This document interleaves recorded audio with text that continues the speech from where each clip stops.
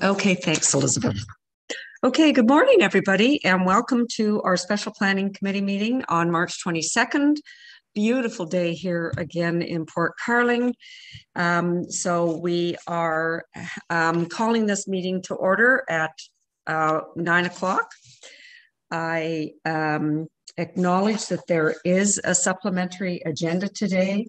Uh, Ralph Cohen and Bob Clark will be providing comment today. And Jason Sifft, who was on the supplementary agenda, is going to be moved over to Ali Brown's designate for our Muskoka. So I believe that covers that. And I'm going to, this meeting is being held electronically from the council chambers. Uh, and uh, the the um, agenda was published with um, I'm going to just go back and read this. This must be Tuesday morning. Sorry, guys. Okay. Part of the um, members of the public may observe the proceedings as accessed in the live broadcast. Um, and if you are part of this meeting, you are consenting to having your uh, your face and views broadcast on this. I am acknowledging that we have all of our senior management here. We have full we have full quorum, which is great. And I, I welcome our guests, Mr. McDonald and Mr. Dyment, to our meeting today, which is about our OP review. We are going to get our public feedback this morning and um, and in preparation of the new draft, which will be then sent out for a public meeting. So with all of that, I'm going to um, ask for disclosure of pecuniary interest. Anybody here have any of that? No. Okay. Okay. Thank you. So we will begin then with our invited delegations. And uh, the first up, I believe, is um, Deborah Martin Downs from the Muskoka Lakes Association. Oh, she's not there? Okay.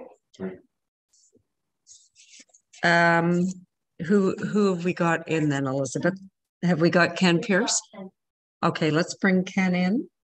And I see we have Frank Pottow and we have Susan Eplett. So we'll do Ken, Susan, and then Frank.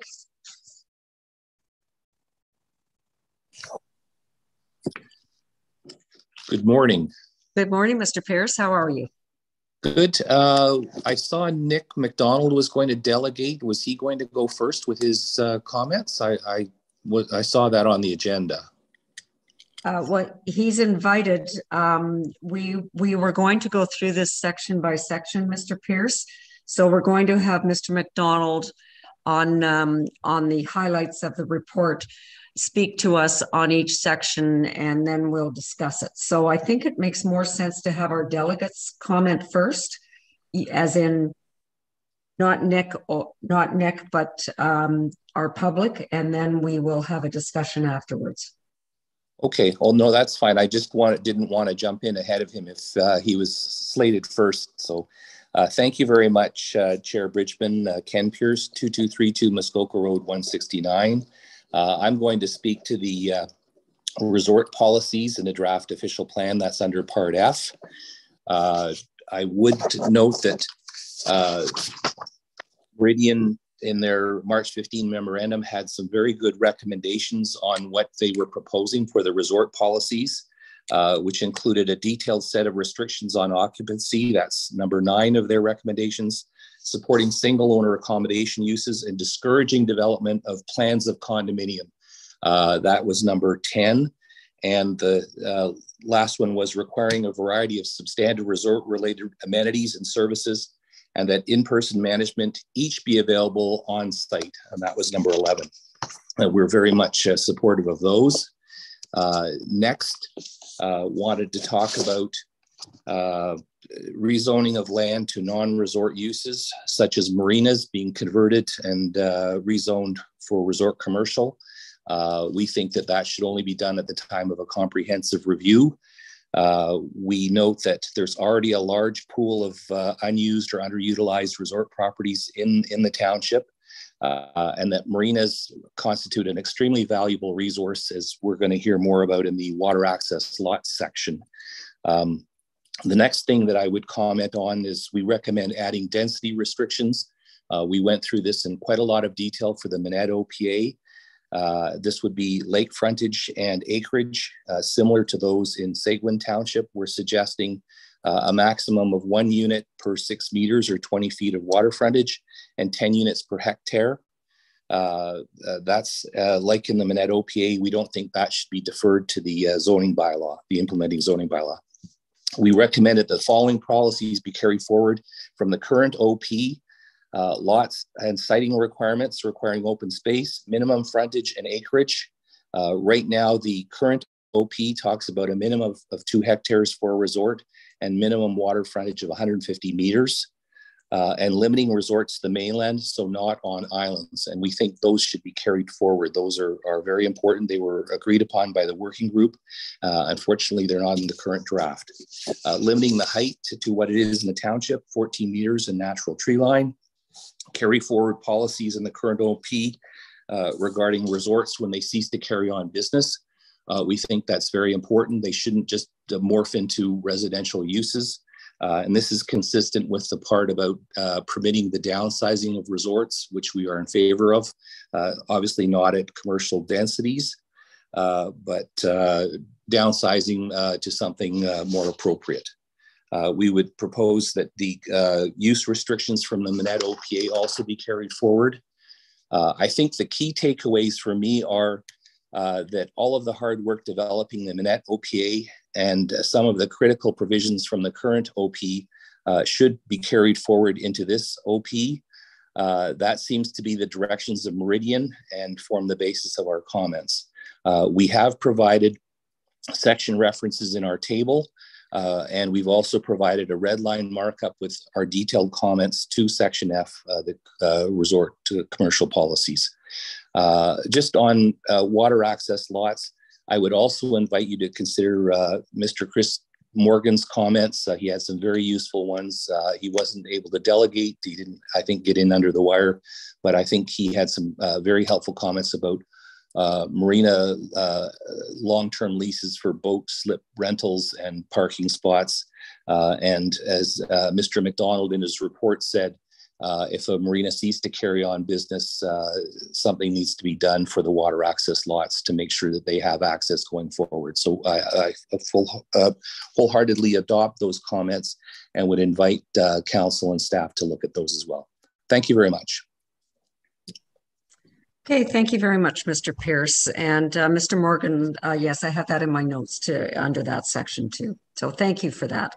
Um, I, I believe we're going to go to Ms. Eplett next.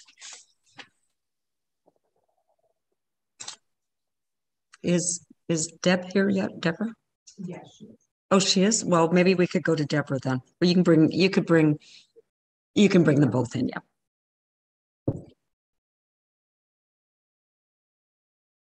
This is so nice having Elizabeth back in the room again, I have to tell you, with the restrictions being uh, lifted.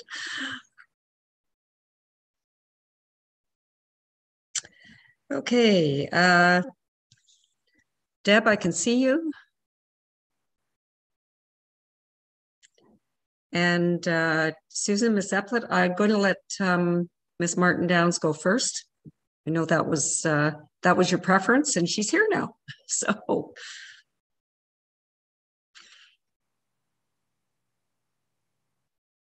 Deb, can you can you hear me? You're just on mute.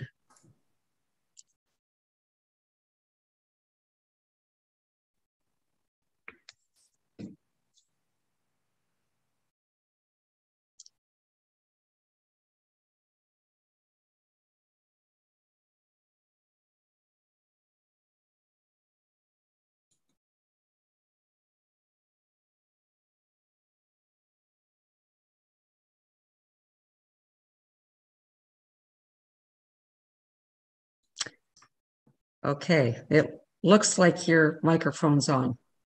Br or Chair Bridgman, if you can hear me, I cannot hear you. So I'm oh. not challenged this morning, apparently many challenges.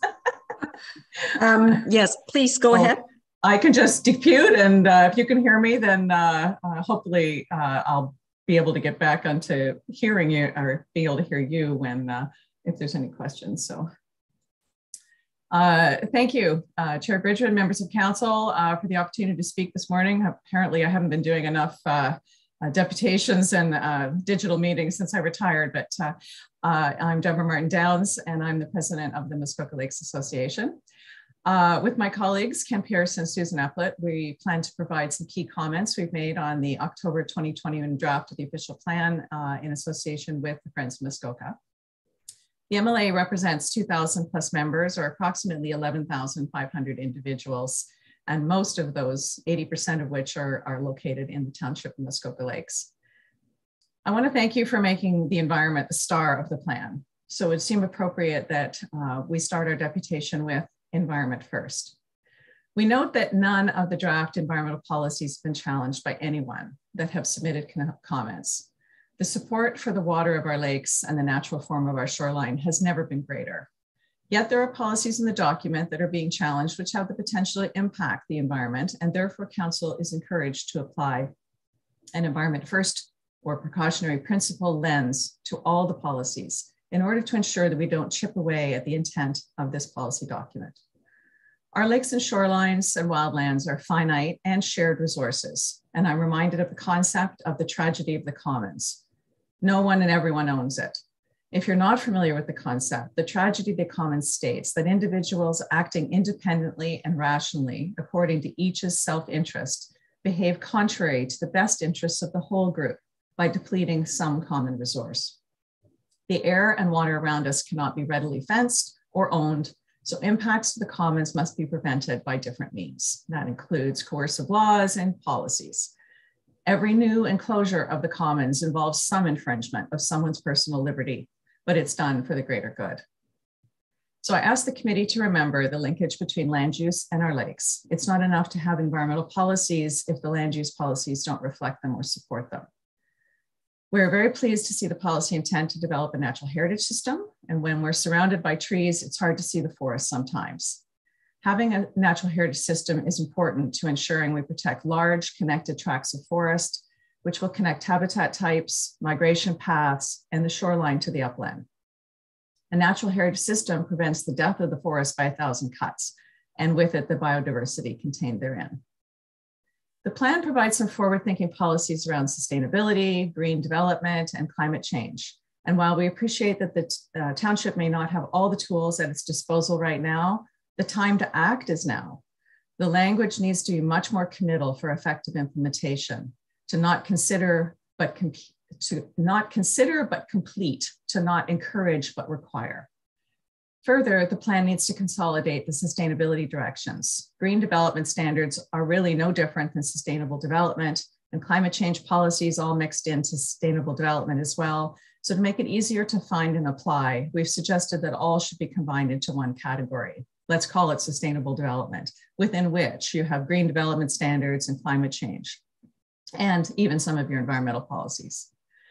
And if these new ways of designing and building are to be enabled, they need to be reflected in other policy sections. So servicing should re reference water conservation measures introduced under the Sustainable Development banner. Given the importance of runoff to lake water quality, we're pleased to see the incorporation of low impact development, a type of green infrastructure, and more natural way, a more natural way of managing runoff. However, we note that the stormwater management policies are missing some critical pieces, like the basic requirements for pre and post quantity control, and would benefit from some technical review by a stormwater engineer. The devil is in the details, and we've provided a number of suggestions for wording improvements and consistency between sections. And as always, we'd be happy to work with the consultants to clarify any of our submission. Uh, those are my remarks for today, Chair Bridgman. Thank you very much, uh, Ms. Martin Downs. If you still can't hear me, that's that's good. so, okay, thank you. All right, Ms. Eplett. And and uh, Ms. Martin Downs, can I just get you to turn your microphone off? Oh, you can't hear me. Sorry, guys. so there she goes. Okay, welcome, Ms. Eplett. Thank you, Chair Bridgman. Good morning, everyone. This committee and our community have dug deep into these official plan policies since the review began over two and a half years ago. You've received the community's input throughout the review in visioning sessions, public workshops, public meetings, multiple surveys, and extensive delegations and written submissions. And consistently, the vast majority of your constituents have indicated the importance of protecting what makes Muskoka so special our natural environment and treed shorelines, our clean water, and the ever important view from the canoe that seems to be under threat. We also ask you to keep in mind that many of the policies in the draft OP that provide these protections result from recommendations of the working group. The MLA and Friends of Muskoka have heard from our members and supporters throughout this review. This official plan is a priority for our thousands of members and supporters and their families. In our March 4th letter, we provided our detailed comments to you that were developed with input from a professional planner and environmental specialist we hired to advise us. Today, I'd like to explain our views on nine of the key policies. Regarding aggregates, we support comments made by Mr. Steve Rohachek on behalf of the Muskoka Small Lakes Coalition in his letter yesterday about the importance of maintaining a two kilometer setback from the waterfront zone and extending it to all aggregate operations and maintaining the current official plan's requirement to locate new aggregate operations within close proximity to provincial highway. We agree there's no need to reference the provincial policy statements. The township is allowed to have more restrictive requirements than the PPS. And this is an example of where our community believes the policies should be more restrictive in order to protect our lakes. The fact that someone may appeal is not a reason to back off policies that the community supports and the working group recommended. Regarding the site plan approval policies, we support the draft site plan approval policies to help ensure sustainable development and provide an enforcement tool for the township. We'd like to reinforce that the district official plan requires site plan control on waterfront lots. We also recommend adding lighting, landscaping, and stormwater management as factors to consider for shoreline development. The policies should also better protect our dark skies by requiring that exterior lights minimize glare and light clutter and not cause light trespass. For recreational carrying capacity, we believe that RCC can be a useful tool. Since 77% of survey respondents supported RCC as a limiting factor, we encourage the township to reach out to smaller lake associations for feedback on retaining RCC as a hard cap in the OP. We also support RCC being included in lake plans and note it has been upheld by the Ontario Municipal Board for Seguin Township's official plan. Regarding small remote lakes, please consider reinstating the current official plan policy discouraging and limiting development on small remote lakes. These policies were in a previous draft but have been omitted. Regarding rural lot creation, the draft official plan permits the creation of an unlimited number of additional rural lots. We believe the policies should provide a limit on the number of additional rural lots in order to restrict development sprawl into isolated areas that lack services or transportation sprawl into rural areas is contrary to the provincial policy statements and is neither environmentally nor fiscally responsible. As the district official plan states, a key objective of rural policy is, quote, to preserve the character of the rural area and large tracts of undeveloped lands for environmental protection and aesthetic purposes. If, count, if council wishes to increase the current rural lot creation limit, we recommend a modest increase of the limit, not a complete removal of the limit. Finally, we support the recommendations to create maximum site alteration and amenity areas, to increase lot area and frontage for new waterfront lots, to prohibit new lot creation on lakes requiring a causation study until the study is completed and any recommendations are implemented, and to develop regulations for short term rentals. Thank you for allowing me to speak and for the tremendous dedication and effort you're making to develop an official plan that will help ensure that Muskoka's future is a healthy and sustainable one. Thank you. Thank you, Ms. Eplett. Okay, and Mr. Pottow there. Elizabeth, thank you. Let's bring him in.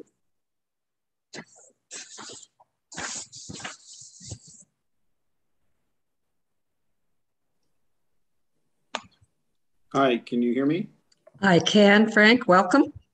Thanks. Sorry, it's uh, early morning here, so I should be better kept for video. But uh, listen, I'm speaking in my personal capacity. I don't want to um, repeat uh, anything that Deb Martin Downs or Susan Eplett just said. I think I made some great comments.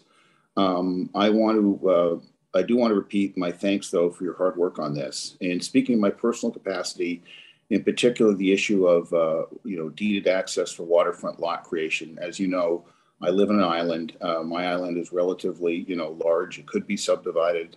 Um, I've tried to keep it the way it has been for over 100 years, which is intact. And I don't want to be put in a position where I'm forced to subdivide it prematurely if you pass a change to the OP that requires deeded access, which is what it will force me to do. I just want to be able to pass it to my children um, who are, you know, fourth generation Muskoka, just like uh, the mayor, he's got four generations of Muskoka in his family. I'd like to have four generations of Muskoka in my family. So I think actually what you've got in this latest draft is a improvement from the prior draft. And I think uh, Mr. McDonald, I compliment him for coming up with something that tries to balance, you know, property rights for island owners with the, you know, issue of having parking on the streets. I, I, don't think requiring deeded access, I think that's a sledgehammer to solve the issue of parking on the streets. I think the new parking rules you promulgated recently, I sent a message to the mayor congratulating him, and I meant for him to pass it on to all the um, council and to you, uh, Chair Bridgman.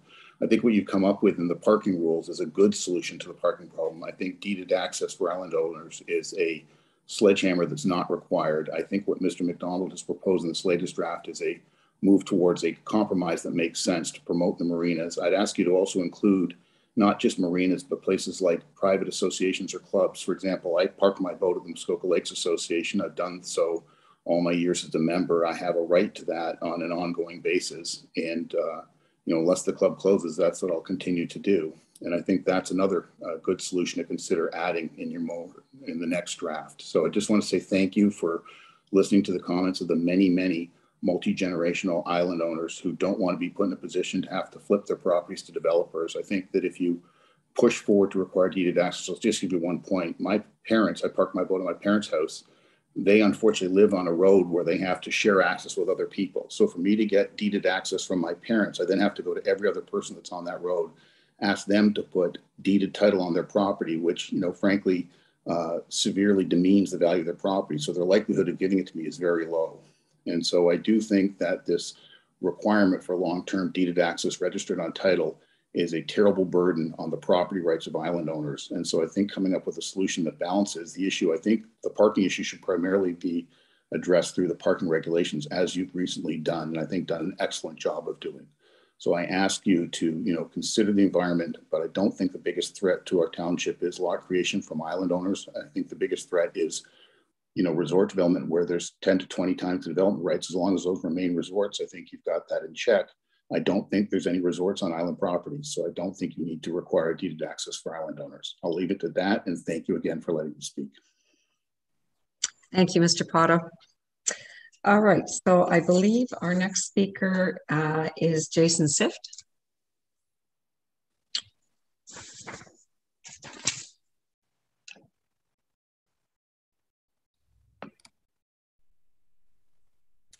Good morning, Mr. Sifft. Good morning, everyone. Okay, go ahead. Uh, my name is Jason Sifft. Um, I represent myself as a Muskoka taxpayer and employer, but also other businesses and individuals as, with our Muskoka. Thank you for the opportunity to speak here today. We, we have extensively reviewed the staff report along with memorandum by Meridian. I would like to commend staff and Meridian in preparing these documents. They are very straightforward, easy to understand, and helpful. I will keep my comments to the recommendations as laid out by Meridian. With only five minutes, I'm not able to speak to our entire submission or on the entire OP. New water access lots. We are happy to hear the recommendation with regards to new island lots will be reverted back to closer language from our previous OP for all the reasons Mr. Pottow just stated. Um, in our opinion, uh, property owners should be, or uh, lower level boathouses, in our opinion, property owners should be allowed to choose how they use the lower level of their boathouse. We feel the new wording, accessory recreational floor area, is agreeable. Sitting inside the boathouse or outside on the dock is really no different. As the report comments, this will help to keep the noise contained. An additional benefit that no one has talked about is the potential reduction in boats from closing in the slips. We look forward to seeing the final wording around this in the next draft. Lot frontages and new lot waterfront lots. We very much oppose this section in the draft of the new OP. It's already extremely hard to find lots over 300 feet. This change would again make Muskoka even harder to afford. afford. I ask, is this the goal? These increases in lot requirements will greatly impact families that are planning to sever new lots in the future for their children and grandchildren. I want to know what is the science behind these numbers? What's telling us this is needed?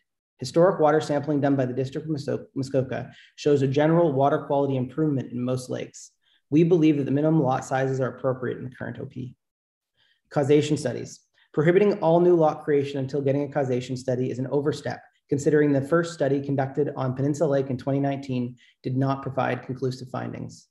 It must be recognized that conclusions of causation studies may not be definitive. How do you prohibit something when the results of the studies aren't definitive? This sounds like red tape being put up to slow down the process. Causation studies should only be used when where water quality indicators have identified concerns. Site plan approval. Currently, site plan approval is taking over 60 days to complete in the township. This is double what the Planning Act allows for. If site plan approval is put on all waterfront lots in Muskoka Lakes, we'll see the number of applications grow by eight to 10 times. I would like to know how many new planners this means. I think we can agree site plan approval is an important tool that can help to catch issues before they happen, but it should only be used when proposed development is large enough to need it. Why is it needed for a dock or a boathouse? Why is it needed for an addition? Maximum amenity area. We oppose this newly created section in the draft OP. First, how it will be policed and measured. Is the township going to require a survey? Rock in Muskoka is not square. It comes in many shapes and sizes. Talk about making things more confusing and less clear for property owners and contractors. This concept will be a nightmare to manage, and it should be removed. The specific percent uh, regulating site alterations, the specific percentages should be removed from the OP. These can be dealt with later in the site alteration bylaw if they are needed. As with the amenity area concept, exact percentages will be very hard to manage, both from a policing standpoint and as a measurement. Recreational carrying capacity. RCC uses a complicated method to limit the number of waterfront lots based on the lake's surface area. There is no science behind the method that we have seen that we have seen to date. Therefore, it's questionable at best, particularly on lakes where a public there's public boat access. I might it might work on smaller lakes where there's only one dock boat per dock, but most cottages on the larger lakes have a number of boats. Boating on the larger lake is also not contained to the bay you live in. You're normally traveling to many bays. We believe RCC policy should be removed from the official plan entirely. Rural lot creation. Permanent residence and employment are tough in the Muskoka Lakes community due to the lack of affordable housing. We agree that we need to have more land available for people to buy off the water and make it more affordable to live in Muskoka. So this is a good first step, but is not a solution to the problem. We need to make off-water permanent housing a priority in our urban centers. This means funding to expand the urban areas in and Port Carling. Being told that servicing in Port Carling is at capacity and there's not seem to be any plans with a reasonable timeline to address this issue is unacceptable. We cannot delay any longer. The proposed official plan is more complex and con contains many more interrelated policies and cross references between different sections in the current official plan. Creating a more detailed and complex plan will pose a greater challenge for property owners and contractors to understand the applicable policies, and more assistance from the township planning staff will be required. An increase in the number of amendments will be required, will be required to the official plan because of the amount of detail and complexity included in the policies. Simple language is not being used. With restrictions lifted, we also recommend hosting a public, proper public meeting in regards to the uh, proposed official plan, as this has all taken place during the pandemic. Are we going to govern Oh, by use? Mr. Swift, you're at, uh, Mr. Swift, sorry, you're at five minutes. So please wrap it up. Yep. Every voice matters. We need to get a large part of the community involved in a conversation, not 500 of 12,000. That's around 4% involvement. We also need to be aware of the cumulative impact of the draft OP rules on top of rules. In closing, we look forward to seeing how the adjustments you talk about today will be outlined in the next draft. Would, if you would like me to repeat any of my questions, please let me know. Thank you for the opportunity to speak today. Okay, thank you, Mr. Sifft. Okay, so up next, I know Mr. Crocker was listed on the agenda. I believe he's on holidays and Linda, and I've lost her full name. I am so sorry. Stroud? Aslin Stroud. There she is. Miss Haslin Strauss, can you hear me? Yes, I can. Okay, great. Uh, welcome. Would you have video? Uh, should have. Uh, There you are. Okay, that's great. All right, so uh, please go ahead. okay, thank you, Chair Bridgman and committee members. Uh, I am Linda Haslam Strata. I'm a fifth generation uh, full-time resident in the township of Muskoka Lakes, and I'm here on behalf of the Skeleton uh, Lake Cottagers Organization. First, I would like to acknowledge the work that your committee has done on the OP and the countless hours that you have committed to the constituents of, of the township. I'm here to discuss aggr- aggregates, section L6. And as you know, your planning committee directed the consultant to maintain the existing policy to locate new aggregate operations in close proximity to provincial highways. And it also identified aggregate operations to have a two kilometer setback from our lakes. So you may be asking why I'm here with your committee since you've already directed these two important clauses to be in the OP. The Skeleton Lake Cottagers are very concerned with the verbiage in a memorandum submitted by the consultant to the Planning Committee dated March 15th and the comments made about your direction. Basically, it outlines two issues. And might I even suggest it encourages aggregate community uh, companies to appeal your directions. That opinion is now on the public record, and thus the Skeleton Lake Cottagers organization believes we need to provide the rationale and set the record straight. First issue, as far as the location of aggregate operations within close proximity of provincial highways. This is very important, as you know. It keeps heavy trucks, toxic dust, excessive noise, potential groundwater contaminants away from our small hamlets our rural communities, and especially our lakes. And it also helps to improve the safety of our communities at large by keeping excessively large trucks off of our community roads. The PPS even states that aggregate operations be available as close to markets as possible. The SLCO and many constituents support the sourcing and the production of new aggregate operations as close to the main arteries that lead to the main markets, which I think we can all agree is Southern Ontario. This is not inconsistent with the uh, PPS. And as I mentioned, uh, we are pleased to see that this policy remains in the new OP. The second issue, we're also pleased that you elected to maintain and enhance the two kilometer setback for new aggregate operations from the waterfront designation. This is vitally important to protect the crown jewels that Muskoka is so famous for and that fuel our tourism based local economy. The verbiage by the consultant, I think it's on page 23, 24, indicates that there is no known basis for your policy direction regarding the two kilometer setback from lakes. There was a basis in our present OP, and there is a basis going forward. You know, we in Muskoka, as we know, derive our livelihoods from attracting visitors and seasonal residents to our pristine waters, our natural heritage, and historic uh, important towns and villages. And in keeping with the PPS, you are protecting the environment and natural resources, wetlands, woodlands, and water. The Skeleton Lake Cottagers hope that the consultant's comments do not undermine your direction. We agree with your direction to keep aggregate operations in close proximity to provincial highways and over the two kilometers for our precious lakes.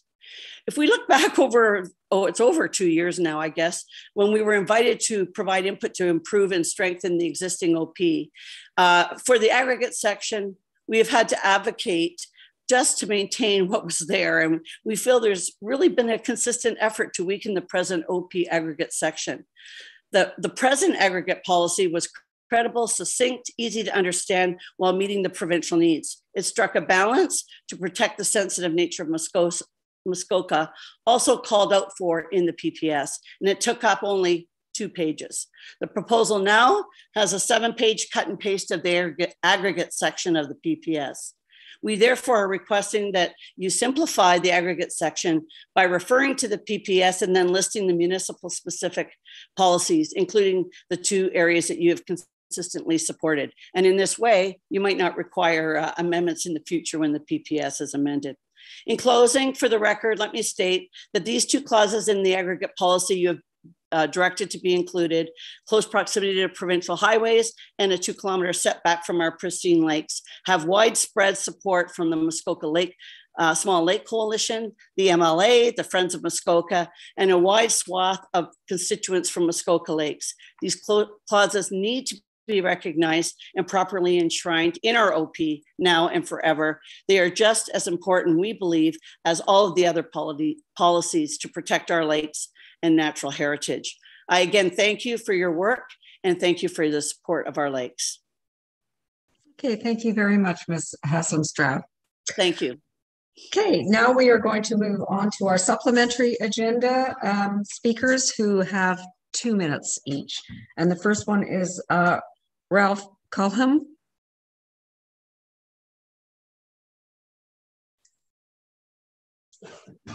So Elizabeth, why don't we bring Bob Clark in at the same time and then we, we won't be waiting for him.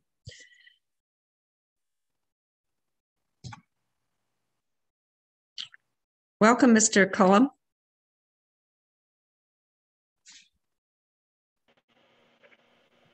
Can you hear and see me? I can. Thank oh, you very, you. okay, thank you. So please, just your name and address, and then you have two minutes. Um, sure. So please carry on. My name is Ralph Cullum, and I'm in at 105 Alexander Street in Gravenhurst, Ontario. Thank you, Mayor Brigman, or Chair uh, Bridgman, and uh, Mayor the mayor and the councillors for letting me speak today on my behalf. Uh, my, again, my name is Ralph Cullum, and I considered Muskoka to be my home for many years. I'm the chair of the Gravenhurst Accessibility Advisory Committee, and I have experience in both design and engineering the building industry spanning five decades, including the design of an accessible R2000 home for my parents built in Gravenhurst in the mid-1980s. The Ontario government has a goal to have the province accessible by 2025, which is only three years away. Under the Accessibility for Ontario's and Disability Act, the AODA, there's a built environment accessibility standard that has yet to be enacted. The government plans to enact a standard by amendment to the Ontario Building Code. My contention is that the proposed restriction to a 1,000 square foot single story dwelling for small lots does not consider the increased living space requirements to make a dwelling accessible. To be accessible, bathrooms, hallways, kitchen, doorways, and other living spaces need to be larger in area. In addition, depending on grade elevations, accessible entry ramps may be quite large. I would like to see more flexibility in the official plan to consider the additional space requirements for accessible dwellings so that they have similar, similar functionality of a standard 1,000 square foot dwelling. In the case of small lots, this could include the ability to either construct or renovate the dwelling to either have a larger footprint or to be either a story or a story and a half or two-story unit that could include a lift. In addition, the accessibility entry ramp should not be considered a part of the footprint calculation. With the economic pressure on affordable housing for seniors and those with disabilities, Existing garages could be converted to accessible dwelling spaces for family members, in this case allowing the construction of a canopy to provide shelter for egress of both the building and the vehicle, even on small lots, should be considered. I have less concern for additional requirements to maintain functionality of accessible buildings on small lots than I do of the environmental impact and energy consumption of the large Mr. Mr. Cullum, you are at two minutes. Could I ask you to wrap it up, please? I'm, I'm just, yeah, I'm just there uh, built on lakefront properties. For the most part, the changes I suggest for small lots have less impact on the existing grade levels, trees, and plantations than tearing down of a cottage close to the waterfront for the building of a new residence meets the 66-foot setback requirement. Thank you for your time and consideration. Thank you very much. All right, um, Mr. Clark. Welcome, Mr. Morning. Hi. Hopefully I don't have technical problems today. Um, thank you, Chair Bridgman, Planning Committee, Staff, Council, um, for your extensive and hard work. Um, as you know, I've been involved in this process uh, for 18 to 24 months uh, as part of the special committee uh, reviewing the official plan. Um, DLP is very complicated. Uh, commend you on the work and even understanding not just the process, but what's involved in it. Um, I would really suggest that with all of these changes, et cetera, that we ask staff to put a document together showing what it would actually take to create a lot and what it would take to create a building permit on a going forward basis. It's going to be extremely difficult. And I'm sorry, I've got to turn this thing off or we're going to get back to you. Um, finally, during the time that I was on this committee, and I'm sorry I have to keep it short, but Um, I've asked a few hard questions through the process that, I, and I've really been astonished at some of the answers that uh, I got back when they were put forward. A lot of it is, you know, where did the numbers come from uh, in this draft OP? How do we actually come up with numbers? And in a lot of cases, the answer is, well, we had to start somewhere, so we just picked one. I don't think that's a good answer. I asked how many properties will this impact and change? And the answer is we don't really know, and it would take a lot of work to get it. But apparently, we have a lot of the information. Um, finally, what will the cost be to the taxpayer of implementing these terms in terms of implementation, staffing, buildings? Um, to my surprise, I can't get a budgetary answer on this, and it doesn't show in any of the ongoing new budgets if this does get implemented. So, what I would ask, and I think we learned this last week, is simply let's remove a lot of the numbers as it relates to what's happening in this OP and get them into bylaws like the site alteration bylaw, which we had fantastic interchanges on last week. So we can actually vet the numbers. Council will know where the numbers come from. They'll actually be scientifically based. They'll be researched. And we won't just use the word environment. We all love the environment here. We all want it to stay the way it is or improve. But it doesn't mean just piling on more restrictions. It means doing our homework. Thank you very much. I'm pretty sure I'm at my two minutes, Mayor. Mr. Clark, I was just about to let you know that. So thank you very much for keeping it at two minutes. Thank you very much for letting me speak. Okay, so that is the end of our delegations. And I do want to note uh, for those of you looking at the agenda, that um, Mr. Newman did withdraw his five-minute delegation request. Um, I had it crossed off on mine, but I forgot to mention it. So, okay, thank you everybody for your for your input. Um, now, um, Mr. McDonald and Mr. Dyment, welcome again, and uh, good morning. Good morning. Good morning. I'm wondering, Mr. McDonald, I have all my notes here, sort of on on on. Uh, on your report. Can we do this sort of section by section in terms of your questions and your recommendations uh, rather than review it all at once? And then I think that just keeps us, helps us keep being focused, if that's good with you. That, that's perfectly fine with me. That makes the most sense. There's a lot of information here, and I, I think it makes sense to look at it uh, individually. Uh, there are 14 separate recommendations, so there'll be 14 separate little presentations that won't be very long uh, to get us into those recommendations, then we can discuss them. Okay, and and to our delegates, I believe that a lot of what you've asked or said will come up during this during this discussion. So, Mr. McDonald, can we start with minimum lot coverage? Minimum lot coverage. I was going to go in the order of the uh, memorandum itself, if that's okay. Um, um, that's fine. Where, where would you like to start? Great. So I'm just going to start on the first page with water access lots. Okay. Thank you. Yeah, I'm just just going to follow uh, in the in the order of my recommendations from one to 14. So I'll do it that way. Um, so as, as you already know, uh, this issue has uh, uh, consumed a significant amount of time and discussion, and there has been a lot said about this uh, particular issue. Um, as you know, the existing official plan um, states that new water access lots can only be created provided long-term uh, uh, parking facilities are provided, and this has meant historically that the applicants had to provide a letter from a marina indicating that the vehicular parking was available, um, and the owner would be uh, required to enter into an agreement um, that would uh, require owners to not utilize public parking and docking as a means of access to the property.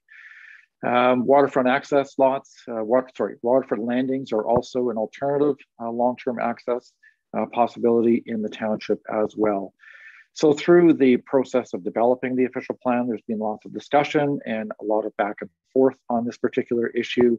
And in the end, uh, it was directed that the official plan contain policies that require deeded access uh, only uh, in cases where water access lots uh, were proposed. So the above policy, the above policy direction was then implemented to basically permit uh, uh, water, water access on a mainland waterfront landing, individual water access point, or a plan of condominium involving boat slips. And all of those circumstances would have required some form of deeded access. Uh, we also included as an additional option in the draft official plan, uh, new policies on individual water access points, which would serve up to two residential lots that cannot be accessed by a road. Um, and those, uh, uh, those permissions would be enshrined in your implementing zoning bylaw when it is updated in the future. However, notwithstanding that, there would still be a requirement for deeded access even in those cases in response to the survey question on whether this was a good idea or not, it was basically split 52 saying yes and 48 saying 48% saying no. And based on a review of these comments, uh, those that were opposed were, were uh, to the idea generally indicated that the potential was very remote for securing deeded access or an easement on a property. Um, and those in favor uh, believe that the long-term parking of cars and trailers should not be occurring on roads and should be occurring in places where uh, there was uh, confirmed and long-term access. Uh, after thinking about it and looking at all of the comments, I don't think personally uh, that this is the most appropriate way to deal with the issue uh, with access. I don't think it's very likely that deeded access will be secured. I don't, it, waterfront property is very expensive. Uh, folks are not going to be consenting to uh, granting easements or having easements on their property. It reduces the value and their saleability over the long term. Uh, so as a consequence, I don't think it'll be possible to really implement this policy. Um, so with this in mind, it is my recommendation that the requirement for deeded access not be carried forward into the next draft and that a long-term lease agreement with the marina be considered an acceptable additional option. So what I'm suggesting is that the deeded access piece come out. Um, we do, I do recommend that the uh, po new policies on individual water access points be carried forward into the next draft. And when these policies are implemented in the township zoning bylaw, another option will be made available. So in addition, uh, I also recommend that the official plan include a policy that requires the owners of lots to enter into an agreement with the township that indicates that they will not park or moor watercraft on municipal lands to access their property. So as a consequence, what I'm suggesting is an enhancement of the status quo with one additional option for consideration, uh, that being the individual water access points. So going to recommendation number one uh, in the memorandum, um, I'll summarize and not read this, but deeded access not be a requirement. It can still obviously be an option available to an owner uh, if desired. Uh, a new policy be included in the official plan that requires new lots, the owners of new lots to act to enter into an agreement with the township that indicates they will not park uh, vehicles or moor watercraft on municipal lands, as well as binding provisions that deal with the circumstance where the marina ceases to operate, which could happen and hopefully doesn't. Uh, the draft policies would also permit individual water access points on private properties and that that be carried forward into uh, the next draft of the official plan with the requirement that there be a long-term lease on those individual water access properties as well. And that lastly, the official plan contains supportive language uh, that supports the retention of existing marinas and the reasonable expansion of these marinas in the future. So that's recommendation number one, uh, Madam Chair. Okay, thank you, Mr. McDonald's. And I don't know if you had a chance to see uh, Mr. Morgan's letter with the wording. I assume that you will take that into consideration going forward. Uh, yes, I will, Chair Bridgman. Uh, his suggestions were uh, very well uh, taken. I'm not sure I would incorporate all of the language he has suggested because it is kind of legalese for an official plan, um, but I understand his points and will consider them. Thank you. Okay, thank you. Uh, Mayor Harding. Uh, thank you very much. Um, I agree with the recommendation. point B, the new policy requiring owners lots to enter into agreement with the township I appreciate my own vehicles, but what about guest vehicles? Um, people regularly come up and, and they need extra places to park. Uh, do we want to put a provision in there? Do we want to understand that? Um, you know, we do have on-street parking for guests and overflows, and even in mainland properties, if you happen to have uh, a number of people over, sometimes they do park on the road. Or do we want a limitation, or do we want to just even ask the question of what guest parking um, in that agreement, what the plan is for guest parking so we have an idea for that. Thank you. Okay, Mr. McDonald. I think uh, through you to chair, uh, through to, to the mayor, I think that's an excellent suggestion. Um, not sure how exactly we would operationalize something like that, but I think it's worth uh, asking the question and considering it. Uh, and perhaps there could be uh, in the agreement some acknowledgement that guest parking for up to a certain number is is also incorporated, but anything above that isn't. Uh, so we'd have to look at that and think about it. But I think you're on the right track. I think that's a good idea. Okay, thank you, um, Councillor Kelly. Uh, thank you, and through you, I generally agree uh, with the changes that are proposed. I do have three questions uh, specifically relating to uh, the addition of a long-term lease with a marine operator.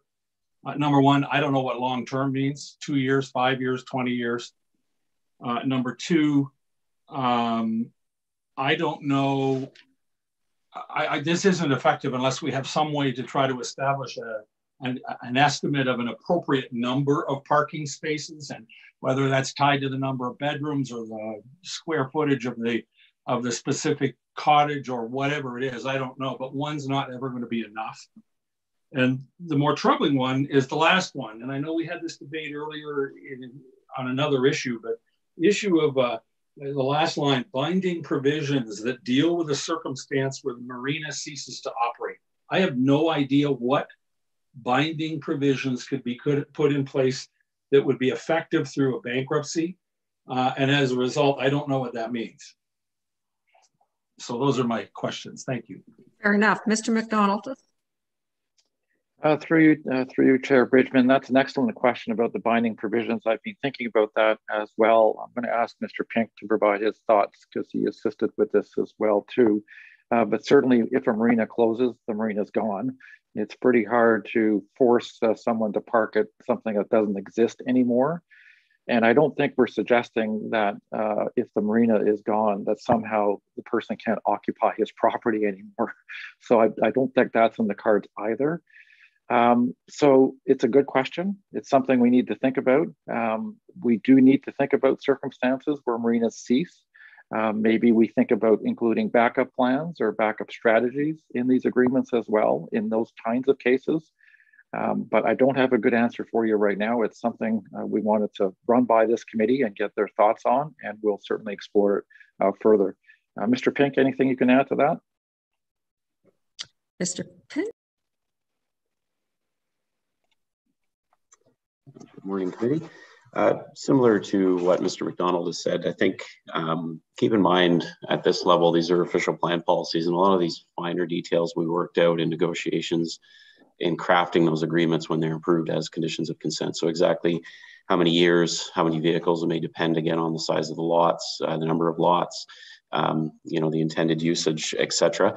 And and again, uh, it's a, certainly an excellent question um, in regards to when a marina ceases to operate. But I think, as Mr. McDonald noted, I think there needs to be some recognition that that could occur, and if that were to occur, uh, those owners are obligated to ensure that they're not going to revert to utilizing public docking, public parking, and that they will seek out either another marina or a waterfront landing or deeded access, uh, et cetera, and it will obligate them to do so. Um, uh, the exact details, again, we can uh, work out as we work, uh, negotiate these agreements, but I think um, something to recognize uh, uh, that that's a possibility and certainly echo Mr. McDonald's comments. There's no intention to uh, strip the ability for someone to uh, inhabit their property or, or, access it, but we want to ensure that appropriate access continues to be uh, available. Okay, thank you. And then on the issue of the uh, the term of the contract, I'm going to ask Mr. Dyment to provide his thoughts on that in terms of how long the lease should be for with the marina operator. Okay, Mr. Dyment, welcome. Good morning. Um, this a lot of this, um, including the number of parking spaces, is a bylaw issue. Um, and um, I know we've been criticized for having too many numbers in the uh, in the official plan already. Um, in terms of the um, the opportunity for a long-term lease, of course, under the Planning Act, you can do a lease for 21 years less a day without getting Planning Act approval. Um, but that and that's important because that lease also is a binding contract between the property owner and the person who is counting on that land for deeded access. Um, I've seen this situation occur before where that binding contract, then if there's a bankruptcy with the marina, it's a contract that uh, that flows through. I don't know all the legal obligations, but when you have a long-term contract, it does provide better security for um, ensuring that that requirement to provide that access is maintained and is tied to the tied to the property. Um, but it can't be for more than 21 years without planning approval of some sort. Okay, thank you, Mr. Dyment. Uh, Councillor Mazan.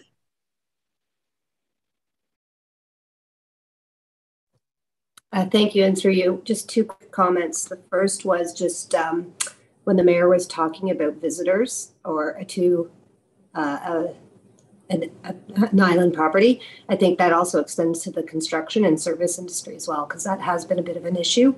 So, uh, just as he brought that up, I just think we need to also be contemplating how we, excuse me, um, address that.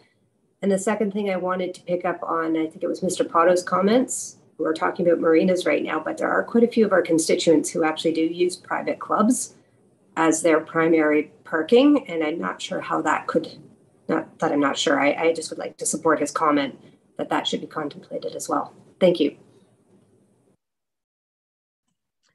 Mr. McDonald, we could just add that in as part of the uh, deemed agreements, I would think. Yes, I would agree with that. That was an excellent suggestion he made. Okay. Uh, Councillor Jaglowitz. Uh, thank you, Chair. Um, I have great difficulty with this, but I do understand the program. It's quite clear that the current situation is unacceptable, as has been uh, uh, pointed out lately. So here, here, are my comments. In, in Mr. McDonald's notes, he indicates that um, the official plan proposes to substantially increase the minimum lot sizes for island lots, and there will be fewer of them. So I would like to have this subject revisited in the event that those restrictions or those uh, further um, things are not implemented. So, so that's number one. Um, number two is when you talk about a, a, a, lease 21 years less a day, I assume when you're talking about carrying forward, you're talking about it being registered on title to the marina. I assume that's what you're talking about, because if that lease is only registered is only between the operator of the marina and that person, then if the operator fails to meet his obligations, that lease will be lost. So that causes a great problem. And I also understand that the official plan is not the place to put zoning restrictions, but it should set the framework for it. And I believe the framework here uh, should be that, that there a lot not be created unless there's satisfaction that there is a long-term lease for the assumed people that will be using that lot. And that's that's difficult and may have to be done on a on a case by case basis. But if you allow the lot to be created without something then we'll be back in the situation of walker's point where when that parking that those people relied upon is maybe in jeopardy or they have more people then those people come back to the municipality so i understand it's a difficult subject and I, I, think we're moving in a, in the right direction because I do think deeded access, although it would solve the problem, is probably unworkable. So I'm in, I'm, I'm, I'll support this going forward, but I think the OP has to address it. It can't just be silent and leave it to um, an individual consideration. So that those are my comments. Thank you. Mr. McDonald, I'd be interested in hearing your comments on, on uh, not being silent and lot creation can't happen until we know that there's a lease. Would, uh, is that part of an OP? Yeah, it is. And, and how I envision the policies working is that when someone makes an application for consent, they have to demonstrate that they're conforming with the official plan and what it says. And if the official plan requires someone to demonstrate that they have uh, a solution for access over the long term, that needs to be furnished and considered by the Committee of Adjustment when the application is initially being heard by them. If they're satisfied, then the committee would then attach a condition to their decision, which requires them to furnish the actual contract or the lease or whatever it is prior to the committee and the township signing off on the new lot being created. So there are two steps involved uh, in, in going through this process. And uh, I think that provides uh, enough security to the township that there will be uh, that access provided. In the end, there always will be a circumstance where something doesn't work out as planned. That's life. The best we can do is try to make sure that doesn't happen uh, through the application process. Okay, thank you. And and the question about being registered on title with the marina, I found that interesting. Is that something that we can dictate? I would have to think about that a little bit more, and unless David or Jim has a comment on that, um, I, I'm registering something on title typically happens when you have some kind of planning act approval or some long-term arrangement in place. It doesn't typically happen for anything that is short term, but I get the idea because the operator of the marina may be different than the owner of the marina. So that's something to think about uh, going forward. Um, I would ask to leave that with us unless Mr. Dyment or Mr. Pink has a thought on that. Okay, thank you. I'm going to go with Mr. Dyment and then Mr. Pink. Mr. Dyment? Thank you. Um, I want to preface this by saying that we have boosted up the policies that support marinas in the official plan and provided some greater flexibilities for those marinas to operate. At the same time, they're all subject to site plan control. And at some stage, someone is going to have to look at the marinas in Muskoka Lakes and in a perfect situation, do it in conjunction with the Township of Seguin and say how many water access lots are there now and how many parking spaces are there now and um, and determine what what the real supply and demand is. But through the site plan approval process with the marinas, we can tie them into a number of parking spaces and the use of those parking spaces. But it requires um, a site plan agreement between the marina operator and the municipality to do that. It's a complicated process. Sometime down the road, probably something the township will have to do. Supplementary? Oh, sorry, it's Oh, just let, let's let Mr. Pink um, make his comment first, uh, Councillor Jagowitz. Mr. Pink? Uh, thank you, Chair. Uh, that's right. Uh, just quickly, uh, I think it's important to note that the long-term lease agreement is obviously uh, a contract or an agreement between two other parties that the municipality is not a, party to. So it is between the marina and the property owner. Um, but further to the previous points we made about, uh, and this already occurs, we already have required for many years um, an agreement registered on title between the municipality and the property owner that they are not going to utilize municipal docking and parking.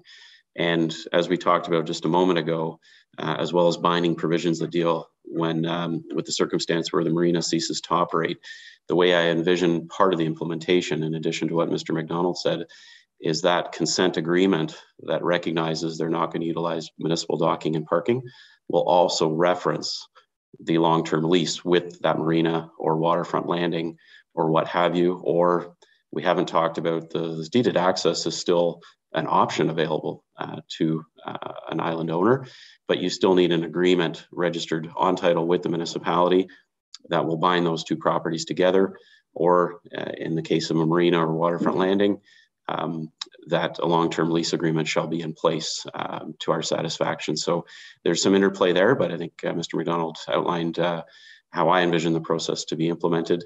Those details will have to be provided with the application, and if approved by committee, um, they will have to fulfill conditions which include agreements with uh, other parties and with the municipality. I hope that helps clarify. Okay, thank you. Uh, supplementary, uh, Councillor Jagowitz? Yes, I just wanted to follow on on that. And um, I wasn't referring to a registration on title of the island. I was referring to a registration on title for the person providing the access. And it's the similar to when a person obtains a right of way. And I know this because I just went through some personal experience. When you obtain a right of way over somebody else's property, you can register it on title to that person's property. And that's good for this 21 years less a day. If you want permanent access, you have to go through a land severance and get the municipality involved. Okay. I don't think that's that's what I envision. I just envision that the long-term lease would be registered on the property of the marina or the or the uh, private club or the individual's property who's providing the access. That gives some degree of assurance without inter, uh, interfering. Uh, without that registration, it's kind of a useless document. But uh, I'll leave it at that point because I understand we're getting into the nitty gritty now.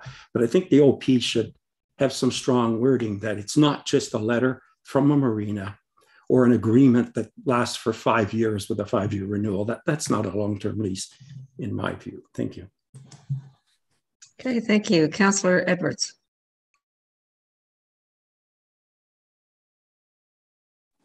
Uh, thank you very much, Chair Bridgman. Uh, I think this could be a, a, a, winning situation for everybody. If I owned a marina and I had a 21 year lease from, from Islanders, one, it would help my uh, business plan if I was borrowing. Two, if I was to sell the marina, I could then say I've got so many leases with, with 20 years left, so many with 15 years left, so that it would make the marinas more viable. Not only that, if they were wanted to increase their, their parking, they could say, you know, Islander number one wants three parking spaces, another one wants four, or something like that. So it would help that. So I think this is a, a win-win. I wouldn't burden people with, with having uh, deeded access on the uh, on the water. It's just too but cumbersome. But I think it would help our uh, marinas uh, and that become more viable in that. And uh, I think it's a win for everyone. Thank you. Okay, thank you. Mayor Harding. Thank you. Um, as far as registration of this lease on the marina's lands, I think that's a little bit onerous on the arena. Um, adds extra legal costs, and we are really, I think Mr. Pottow commented, we're dealing with a sledgehammer to solve a, a, small problem at the end of the day. I think the bigger problem, and, and I, I love where the way the direction is going, and that we have to demonstrate we have a lease. But the real problem that we have not really identified in this official plan is I'll take Parker's Marina, for example where you can park 500 boats. What happens if that marina closes? We're talking about dealing with the one or two new lot creation annually on islands, but we have forgotten about the thousands upon thousands of current water access only people that we are not supporting in this official plan to help encourage. We dealt with Skeleton Lake recently, where a marina was threatening to close and we had to look at different alternatives to make sure we protected that water access landing for those properties. And I'm, I'm wondering is there a policy that we want to consider that encourages continued use or expansion of waterfront landings in here? Because the problem is not the one or two new lots, the problem is the thousands of existing lots, should these marinas decide they want to get out of that business and don't like renting boat slips. Uh, it's a very good point, Mayor Harding. And Mr. McDonald, would that would that fold into our marinas section?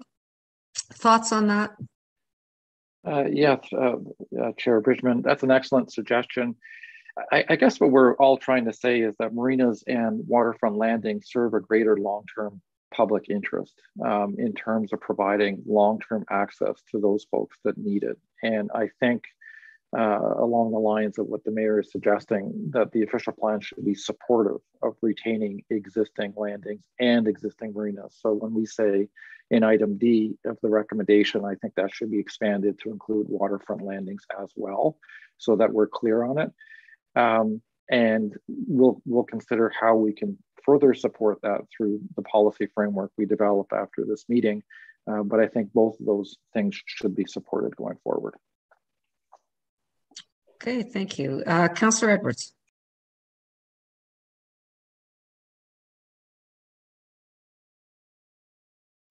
Uh, thank you. Um, further to, to the, the uh, mayor's point, there are thousands and thousands of, of uh, boats being parked at, at, at somewhere like, like uh, Parker's or other landings. We should maintain them. They, they've got to be saved because uh, a resort closes, yes, you lose some, some jobs and everything else for that. If these marinas or landings close, there's millions of dollars on these islands that are up the creek basically without somewhere to, to uh, park. So we've, we've got to make it as strong as, as possible on not downzoning marinas or, or, uh, or, uh, uh, or other, uh, landings that, that there are there because it is important to the whole area. Thank you. We'll see how Mr. McDonald and Mr. Dyment work their magic on the wording of that, Councillor Edwards. Uh, Councillor Mazan. Uh, thank you, it's for you, and uh, I support those comments. I um, I, I am also wondering, and I, if, if we could have a clear definition of the difference between a marina and a landing. Just coming out of our meetings from last week, I, I realized that we don't really have a clear understanding of those. Um, and then again, extending it just beyond the world of marinas. It, it, Mr. Pottow brought up the the Golf and Country Club. I have no idea how many uh, people we are talking about there, but I, I, suspect there's quite a few that may use that as their primary deeded plot. And I know there's multiple spots like that's right the the lakes. So um, we just ask that those definitions are clear as well. Thank you. So, Mr. McDonald, Councillor Mazan raised this last week. And I think the defining difference is that whether it's zoned commercial or whether it's it's zoned non-commercial. But in terms of the actual um, listing of what's allowed and not allowed, I think that's, if I can, Councillor Mazan, that's where you're coming from. So I don't know, more than explaining that, I don't really have any more comments. I don't know if you want to make a comment on that.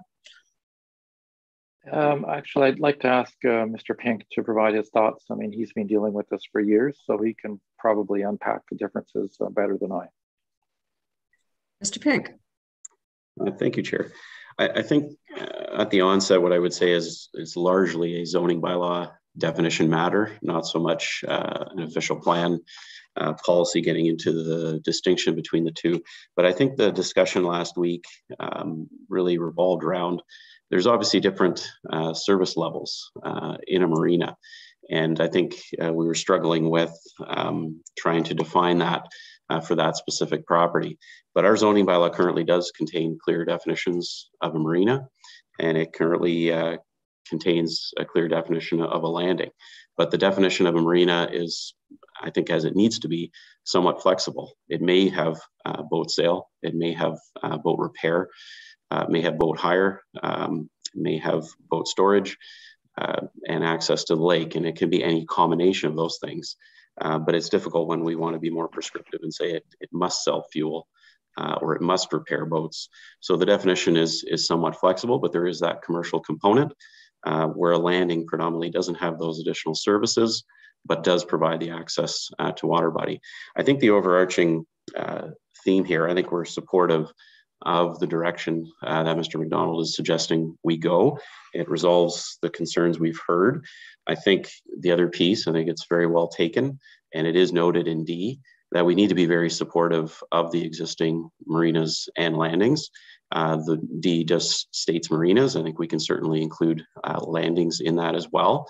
The current official plan actually goes so far as identifying marinas as employment lands um, question the appropriateness of that, but we will make sure uh, in the next draft that the policies are very clear uh, and provide very uh, large hurdles in order to downzone uh, a marina property. Uh, the other thing, and I think it's a broader discussion, but it did come up during the General Finance Committee uh, discussion on Skeleton Lake last week. as committee members are aware, the municipality is also going through a transportation master plan. And through that process, uh, council could explore uh, the utilization of uh, municipal lands for parking and docking as a potential solution if marinas uh, and landings uh, do uh, reduce in number and access becomes an issue. So I think that will become part of that process discussion. but through this OP, we will ensure supportive policies for marinas and landings, make it very difficult to or discourage their um, their businesses closing, um, and uh, and I think again we've we made some good suggestions, uh, Mr. McDonald, Mr. Dyment, on um, on pivoting on this uh, policy direction. I hope that helps clarify. Okay, thank you, Mr. Pink. Okay, so Mr. McDonald, uh, Mr. Dyment, I believe we, you obviously have support for the direction that this is going in. And then we had a few other items that I'm sure you have, um, you will contemplate, which is the guest parking, um, and uh, the private clubs, the lot creation really tied up, tightened, and um, and then the other issue that the mayor raised was what do we do when a marina closes down with all of our island properties? So I think I captured the, the main part of that. So if you're good with that, then we will we will um, carry on to the next one. But I'm going to suggest a 10 minute break right now, just before we we do that. Uh, so if we could all come back at 10:15, that would be great. I'm sorry, 1025. that would be good. Okay, thanks.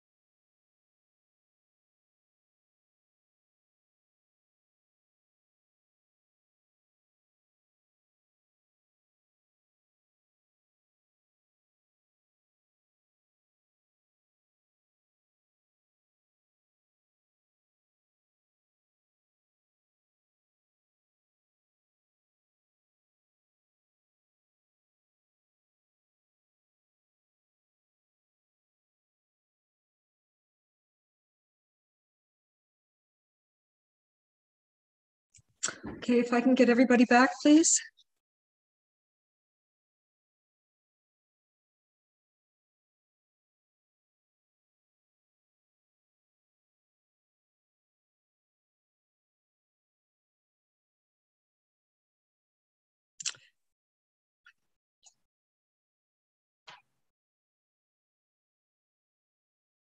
Okay, we don't quite have quorum yet.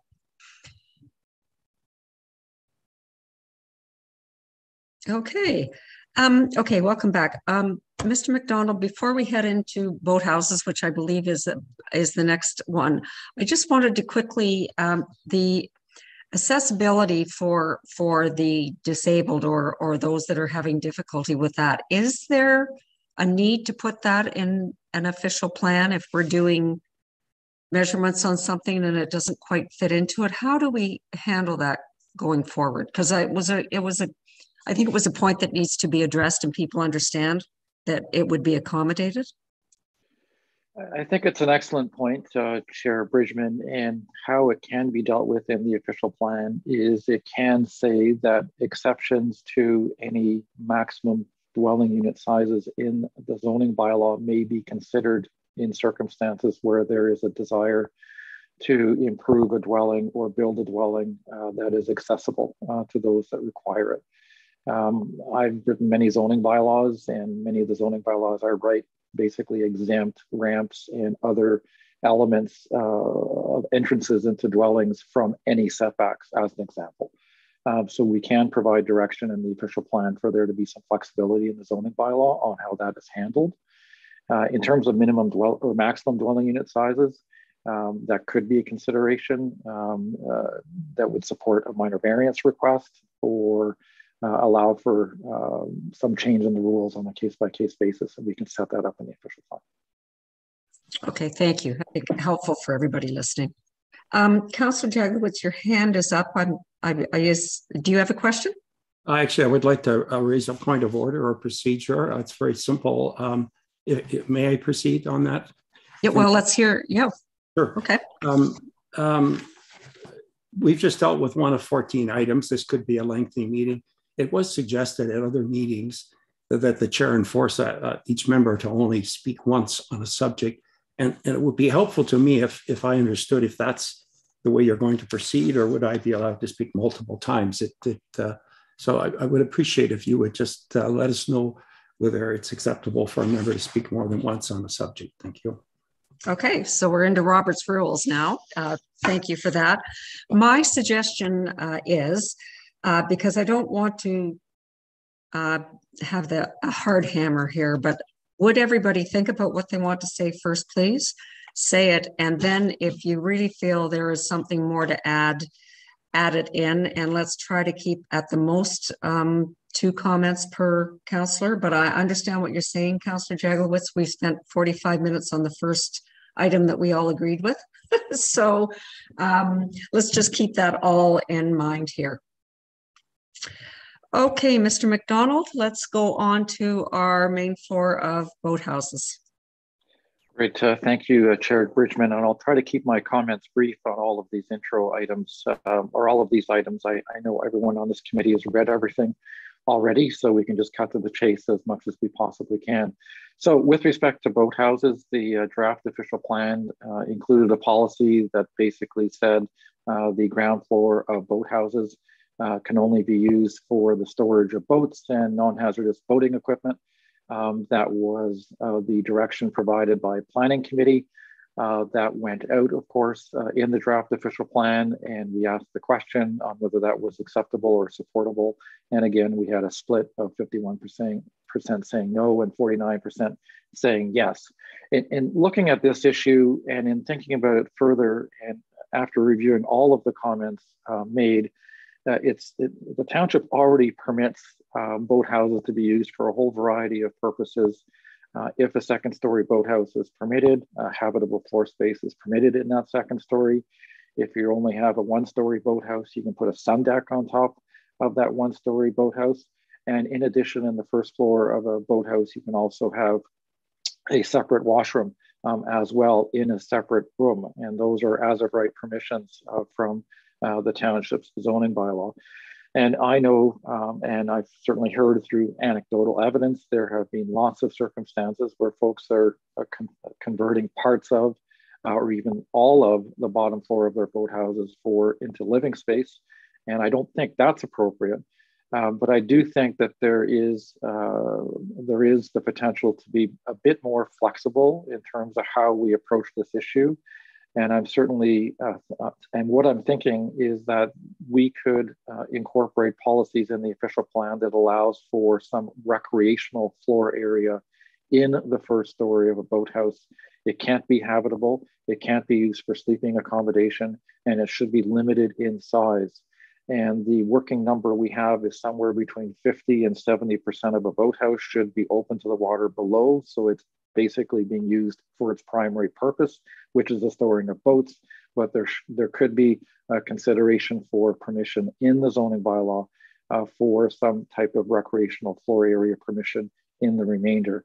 I would note if that permission was there, uh, folks may be sitting inside their boathouses more than they're sitting outside of their boathouses, which I think many people would think is a good idea in terms of um, lessening impacts on quality of life and so on from noise uh, from boathouses. So I'm recommending that there be a change in approach, and that's in recommendation number two, um, and that basically the official plan permit recreational floor area on the ground floor of boathouses, provide an appropriate percentage of the boathouse was utilized for marine storage and open to the water below. I don't suggest we put a number in the official plan. I'm very conscious about the many numbers we already have in the official plan, and, and I don't want to really start adding any more into it if we don't need to. Um, but this is certainly more for the for the zoning bylaw to consider. Um, but I'm thinking that the door should be open for that to happen. So that's my recommendation. Okay, thank you. Any comments, committee? Uh, Councillor Jaglowitz. Thank you, Chair. I was afraid no one was going to speak on this issue, so so I apologize for going first. Um, once again, I have extreme difficulty with this. I understand where you're going with it. You don't want numbers in the official plan. But when you say that you can permit accessory recreational use on the ground floor, provide an appropriate percentage of the boathouse was utilized, that you can drive a truck through that. And um, someone can say, I don't have any boats, therefore an appropriate amount is the entire boathouse. So I think if you're going to allow this, the official plan has to be somewhat stronger. First of all, I'm not sure, I'm surprised that our director of uh, his full title is in agreement with this because when we dealt with uh, this a couple last week, a similar issue having to do with outbuildings having a designated use, it's my understanding he was opposed to having other than habitable and storage. And now we're going down that slippery slope of creating a middle category called accessory recreational use. So um, I, I, uh, I, have a lot of trouble with this. Uh, however, I do acknowledge that people should be able to, as some people have said, get out of the sun and, and you know, have a fridge uh, or something like that but I, I, think this is very, very, very weak. And I think leaving it to the uh, zoning bylaw is a mistake.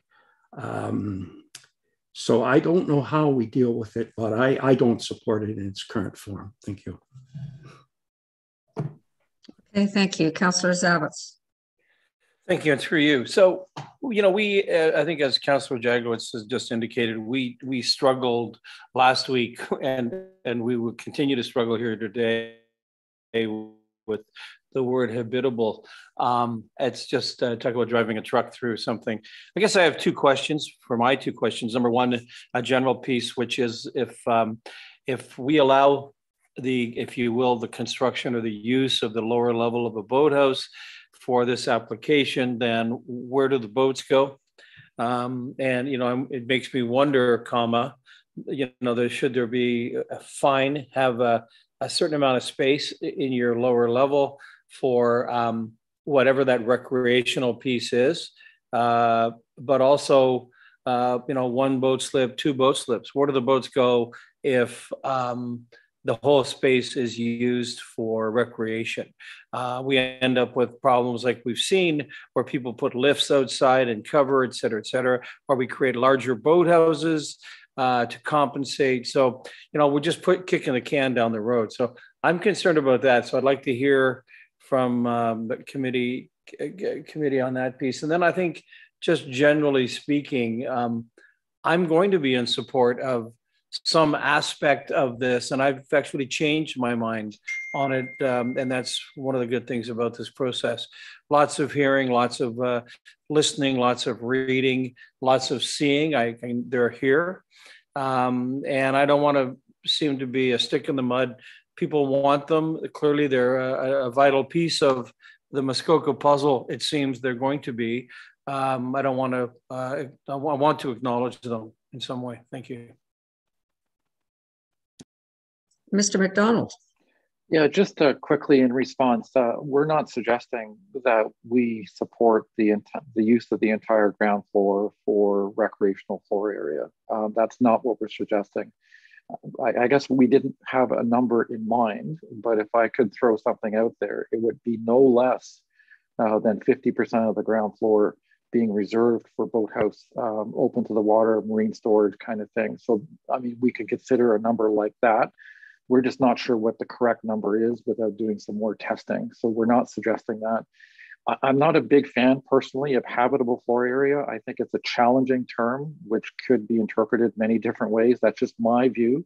That's why I looked for something else. And, and, and I came up with recreational floor area with a clear prohibition on any sleeping uh, uh, potential or accommodation. Uh, I'm also thinking of, of enforcement down the road. And, uh, you know, when folks are already using the insides of boathouses for all kinds of different things, it's hard to even get into a boathouse unless you have, uh, for enforcement purposes, unless you, you know, have some pretty good evidence that something is, is, is, is, is not happening in accordance with the bylaw. So I'm thinking uh, of enforcement down the road as well too. Um, so putting a number in the OP is not something I'd support, but if we wanted to consider no less than 50% being used for uh, marine storage and open to the water, we could look at that um, going forward. So just a thought for the conversation. Okay, thank you. Councillor Hayes. Thank you, and through you. Um, I, I've heard the argument that people want to get out of the sun, and I can understand that. Um, what I would like to do is define a little bit better what you can do should you build in part of your boathouse. And that is it's it's not a living room so there should be no television there. There should be no cooking facilities no barbecue. And anything that you do put in there has to be removed seasonally um, because of the flooding so anything i don't want anything built in um, and i would like to stick completely with the two piece washroom that's all that we allow in a boathouse no other plumbing um, and if we could do that with the with a percentage to be determined later, um, I could support support that. But I would like the things that are in there to be removed during our spring freshet. Okay, thank you, Councillor Hayes. So are you you're including appliances and that kind of thing too, with built-in kitchens and that kind of thing, right? Yes, I don't think we should have built-in kitchens in our boathouses. I think the kitchen belongs in the house because that's the use of the house. Um, if you want to bring down some food and have a, a, a patio table inside your boathouse and have lunch, that's fine. But um, or have a mini fridge that's up two feet and you know it won't be um, affected by any flooding, then then that's okay too. But anything that uh, is going to sit right on that floor, and that includes built-in kitchens and anything like that should be removed seasonally to protect our environment. Okay, thanks for that clarification. Uh, um, Mayor Harding. Thank you. Uh, I, I like the recommendation uh, that is included. Um, I would include a uh, maximum use. I mean, as far as recreational, I'd go to up to 50%. I think that number should be in there. And I look at that like our 11% lot coverage. Um, the specifics later on can be dealt with, I think, in a zoning bylaw.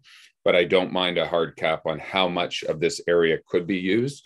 I think that also eliminates, especially if, it, if I call it 50% could be used for recreational, as you say, or amenity space, um, versus the has to be open for a boat slip perspective. Um, and uh, I think that 50% also eliminates the uh, the case where all of us saw a boat uh, house up on uh, Lake Joseph that was 100% decked in and all the boats were put outside. So I think that eliminates that as we move forward. As far as um, kitchen facilities and you know a sink to get a glass of water uh, or something along that. We're not putting. I don't believe anybody's ever. I've never seen a stove in a boathouse, but when we have a cottage 66 feet back, potentially up a long hill, and people are up and down, um, I believe a two-piece washroom is appropriate in the boathouse. But um, the ability to have some glasses and a bar area and serve, I, I don't believe is inappropriate. And um, anybody who's building a new boathouse is building up to a higher flood elevation anyway. And, um, you know, propane tanks, uh, there's nobody, I don't, I've never seen a barbecue inside a boathouse. I don't think you can even legally do that. It's like putting a barbecue inside your cottage and it needs to be outside for ventilation. Um, so I'm, I'm not sure regulating kitchens. We have people who build boathouses and call them fish cleaning stations because they want to sink to wash dishes or wash their hands or get a glass of water. Let's call a spade a spade. It's a kitchen, but it doesn't have cooking facilities. And I like where Mr. McDonald's going that it's not livable, habitable. I couldn't lock myself in this room for a week and live there. And I think uh, that's really where we need to go. Um, is there a TV in there? Honestly, who cares? Uh, it's indoors. Um, I'd rather see a TV inside the boathouse than on the outside wall of the boathouse, which we would technically allow at this particular point. And um, so I, I, think the policy direction is correct. I, I don't want to be over prescriptive personally in the official plan, but I would look at a hard cap of 50% recreational space. Okay, thank you. Councillor Kelly. Uh, thank you, and through you, uh, I, I, I, like uh, Councillor Zavitz, have moved quite a bit on this, but for slightly different reasons. Uh, my general approach uh, on this has been uh, that boathouses are, are essentially an intrusion on the natural rugged beauty of, of the Muskoka landscape, and they move development away from the buffer that we've identified as important when we when we prescribe where people can build habitable space. Um, what has always dictated the, the basically footprint of a boathouse has been the number of boats and the size of the boats that you're trying to house in it. And if we now decide that you can add or that you can occupy up to 50% of that boathouse, we've essentially doubled the footprint uh, of the boathouse on directly over the waterfront for activities that when we start kind of thinking maybe TVs are okay and maybe uh, kitchens are okay. Um, we, have essentially doubled the footprint of the boathouse uh, on or over the water um, uh, for purposes that have nothing to do with storing boats or marine equipment. Now, here's where I've moved. Um, I, I, I, don't have a boathouse in my place, but I do recall very uh, clearly when my kids were younger, uh, the boat tied to the dock became recreational floor space. When it was hot, the top went up and they would seek shelter. Uh, they'd go in there and have picnics in the boat tied to the side of the dock. So I understand the need and I understand the value of having something like that to escape the heat and the weather and and and maybe have a nap or whatever. No, you can't sleep, but whatever you do in uh, in uh, uninhabitable space. Uh, so I've moved a long way, but I have two comments on that. Number one, uh, I, I, guess I care a little bit less about what's in it, except absolutely no partitions. It should be open space. A bathroom, if it's a two-piece bathroom off to the corner, obviously needs a partition. But everything else to me is open space.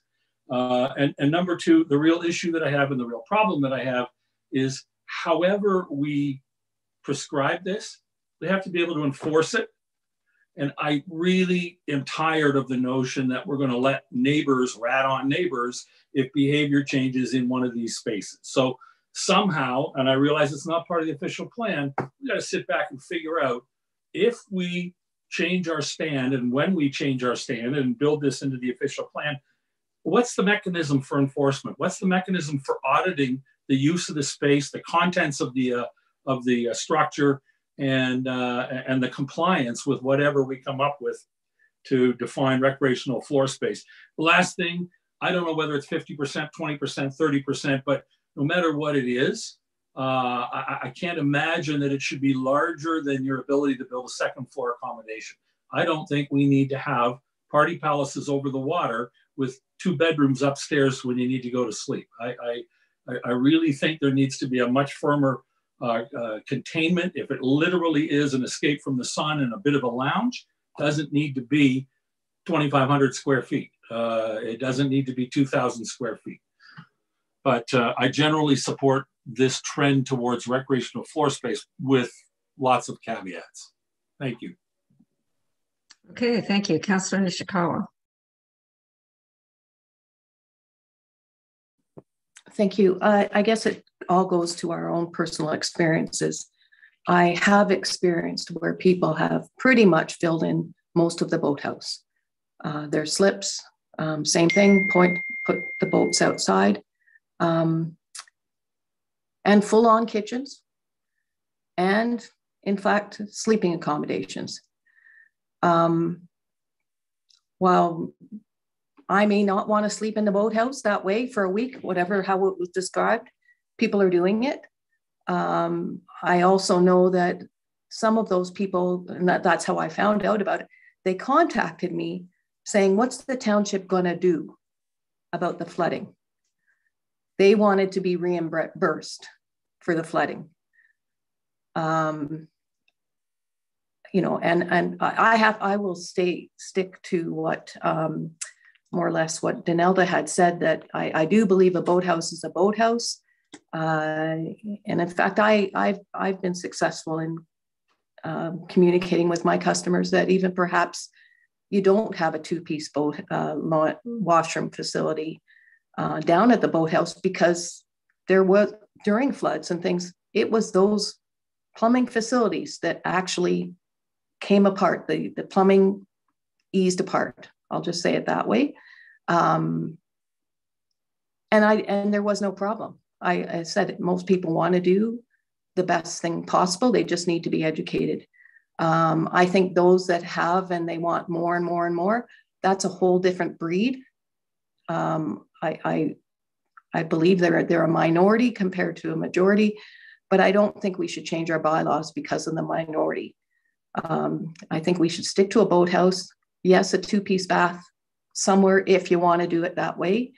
Um, preferably upstairs, actually, so there'd be some kind of catchment better. But, um, and, and yeah, I don't have a problem with someone having a fridge. I have a problem with a kitchen and, and there are full on kitchens.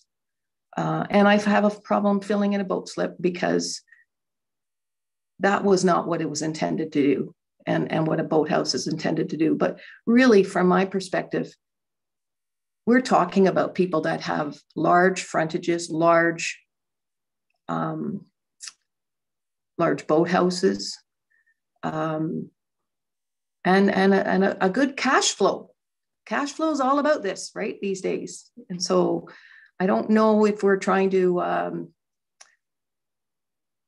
actually squeeze the guy with the small one slip boathouse kind of thing.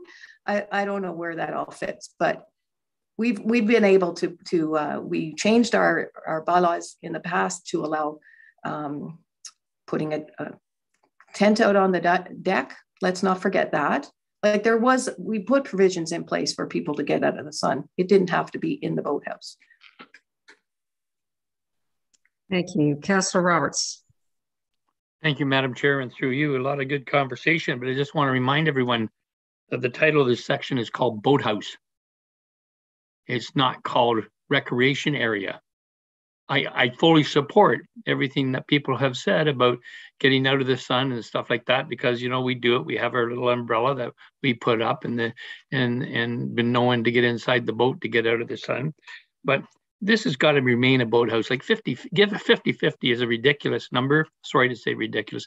50 50 is not an appropriate number because it gives recreations the same rights as boats when this is a boathouse. I'm very supportive of a lot of the comments of Councillor Kelly and Councillor Hayes and others that if we're going to do this, it's got to be very, very restrictive. Um, you know, and and and and, and underline what uh, Councillor Kelly was saying, enforcement. Now, I don't know whether this is possible, feasible, or allowed. But if we permit this, then you must allow the township to gain entry at any time, probably not permitted, to validate that there are no walls and that X percentage greater than 50 is being is not covered. And those, that's my opinion. And I think uh, I look forward to uh, what the public will have to say on this. Thank you. Thank you. Councillor Mazan. Uh, thank you, and through you, I uh, generally supportive or like the creativity that the um, uh, the uh, consultant has brought forward on this one. It's not easy. I have two comments. First of all, I do agree on the the percentage. I think that's pretty steep. Um, having fifty percent allocated to recreation, so I would ask that we we explore is fifty percent the right number my gut is that's pretty high. Uh, and, and these are supposed to be boat houses. The slips are supposed to be there for boats. Um, so I think that's an important number and would ask, uh, well, no, I look forward to hearing what the public has to say. Um, like generally speaking, some of these docks are fairly large. So I think you could have a larger living space, not to say a living room on the main floor, than we even permit on the second floor that brings me to my second question, and that is um, we don't permit dwellings over the waterfront. The definition of a dwelling, as my understanding, is the kitchen. And the, de- the difference between having a little kitchenette and a kitchen is the stove. And I just wanted clarification on that. Is that correct? Because we, we, we really do want to be careful, I think, on allowing kitchens is what that that's the term I'm hearing right now on a main floor of a boathouse. I'm, I'm supportive. I think every boathouse you would go through Muskoka, old or new, probably has, I will call it the beer fridge. Those are just been kind of an iconic part of the boathouse experience. But having a full on kitchen, I think is a really big step. So, um, and, and we don't permit them as of right today. So I guess I'm looking for clarification from staff on that. Mr. McDonald, would you like to comment? Yeah, I guess, you know, from, from my perspective, uh, I'm going to invite uh, Mr. Pink to provide his comments on, on, on what we envision here. But when we're thinking recreational floor area, I'm personally not thinking full on kitchens. I, I, I don't think that makes a lot of sense. There already is a kitchen in the main house. And if somebody wants to barbecue, they'll do that outside. I can certainly see, as the mayor indicated, another sink, a sitting area, um, and and and and perhaps even a TV. But that's what we're thinking. The challenge with all of this, and, and I think you're all aware, is that we, we can only go so far in, in telling someone how they can use the inside of a of, a, of, of any building. And, and of course, when we dictate how much floor area can be used for one thing and how much can be used for another, that's pretty easy because you can measure that. Uh, but when you're when you get into well, you can't have a a, TV inside or you can't have a stove. Those are very difficult things to enforce, um, let alone in an OP, but let not even in a zoning bylaw. So, so there will be some challenges no matter what we do. The issue is here is that folks are doing this already. And, and, and this is happening everywhere. So there is a need for some kind of rule on this issue, or else people will just continue using the bottom floor boathouses uh, in, in any manner they so choose. So I'm thinking something is better than nothing. Just throw that out there. Uh, in terms of full-on kitchens, uh, Mr. Pink, any comments as it relates to habitable floor, habitable floor space in the second story of boat houses and what you can do and can? Mr. Pink? Through the chair, I guess to directly answer Councillor Mazan's question, yes, the uh, the difference between uh, a dwelling and a sleeping cabin or a non-habitable use is, is a kitchen, which is defined as the cooking facility. I think as, um, as you can see, this is a, it is a difficult issue. I think this, uh, to really frame it, as a significant change from historical practice. We've uh, always, in planning documents in Muskoka, have considered boathouses to be for the storage of boats and marine equipment. Um, we did try, I think, as Councillor Nishikawa pointed out, uh, in our last zoning bylaw update, we added a sun shelter uh, as a permitted use over the dock. There doesn't seem to be any uptake of it, and I think the reason is is the way we set up the zoning bylaw. If you want to build a sun shelter, it's going to result in a smaller boathouse, and no one seems to be uh, willing to make that sacrifice. Uh, because we didn't want to allow uh, greater boathouse sizes or, or shoreline structure sizes. Um, I certainly, just so uh, councillors are aware of, of my opinion, I, I do struggle somewhat with this issue. As uh, Councillor Jaglowitz pointed out, uh, we are dealing with a very similar issue on land. We had that meeting on Friday, but I think there are some uh, distinctions here. I certainly never envisioned any kitchens. Um, I think 50% is, is awfully high in my opinion. I was envisioning closer to 20, 25%. Uh, and clearly just a interior sitting type area. Uh, really, that's it. I think we're largely seeing it. And the reason I think this is a little bit different than the discussion we had on Friday is because uh, with land-based structures, uh, as much as the zoning bylaw can get creative and say it has to be a garage or for use of cars, uh, there's really no way to control that. But with boathouses, we can clearly stipulate that a portion, a percentage has to be open to the water. And that's at least with a boathouse easier to see from public property. The lake is a public water body. We have access to it. Most boat houses have large doors, large windows, and it's easier to see that there's in fact open to water. And that's clearly uh, easy to administer through building permits. So as long as there's open water, we know that the entire boathouse won't be used uh, for living space. So what I would suggest, again, I, it's a very interesting topic. It's a good debate. And as we've seen, it's a large shift from where we've gone. But keep in mind the stage that we're at. We're giving direction to Mr. McDonald, Mr. Dyment, and myself to craft policy, come back to you with a draft. Why don't you let us try to encapsulate the correct percentage, the appropriate restrictions around it. And if it comes back uh, to this planning committee and you don't like it, it's very easy to go back to the status quo, which is boathouses are for boats. Um, so don't want to do wasted work for Mr. McDonald and, uh, and myself but let us take a crack at it. That's the recommendation. Uh, you will be able to review those policies uh, before we go out and have a public meeting on them. Um, so just a suggestion to perhaps um, try to uh, park the boat or land the plane, so to speak.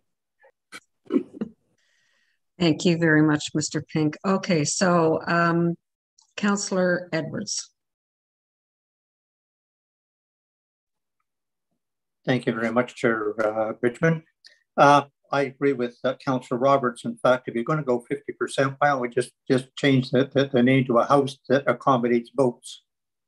And that is way too much. And that uh, will let the, the uh, public get, and that decide what it should be. But I think it should be a, a footage like 200 square feet, 225, 250, whatever it is. And that we see boathouses completely closed in, and then they put a boat lift outside because the boat gets damaged by the waves. Well, then put it in the boathouse. It's simple as that. And boathouses could be smaller if they were just taking boats. And this is environment. I thought our strategic plan was saying environment first.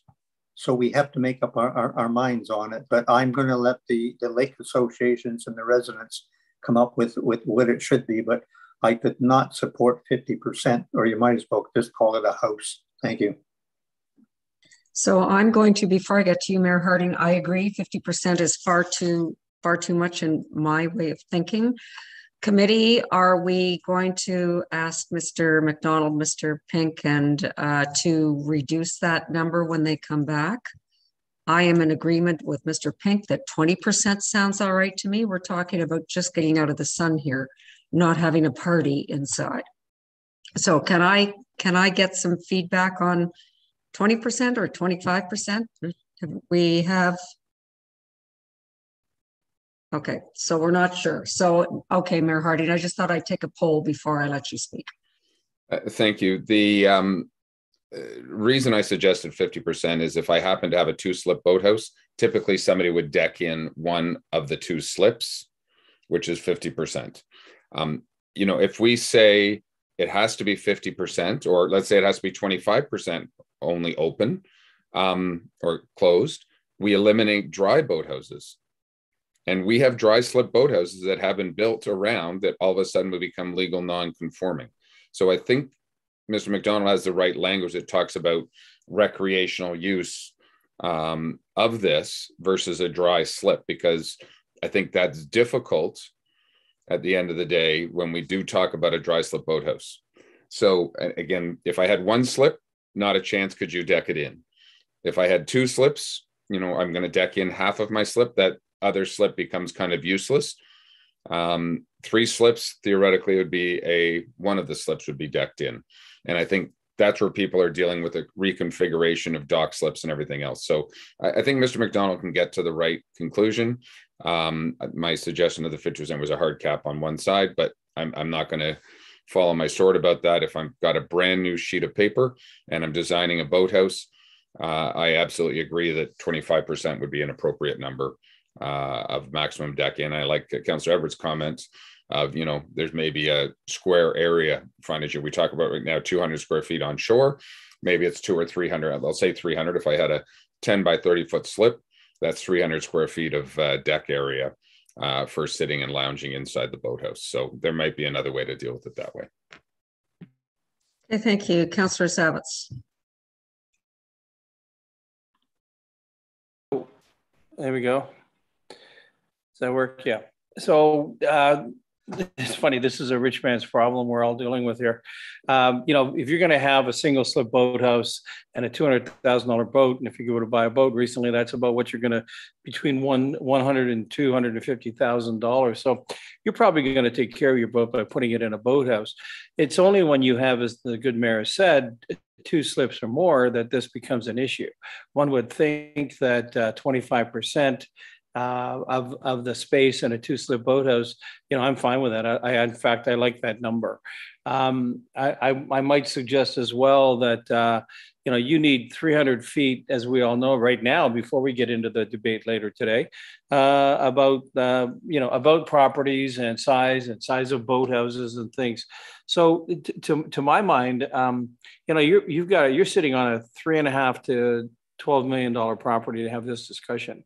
So, uh, you know, we have a lot of those, uh, but I'm not seeing, I'm not seeing personally yet, but, but it will come. And so I think we need to be anticipative of that and, and dial this in. So I think we acknowledge that there's no kitchen uh, for sure, but I think that we can talk about 25% of the space being used for recreational purposes and uh, call it a day. Councillor Kelly.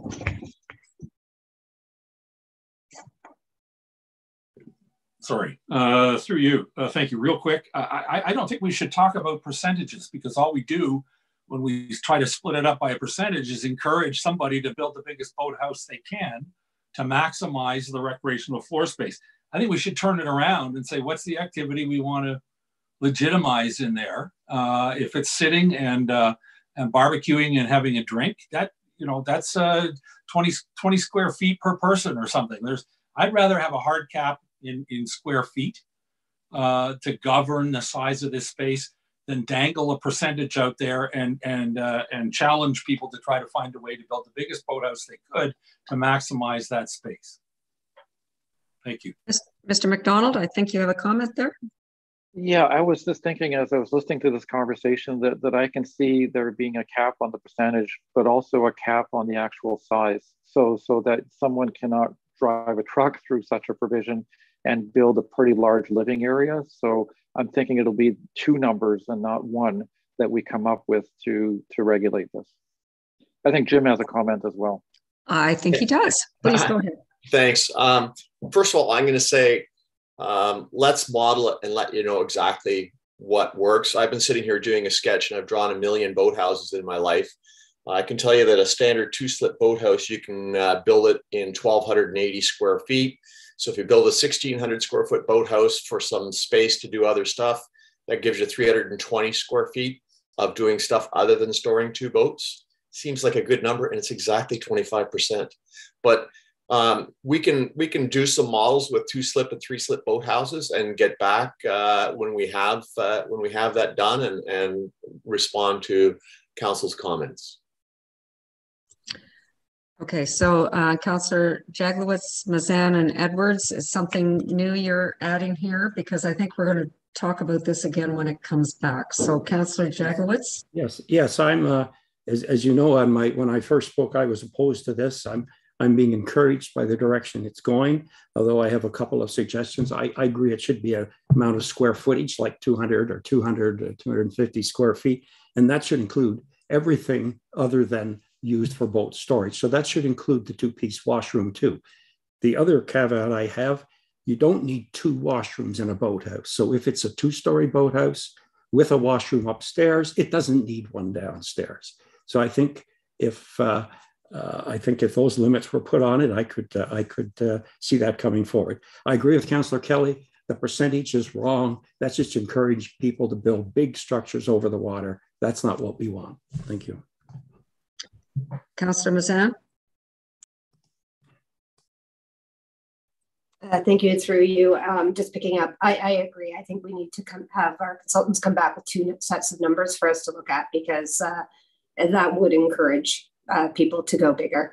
Um, two other very quick uh, points. I'm not sure it's really important for this point, but uh, laundry facilities shouldn't be permitted on the main level. I think we've seen some recent applicants come forward with that thought. And I just think it needs to be stated in the same way as kitchens. And um, the uh, second thing that uh, I've seen out there or heard about, I haven't seen personally, are the lifts that come up with docks on them that will that then close in a, an open space. I'm just throwing it out there. Innovation exists. Um, so as we're contemplating this, and it might be in the next stage of development, how to manage that kind of um, uh, thing from an enforcement standpoint. Thank you. Okay, thank you. Councillor Edwards. Uh, thank you. I'll, I'll, be quick.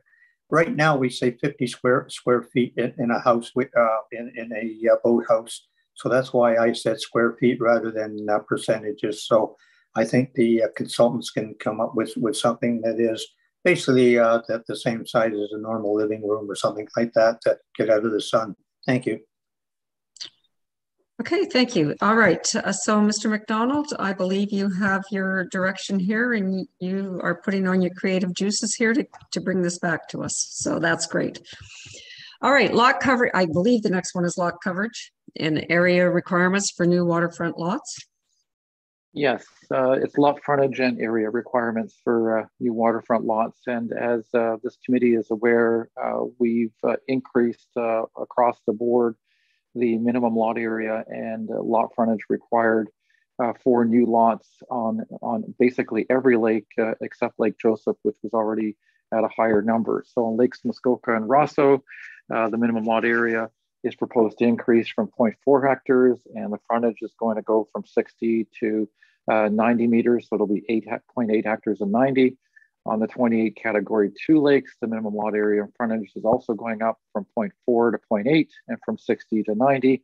And then on the remaining uh, category three lakes, the minimum lot frontage will be 0.8 hectares and 120 meters. We've also made changes in terms of the minimum lot area and waterfront required on lots where steep slopes are present on narrow water bodies. And of course, uh, as already discussed, uh, if a water access only lot is proposed uh, in response to a question about whether this made sense or not, in the survey, 71% said yes and 29% no.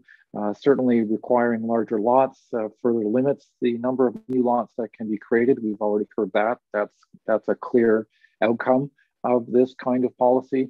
It certainly limits the number of new septic systems on the large and medium-sized lakes that can be developed, uh, protects the tree character of the remaining, remaining undeveloped area, and the underdeveloped shoreline areas. So in looking at this and thinking about this, I think it's entirely appropriate for uh, the township to move in this direction for the reasons noted. Uh, so my recommendation is to maintain the course and continue and include these uh, revised lot frontages and areas in the next draft of the official plan. Okay, thank you. Mayor Harding. Um, thank you. And uh, I know the public has generally said yes to this um, regarding increases. I, I want to just put it out there for committee's perspective.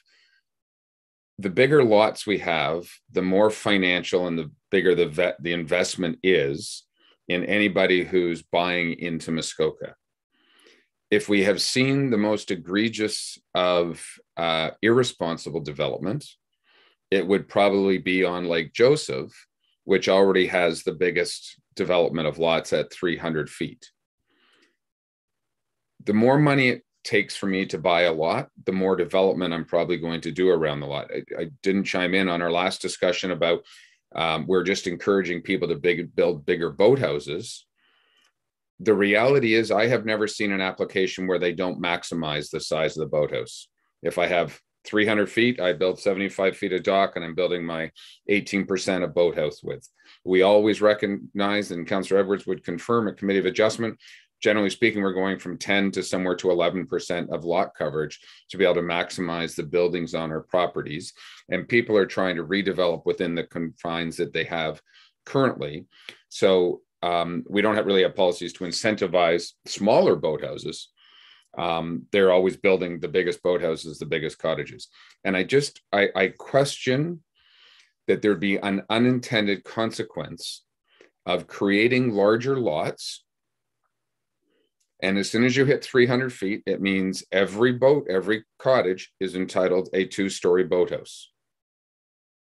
So as we move forward, we're going to expect more two story boathouses, more development on the water. We're not pushing people back and putting bunkie cottages on land because of as of right, I can now build a two story boathouse. So I, I raise this question because we also at times, I think, make Muskoka unaffordable and I've said this before that my best neighbors are the people who are scraping by to pay their taxes.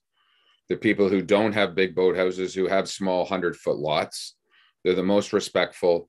Um, it's sometimes the new, I want to be in Muskoka and I want to show off what I have, that people are not as respectful as we would like. So that's my high level.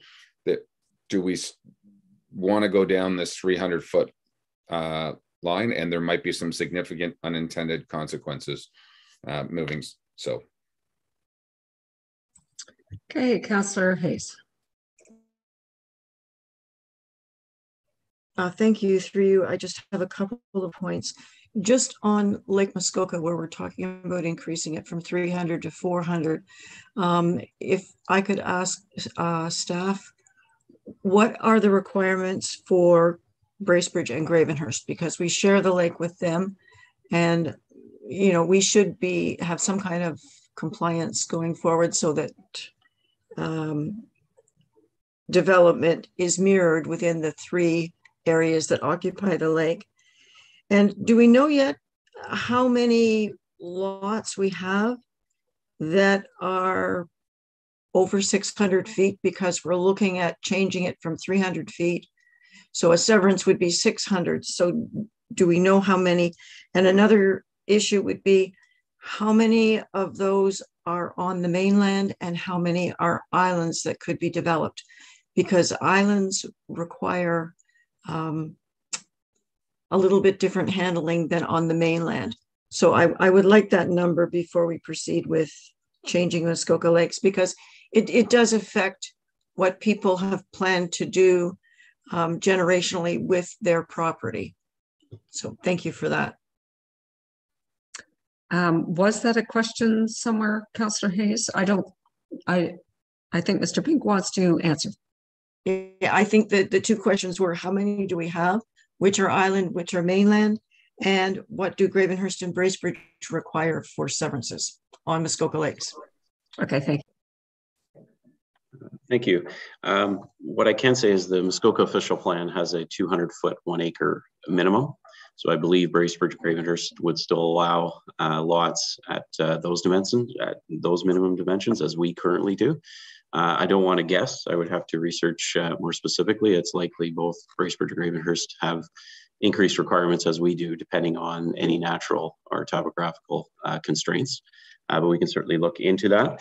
Uh, in regards to, uh, we can certainly do um, GIS exercise, a query on how many 600 foot lots remain. Keep in mind our limitations are, it would be based off assessment information. And as you know, um, not 100% accurate, number one. And number two, uh, the way we measure frontage uh, and the way you necessarily would lay out a property doesn't always line up neatly with an assessed frontage.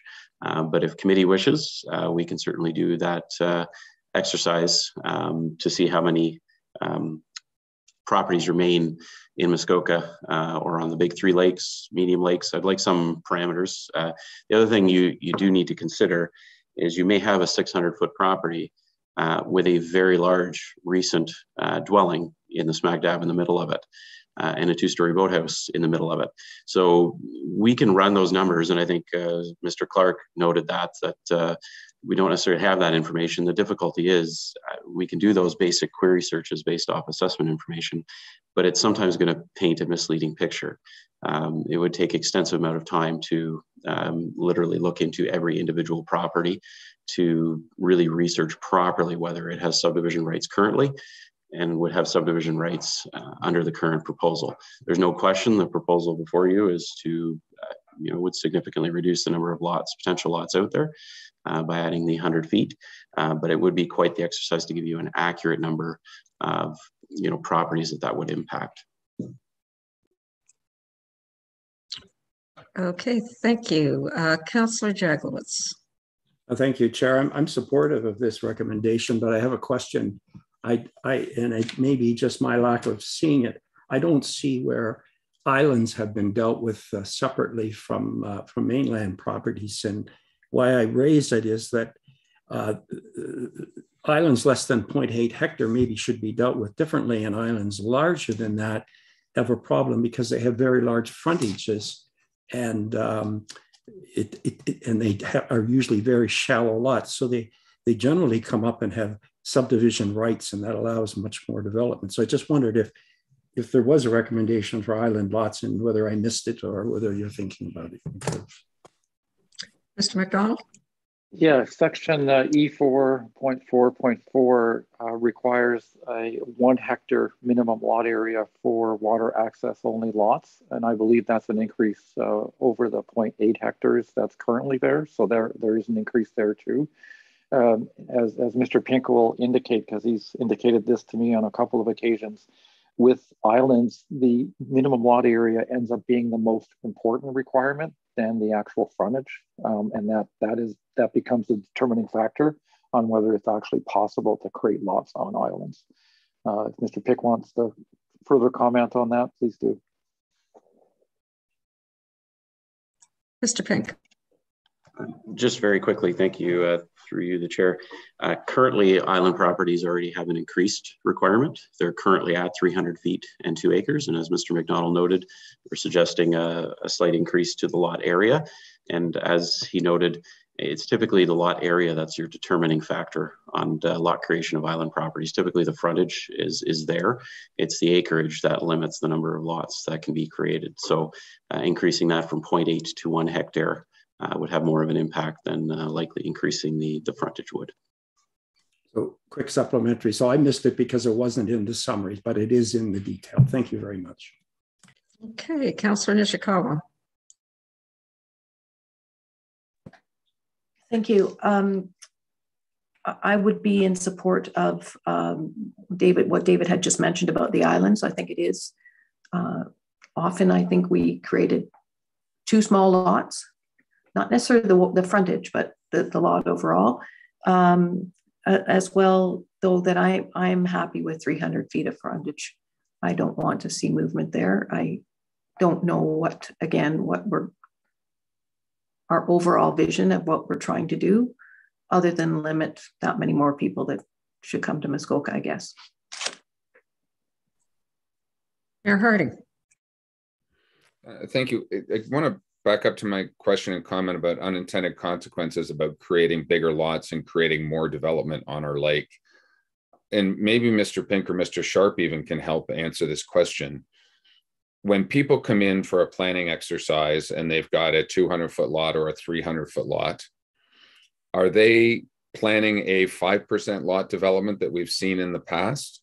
Or are they planning a 10 to an 11% lot coverage? Are they maxing out the development rights that are within the lots. Um, and the point being that if we are creating bigger lots, we are creating potentially bigger development on said lots, which could compound our problem with an unintended consequence. So I'm not sure who wants to answer that. Mr. Pink.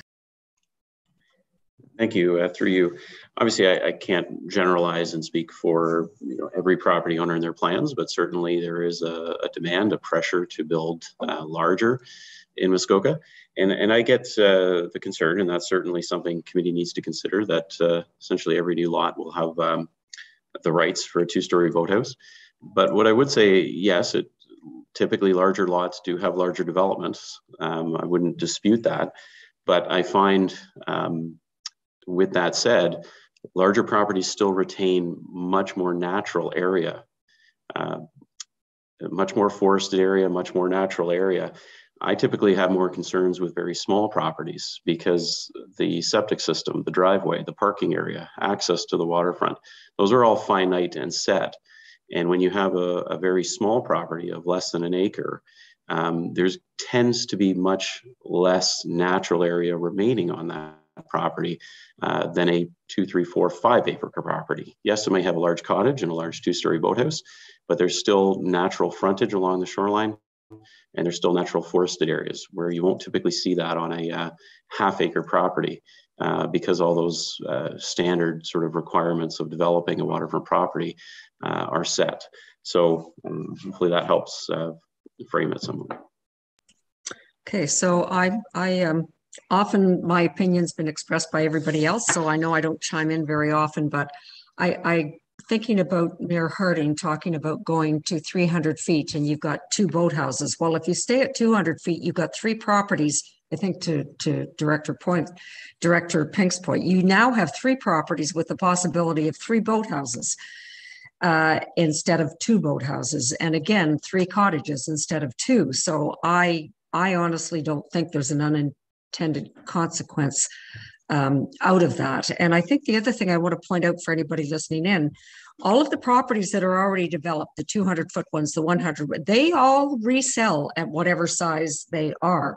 So we're only talking about new development here and new new properties. We aren't talking about the majority of the properties in Muskoka. So I did I, did, I do want to point that that out to everybody. And as we see happen when we do these changes, people that have less than 600 feet who want to subdivide will have the opportunity to do that. It may it may not fit into their current plans, but they do have a they do have a time window to be able to do those subdivisions if they really want to do it. So I am in complete support of this. All right, so um, I know we've had some discussion here. Can I get a straw vote? Are we going forward with what's been recommended here, uh, Councillor Edwards, before I go there? Uh, yes, thank you, Chair. Um, I think I uh, agree with this. Let's see what the uh, people do. But I would ask the consultants again, as I'd asked them originally, put in the imperial measurements as well. Yes, I know that 0.8 is two acres, and I know what one is two and a half, but there's a lot of people that are still thinking the old way. And it would be nice that, that they didn't have to do all the conversions. Thank you. Is that in your program, Mr. McDonald? Like, can you just do an automatic conversion in the program?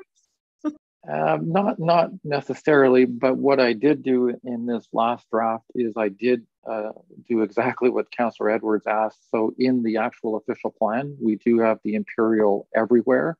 I just didn't do it in this memorandum, so I apologize for that. Okay, so do we have general agreement on this moving forward as is? Can I see maybe a show of hands? I know, I know, Mayor Harding, you want to say something? Um, so I, am agreeing, I'm happy to move this forward at this particular time, just so people understand. Um, Councillor Hayes had sort of looked at asking staff to do some quick measurements on how many 600 foot lots there are. Um, I think the other thing that would be interesting is in the past number of years, how many 200 foot lots have been created. Um, because I do believe that most people, even though they have slightly larger, maybe they have 500 feet, they create two 250s. Um, they don't necessarily, or they had 600, they do one 300.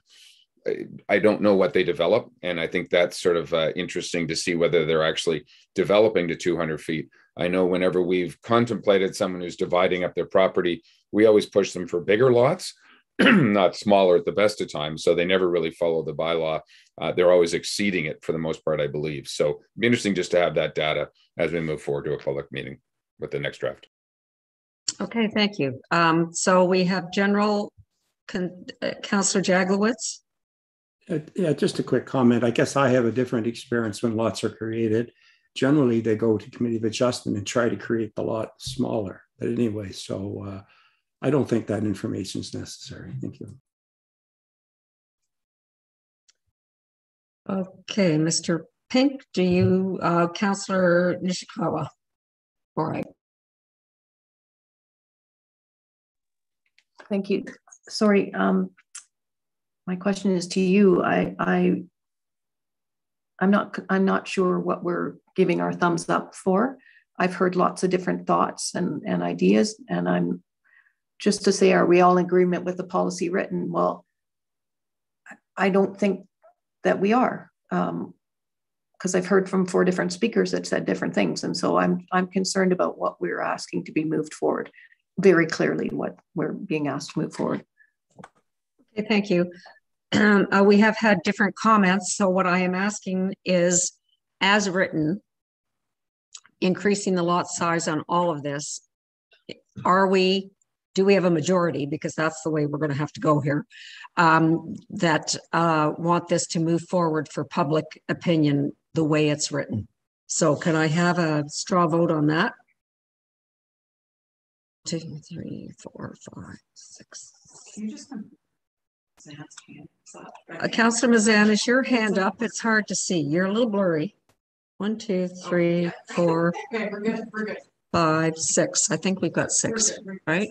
So it's going to go out to the public and we'll see what we'll see what comes back from the public on this. Okay, Mr. McDonald, I think we can move on to the next. Great. So we're going to move into recommendation four. This deals with causation studies. It's it's fairly straightforward.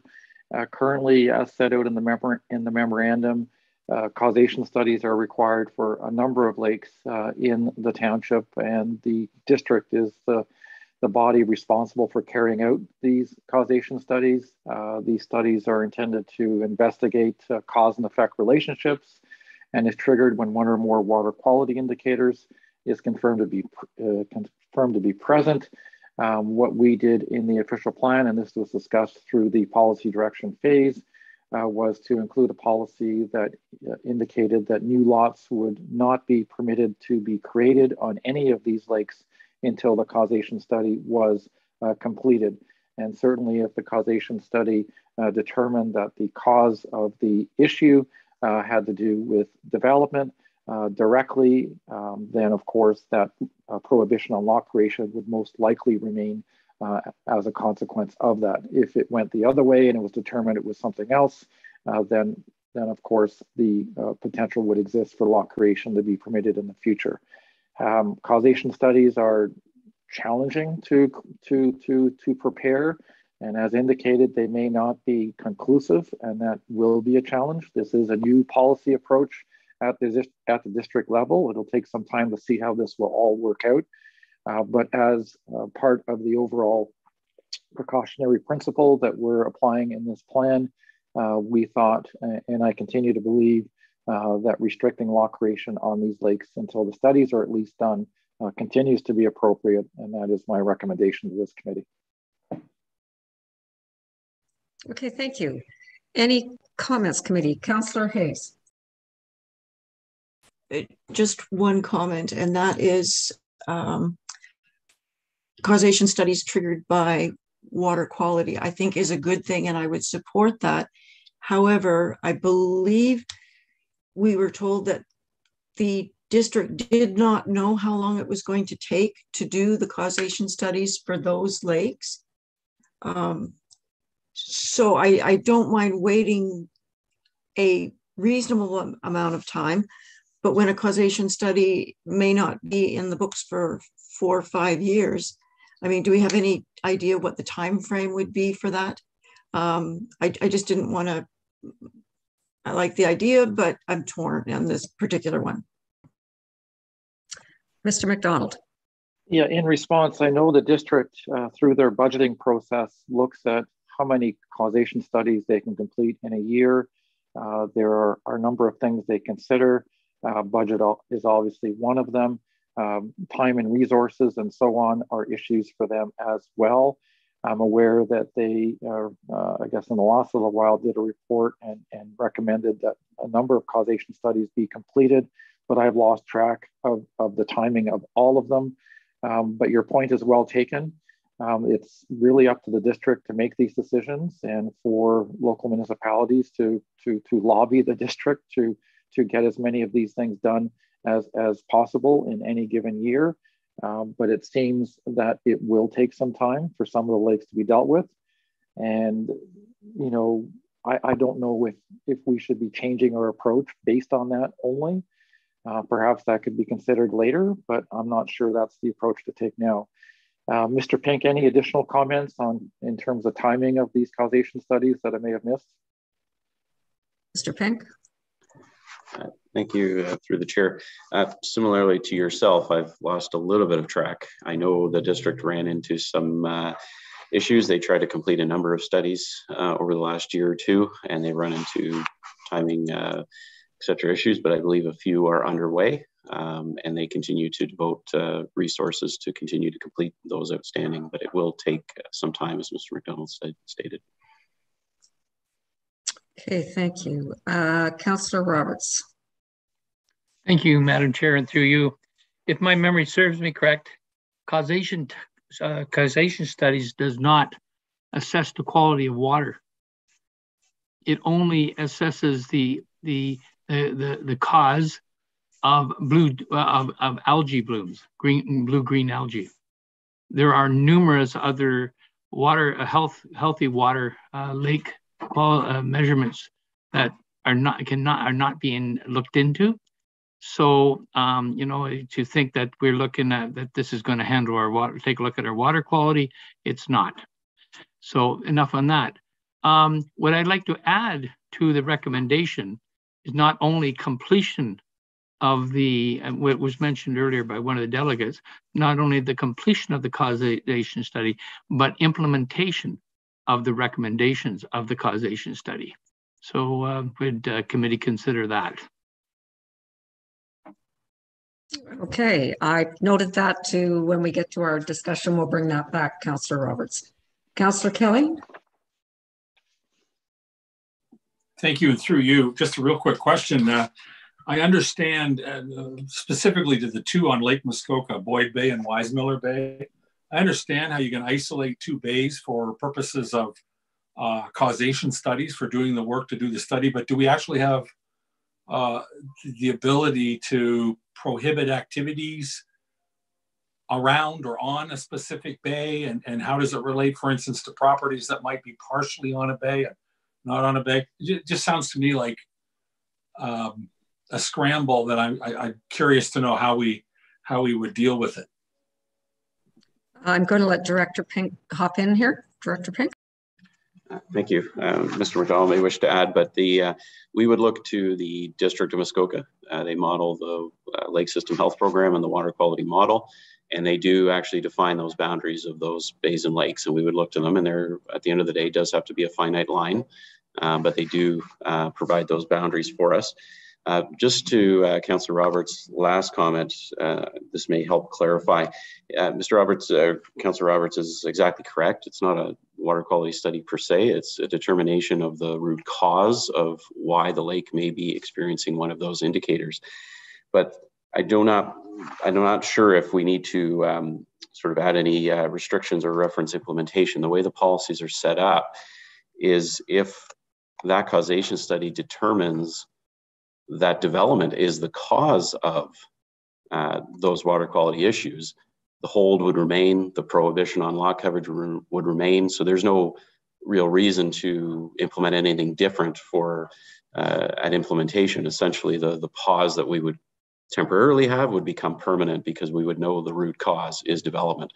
If it's inconclusive, if it's natural, if it's due to agriculture, uh, sediments, then clearly development is not causing it and the hold would be lifted. So just want everyone to be clear on how the policy is structured and, and what the intent is. And to supplement what uh, Mr. Pink just said, uh, if it's determined that development is the cause, other uh, things may be needed, may need to change as well, such as increasing the setback from the lake, uh, reducing dwelling unit size, uh, changing boathouse permissions. There could be a whole range of things that come out of that, uh, in addition to a, a longer term full-time prohibition on law creation. So many outcomes are possible, but uh, Mr. Pink is correct that if development is shown to be the cause, then that prohibition would stay. Thank you. That was very helpful. Um, Councillor Nishikawa. Thank you. I I'm a little bit challenged as to um, who is going to be responsible and who's going to pick up the costs. Um, are we just applying to the district to say we need this area, have a causation study, and and I, I, am really trying to understand what a property owner is going to be um, asked to pay for, along with the other. And, and again, um, it's interesting because Councillor Zavitz went through the exercise for Habitat to find out all of the different costs and things like that that are associated with development. Um, and I, I believe that, that that's, that should be shown up to the public all the time because all of these costs are, are just adding up. And I'm just very cautious about um, having an understanding of who's going to pick it up and who's the timing. And again, um, I, I look at Weismiller Bay, for instance, and I think about we have a recreational use dock in that area, as in our township has a facility that brings all sorts of people and all sorts of different activity to the area that we've known has had some struggles. So I'm not even sure how that comes into play. Um, anyhow, I don't know who can answer me, but I, I just am curious of who's going to pick up the tab. Mr. McDonald. Yeah, all of the great questions. So it's my understanding that the district fully funds the preparation of causation studies and it comes out of their budget, which obviously taxpayers fund. Uh, so there is no levies or, or charges being uh, you know, levied onto individual property owners around, around the lake. Um, and because the district is the one who makes the decisions on which one should be prepared or this year and which one should be done next year, it's really up to them to make those decisions. We did include a policy in, in the draft official plan that basically says if the district is not prepared or doesn't have the resources to do a causation study, the township can initiate such a causation study as well and could partner with a lake association to do that. So that opportunity is there um, if the district is unwilling or unable to prepare a causation study on their own. So that's always available to the township. And if the township did that, then again, that would be funded through the budget. I don't anticipate there being any levies placed on individual property owners. It would be a township expense, uh, just like it would be to do any other kind of study like the transportation master plan that you're undertaking right now. Okay, thank you. All right, so I'm not seeing any more input and I believe Councillor Roberts, you had your question answered. All right, so can I get a thumbs up on this going out to the public as recommended? Agreement. Mr. McDonald, there you go. And uh, we can now move on to your next one. Great. So the next one deals with site plan approval. And as uh, this committee knows, we've expanded the uh, number of uh, instances in which, uh, for which site plan approval will be required. They're listed uh, in, the in the memorandum. So site plan approval will be required for all new dwellings. Um, additions to existing dwellings and buildings to propose an increase in the ground floor area of more than 50 square meters. So roughly 500 square feet, just to be clear the relocation of an existing dwelling to another location on the lot, uh, new sleeping cabins, uh, new boathouses and expansions to existing boathouses that involve an increase in floor area of more than 50 square meters or the addition of a sleeping cabin in the second story and new accessory buildings that exceed 50 square meters of floor area. In one of the delegations earlier today, uh, someone indicated that we were would be requiring site plan approval for docks. That's not uh, in the cards. That's not in the official plan, and we're not proposing uh, to do that. Um, now, that's that that will mean, of course, as has already been indicated, that there will be more site plan applications and more resources required at the township uh, to deal uh, with these applications. Uh, it is my opinion that going through a site plan process allows for there to be a site specific conversation with each of these applicants to get the best uh, outcome on each property. And it also allows the municipality to enter into an agreement with the uh, property owner to ensure that certain things are done a certain way and also to secure securities um, so that uh, everything is done uh, in accordance with uh, the plans that have been approved before the securities uh, are given back. And lastly, of course, there is uh, there is the ability to also include monitoring within site plan agreements as well that allows the township to come in and look at how someone has performed in accordance with that agreement going forward. So in terms of the survey question that was asked, uh, folks were asked whether this was a good idea or not. About 70% or just under 70% said yes, and 31% no, uh, said no. I continue to believe that site plan approval is an appropriate tool. Uh, yes, it does add time to the planning process, uh, but in my opinion, it results in better outcomes. I do recognize as well, however, that resources will need to be, the resourcing issue will need to be addressed going forward. And I know that Mr. Pink has made that point on numerous occasions, so I don't need to make it for him, uh, but we certainly recognize that going forward. So we're not, so we're recommending that we stay the course in terms of what the official plan is doing right now in terms of what uh, site plan approval is being required for. Thank you, Mr. McDonald. I believe the dis is the district not now endorsing or the PPS endorsing that site plan approval is on every property? Yes, I should I should mention that as well. It was also mentioned earlier that is already in the district official plan, so we would be conforming with the district plan and requiring it. Um, so we do have choices in terms of you know what the thresholds are, but in terms of requiring site plan approval, that is something we need to do in any event uh, according to the district plan. Okay, thank you. Uh, Mayor Harding. Uh, thank you. I, I wonder whether or not there's one other criteria that needs to be added to this. And I think about, you know, new accessory buildings exceeding, you know, 500 square feet, 50 square meters. If I'm building a, a, accessory building, a garage on the back part of my lot, it really isn't affecting the waterfront quality. And I wonder whether or not there needs to be a criteria that says in the front 30 meters, any of these adjustments or trigger a site plan. But if it's beyond 30 meters, then it may not trigger site plan. And that's what I'm kind of wondering because um, a lot of people do have larger lots. Uh, and, you know, as I, I just built a garage, it's on the back side of my hill. No water actually heads towards, but I would have been uh, required to go through site plan um, and would have had no effect or change on the water quality. Okay, Mr. Dyment. Thanks. I just wanted to mention um, people are concerned about the application of site plan control um, because of time and cost and detail and things like that. But a lot of that can be addressed in how the site plan approval process operates within the municipality. And I understand that you've delegated a lot of that, that process to staff now. Um, so that's very helpful and can reduce the significantly reduce the amount of time that it takes to process the applications. Very simple things can be um, dealt with very quickly, um, but you still end up with the level of control that you need and the ability to have an agreement. So I'll, I'll be quiet after that, but I, it doesn't need to be for simple things that people seem to be complaining about. It doesn't need to be a complicated process.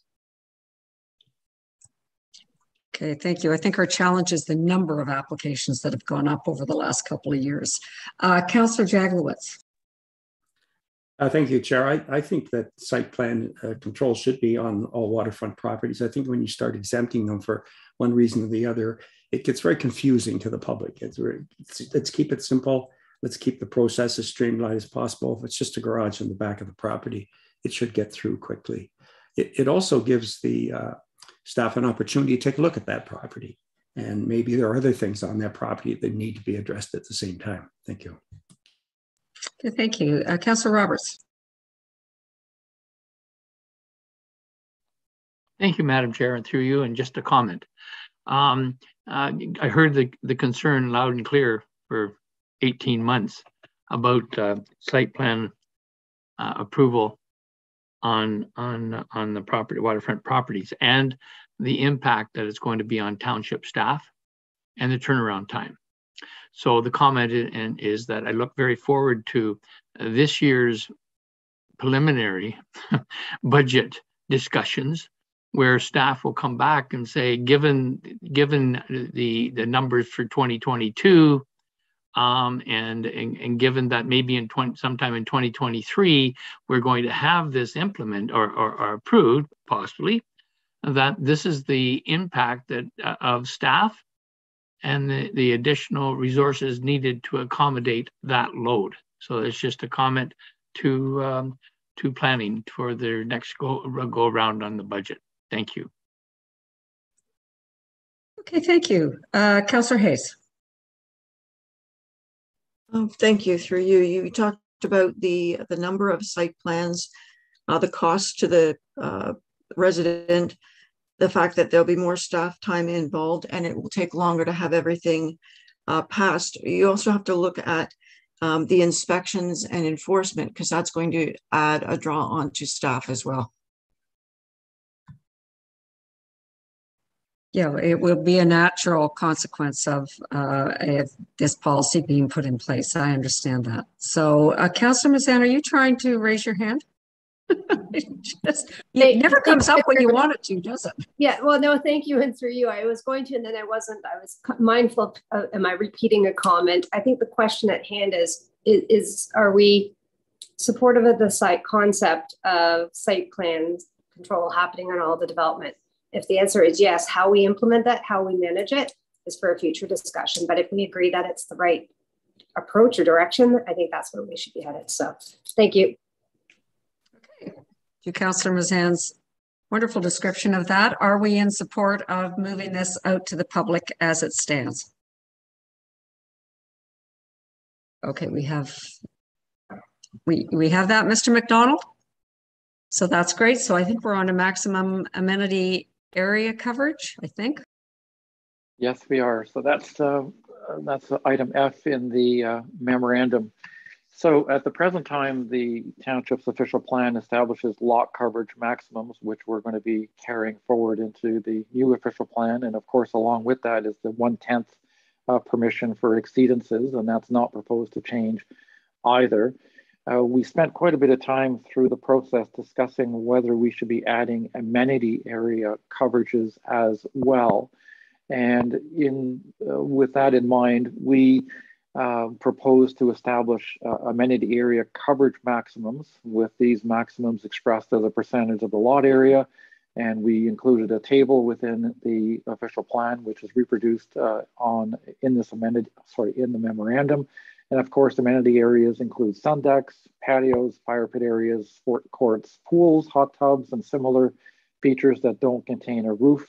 Um, but they wouldn't it wouldn't include driveways, septic systems, pathways, and stairs because those are necessary elements of every lot. With everything else, you have choices to make. Do you really need a, a sun deck? Do you want a sun deck? Where should it go? And so on. But everyone needs a driveway and everyone needs a septic system. Um, we asked uh, in the survey uh, whether uh, the amenity area caps were supported. About 63% said yes, 37% uh, said no. Uh, many folks indicated that they thought some type of control uh, was necessary. Uh, others felt that this was another example of overreach. I think overreach was the term used quite often in many of the answers to the questions in the survey. Um, other respondents felt the type of restriction favors the owners of larger lots and it will be hard to enforce. We also asked uh, in survey question nine whether it was appropriate to permit small patios, fire pit areas, and small amenity areas in the required 20 meter setback from the lake. And in response, 80% uh, said yes, 20% uh, uh, said no. And of course, many indicated uh, that you know it's the area within this distance of the lake where these types of amenities are the most desirable. I, I can't help but agree with that. Um, clearly, this is a significant change uh, if it was implemented uh, in the official plan and then through the zoning bylaw. And I anticipate that if we went down this road, there would be a significant increase in the number of minor variances uh, requested uh, going forward. In thinking about it further, however, I'm not sure that including amenity area caps in the official plan and then in the zoning bylaw is the best way to go, primarily because amenity areas are very difficult to measure uh, in all cases. When you're dealing with buildings and structures and foundations and roofs and so on, uh, very easy to measure, very easy to determine compliance. Uh, but when you start getting into outdoor patios, when does the patio turn into a driveway? When is a driveway not a patio? When is a sun deck uh, something else? And so on and so on. It becomes very challenging in my view. And I'm concerned uh, that we may be setting up something in the official plan and zoning bylaw uh, that is very difficult, if not impossible, to enforce. And this is primarily because zoning bylaws are intended to be black and white. They're intended to be yes, no, yes, you can do something, no, you can't. And it has to be easily understood and implementable. So my thinking is that there is merit in considering an amenity area cap of some kind, but the best place to house that rule or standard is in your site alteration bylaw uh, because the because doing so allows for some discretion in the decision making process and through the permitting process that is required under that bylaw. I understand you're having all kinds of other discussions on the site alteration bylaw, and I think this is the best place uh, for those discussions to be held. So my recommendation is that the official plan not include an amenity area covered uh, coverage cap so in other words, I'm suggesting we take some numbers out of the draft official plan and that the official plan direct instead that the site alteration bylaw deal with this issue. Um, it's not like we're pushing this down the road. We are in a way. I really do think the site alteration bylaw is the best place to deal with something this detailed, this complex and, and, and complicated. And it also allows for more, um, as I mentioned, discretion in the decision uh, making process. I don't know if Mr. Pink wants to augment um, what I just went through because I'm not involved in the site alteration bylaw review underway. And if he has any additional comments, so now would be the time. Mr. Pink. Thank you. Uh, no, I think I, I look to the committee discussion, but I wonder, Mr. McDonald, if it's worthwhile to uh, really, might be uh, frame the discussion better if we discuss the next uh, recommendation or the next matter as well, because they're very interrelated. And I think it'd be better to see the full picture, and then we can discuss both matters uh, together. Just a suggestion to the to the chair and Mr. McDonald. No, that's a that's a good point. Um, so the next section deals with site alteration, and so there was and there has been quite a bit of discussion on site alteration as well, in terms of whether this is something the official plan should deal with um, and then uh, require implementation through uh, the zoning bylaws. So we said in the draft official plan uh, that the site alteration bylaw required that no less than 75% of any lot in the waterfront area uh, be left in an unaltered state, meaning that up to 25% could be altered. Um, the 25% cap would be would take into account the maximum lot coverage, which is up to 10% uh, in some cases, but less on smaller lakes um, and would allow, and, and, of course include the min minimum, sorry, the maximum amenity area coverages I just went through, plus any areas required for driveways, septic systems, and walkways. So we asked the question in the survey about this as well. 60% said it was a good idea, 40% said it was the opposite. Uh, those in favor uh, believe that uh, there, are, there is a need for more controls to control over development, protect the character and environment of the waterfront area, uh, those opposed had concerns about the implications of this new standard on the ability to use waterfront properties and the challenges inherent in enforcing such a standard. Some folks also thought the question and the proposal only affected the first 60 meters adjacent to the shoreline. It did not, it would have affected the entire uh, lot. I continue to believe, as I mentioned earlier, that there is a need to control the amount of a property that can be altered Um, however, I also recognize that there are many different contexts um, and many different types of properties. Some properties have significant rock outcrops, others don't. Uh, some have significant slopes, others don't. Um, and context is very important and it makes it very challenging to come up with a number that works in every circumstance. And enshrining numbers in an official plan uh, that can be difficult to implement uh, on, in the first hand, and then secondly, uh, perhaps dependent on a, a number of site-specific context issues to determine whether it's the right number or not, is problematic. Uh, so I continue to believe, um, as uh, as I said earlier, that this is a good thing to regulate and control, uh, but it is something that should solely be dealt with in your site alteration bylaw again. So what I'm suggesting is that the site alteration bylaw deal with what the site alteration cap should be. Um, and it may uh, actually be, uh, there may actually be a need to create a sliding scale so that the numbers are different if you have a smaller lot than it would be for a bigger lot. Because 25% of a big lot allowing to be altered is a big number, and that may not be appropriate. And in addition to that, I'm recommending that your site alteration bylaw also uh, include an amenity area cap as well, and that both those things are dealt in one bylaw uh, and dealt with at the same time. Therefore, therefore leaving the lot coverage to the zoning bylaw, but everything else to the site alteration bylaw. So those are my recommendations. Okay, thank you, Mr. McDonald. I just have a quick question. I don't see anybody else here. I having sat through some um, what was the what was LPAT um, discussions, my concern would be if we don't reference this somewhere in our official plan, that it isn't going to have as much impact when we get to the next level of government. Who doesn't really look at our bylaws as far as I can as far as I can discern from sitting through these discussions. So that's my concern. I understand where you're coming from, but if we don't reference this in our official plan, are we not going to be blocked because we haven't put it in our official plan? So, so the simple answer is no, and I'm not suggesting we be silent on it. I, I'm suggesting that the official plan require that the site alteration bylaw do certain things, and we can indicate very clearly why those are good uh, things to do, and why it's in the public interest to do it. What I'm uh, what I'm basically saying is we should not put numbers in the official plan um, on these issues. But I, am more than happy to, to create as much language as is necessary to support the need to have these numbers in the site alteration bylaw. You don't need any official plan uh, policy to, uh, to prepare a site alteration bylaw. It's independent. It's not a bylaw under the Planning Act. It's a bylaw under the Municipal Act. So it's a different piece of legislation to start off with. But certainly, to your point, um, uh, Madam Chair, it's good to have some some some uh, uh, some clear direction in the official plan to help with those further future discussions. Okay, thank you for that. Uh, Councillor Edwards.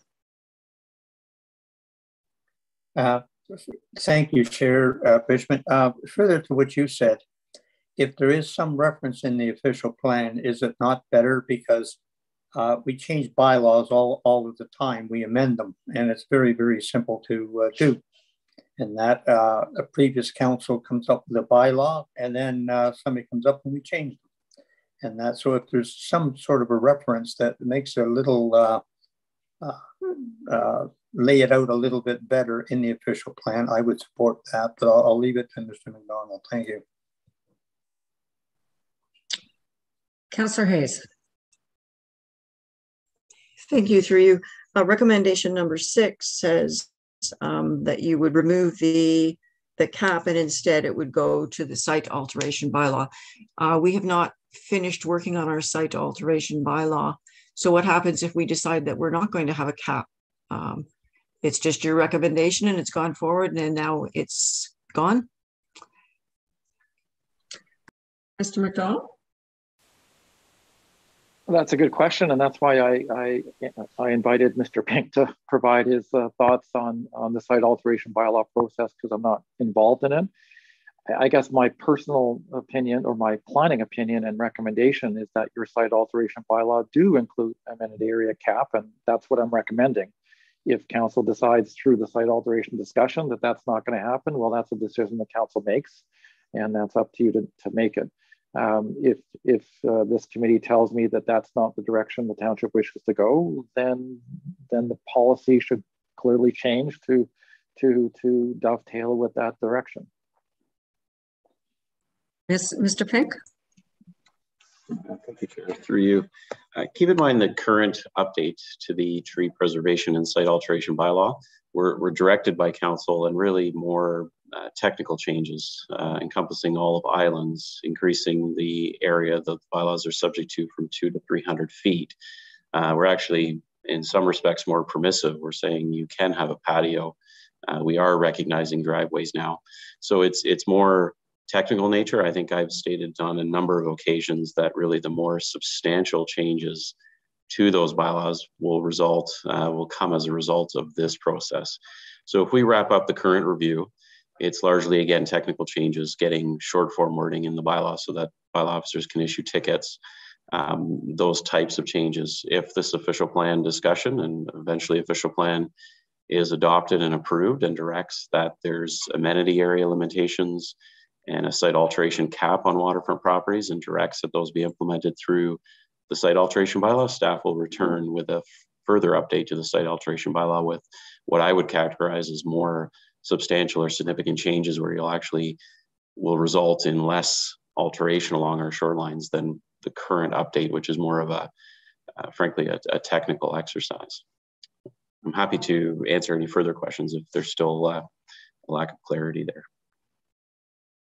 Okay, thank you. Uh, Councillor Jaglowitz.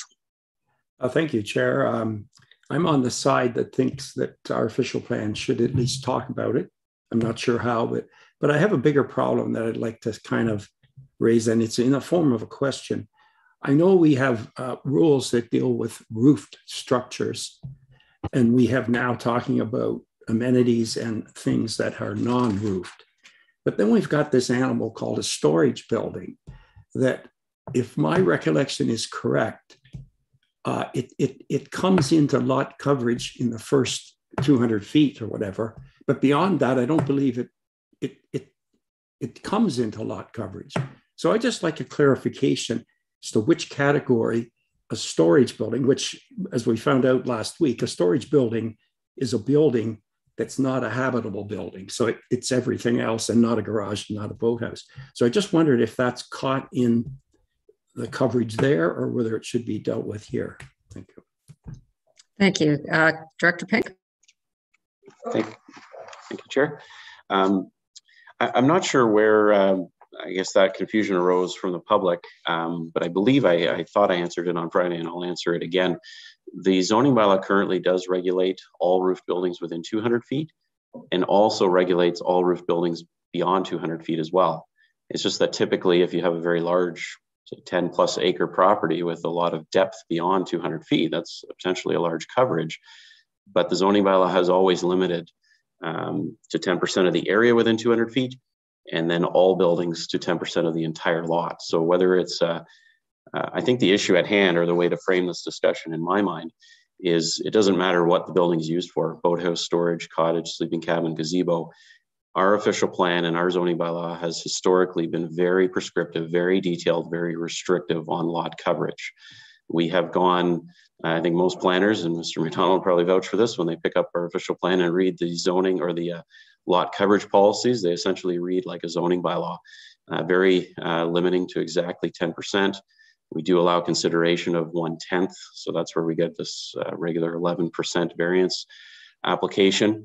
Um, and what that does, I think it's served the municipality fairly well. It has controlled the amount of density we see along our shorelines with roofed buildings.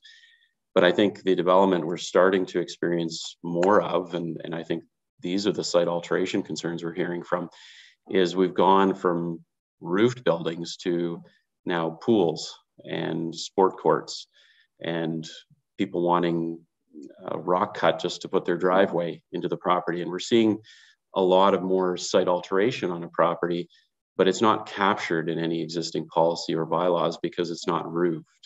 So the suggestions that uh, we're making are to, through the site alteration bylaw and through the site plan control process, put some limitations on those non-roofed buildings So it's more of a comprehensive look at how much of a property one can alter, one can develop to ensure that it remains natural. Um, so hopefully that's a very brief right. sort of overview of, I think, the two recommendations before you. Supplementary? Of um, course. Yeah, I appreciate that. And thank you for clarifying that. So maybe you could clarify one other thing then. So now we have roofed structures, which include storage buildings and non-roof structures. And is it is it now that our official plan currently does not deal with uh, roofed structures either? And, and, what I'm getting at is uh, the the 10% or 11% is just in our zoning bylaw. Um, because in my mind, if we have one in the OP, we should have both. But uh, if if neither are in, then I guess uh, that makes sense. So I wonder if you could answer that. Um, I don't think I understood the question, Mr. Jaglowitz. Could you brief again? Okay, David thinks he can answer it for us anyway. So so let me see if I get it from this one. I'll, I'll try, but uh, certainly uh, please uh, repeat the question if I'm off the mark. Um, currently, the official plan has very detailed, again, policies regarding roofed buildings. And with respect to non-roof buildings, it clearly references that they're allowed. Uh, we have permitted uses along our waterfront, and it essentially says anything accessory to the residential use. We have policies that talk about tennis courts and sport courts and those kind of features. So clearly they're allowed, um, but there's no policy and then there's no subsequent zoning bylaw or uh, tree preservation or site alteration bylaw that puts a limit on the amount of them. So what happens when staff receives a site plan application, we may have some concerns with the overall extent of site alteration that may occur, but our hands are largely tied because uh, we clearly allow tennis courts, we clearly allow pools, uh, all of these things. Uh, and then we can't arbitrarily inform applicants or property owners that they can't have them or they need to be smaller. So we're just suggesting that there's some guidance implemented through the appropriate tools that will put a put a limit to it. So um, I think to answer your question directly, uh, there are those clear limits and numbers with roofed buildings in the OP and in the zoning bylaw. Uh, there's no guidance in the policies as to size limitations for non-roofed. And then of course, there's nothing in the implementing bylaws as a result. So, so that was where I was headed. I thought that was the case, um, although I was incorrect on the storage building. So, so in my mind, then we should have what we're trying to do here is try to keep uh, the lot as natural as possible. So I believe we should have an overall uh, uh, uh percentage or something uh, that covers roofed and non-roofed, some guideline so that the uh, zoning bylaws can't exceed that, something, um, because without that, I think you're left you're left uh, to people coming ZBA after ZBA wanting to increase that. So, so I would suggest that, and I, we can't do it today, but there's either an overall uh, area of the lot that can be disturbed or not disturbed, or there's two numbers, one roofed and one non-roofed. But it might be simpler to just, uh, I don't know. I, I think it's a mistake to leave the non-roofed out of the OP. I don't think you want to define the size of a tennis court and all of that. That's not what I'm getting at. But some overall upper limit that that is appropriate to, to, anyway. That's that's my thinking. And so I'm I'm a little concerned that we're leaving this whole subject to the to the zoning bylaw. Mr. McDonald, would you put something about the non-roofed in the in the OP? I think that's what I'm getting. So we have that direction if we end up somewhere else defending it. Yeah, so I, I guess what I was saying, and I agree that there is a need for some direction. I guess I'm struggling with putting an actual number in the official plan. Um, but I'm happy to develop as much direction and rationale for including a number in the site alteration bylaw. I don't think an amenity area coverage number works in your zoning bylaw because of the complexities and challenges in interpretation that would uh, result.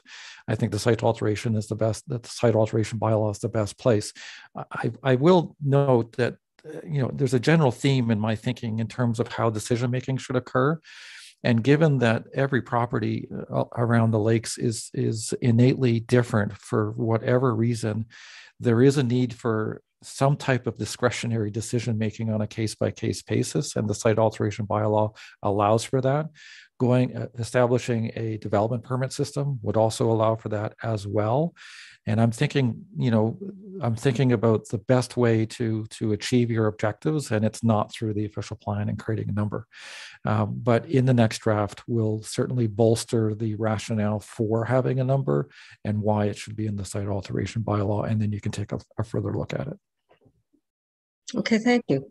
All right, so committee, do we have maybe a thumbs up as to Mr. McDonald creating creating wording that's going to bolster bolster us, but no definite number in our official plan? Right, see we we're good with that. We're good with that. Okay, thank you. All right, so it's 10 past 12, so I am going to suggest that we break for lunch now and we're back at one o'clock. Um, and I think recreational carrying capacity is next on our list. So have a good lunch, everybody. okay, we'll see you in a little bit.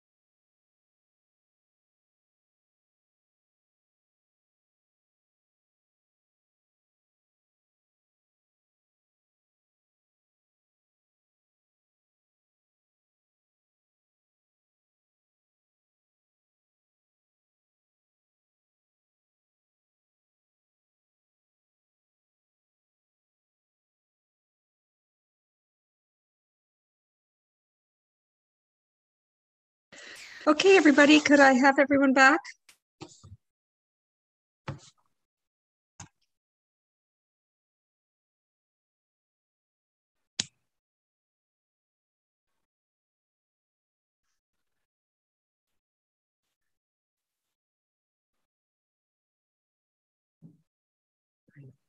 Five, six. seven.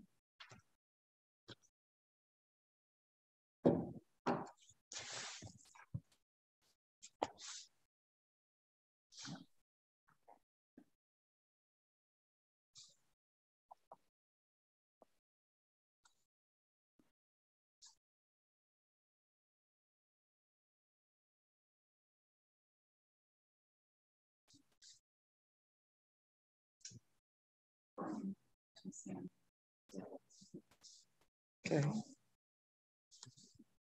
Okay.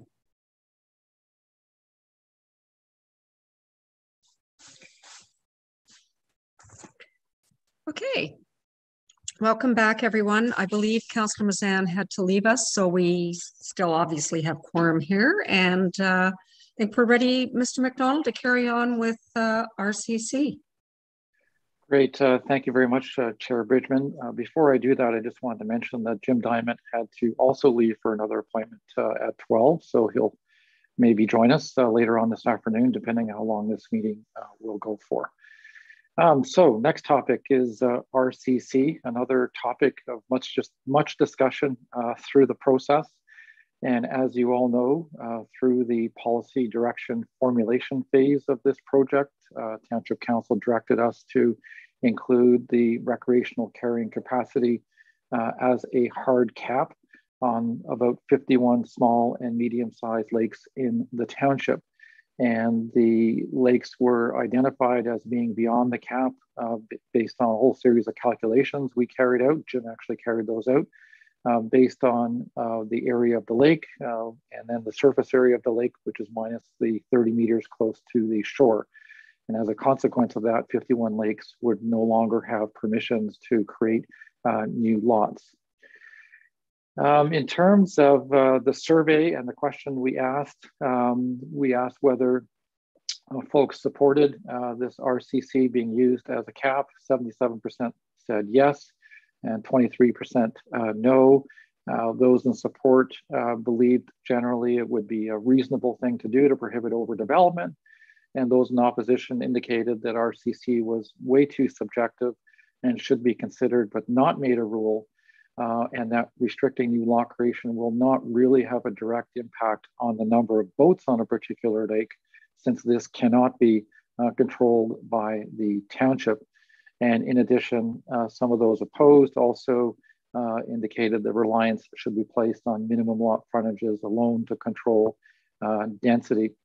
I did think about the minimum lot frontage angle uh, going forward, and I would note that uh, as a consequence of increasing minimum lot frontages in areas, uh, there will be less potential to create new lots around lakes. So that is something to keep in mind as we go forward. Uh, but perhaps more importantly, uh, lot frontage is a direct frontage of how much shoreline you have.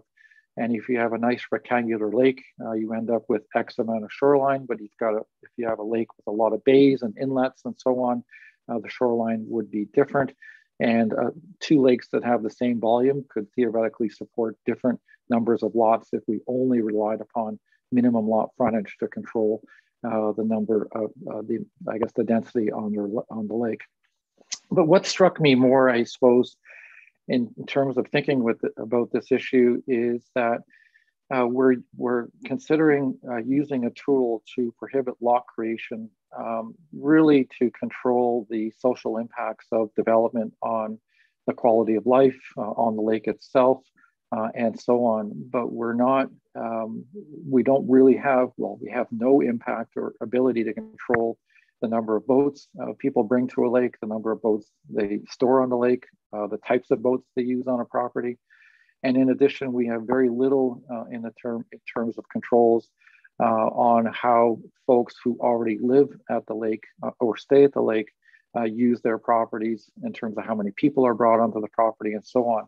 So while RCC, if we establish, if we apply it as a hard cap will prevent that new lot from being created and the people that come along with it.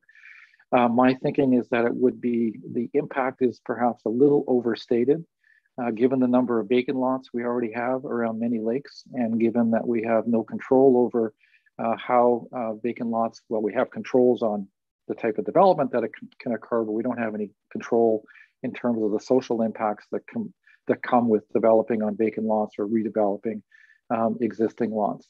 So my thinking is that RCC is a valuable tool. I recognize it's being used by others, uh, but I'm thinking uh, that it should, should be one of a number of tools used in the toolbox to make decisions on law creation uh, around the lakes uh, that are affected. And as a consequence, I do think it has value.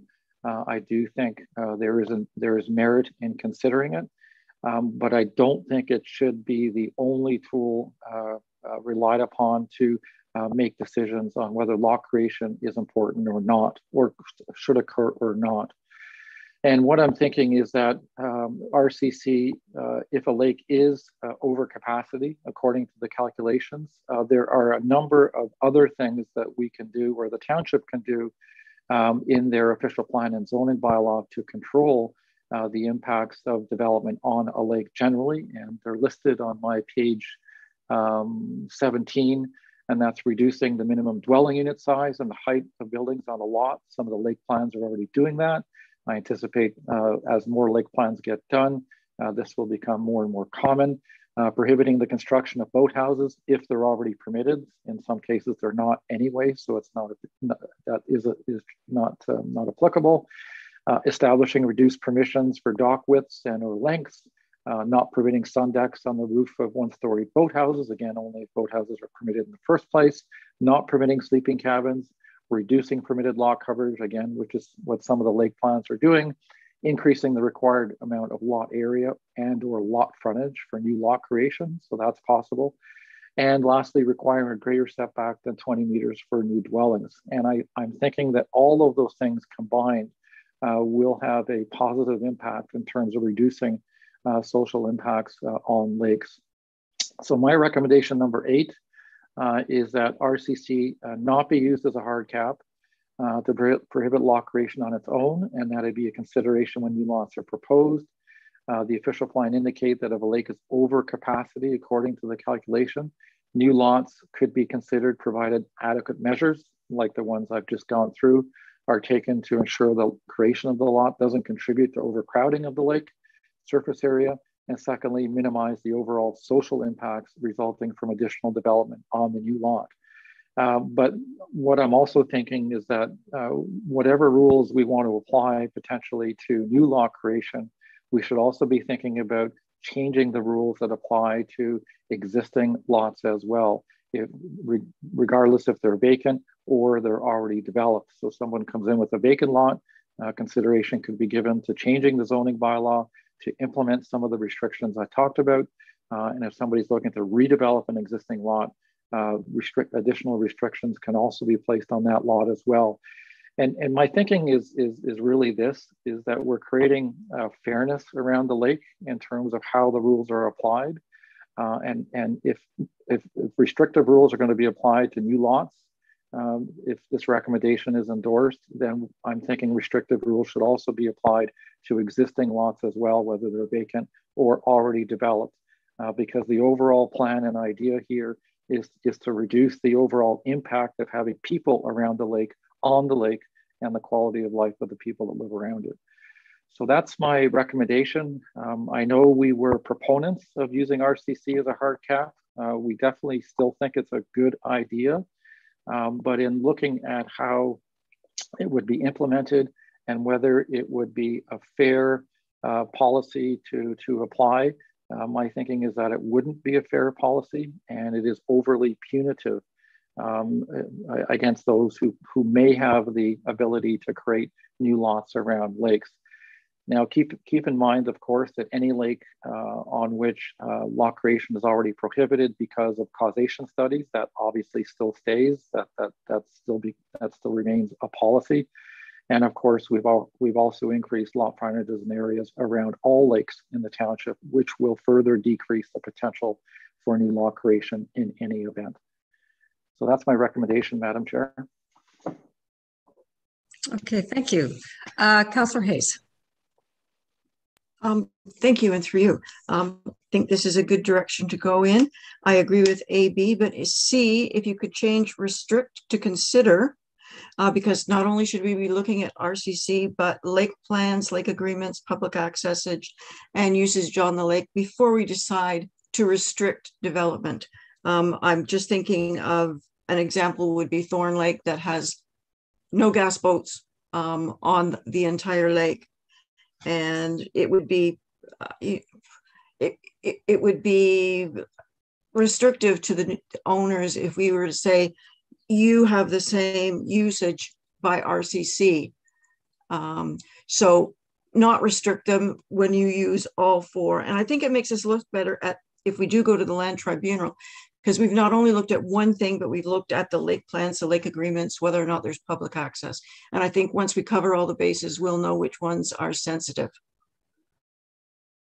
Okay, thank you. Councillor Roberts.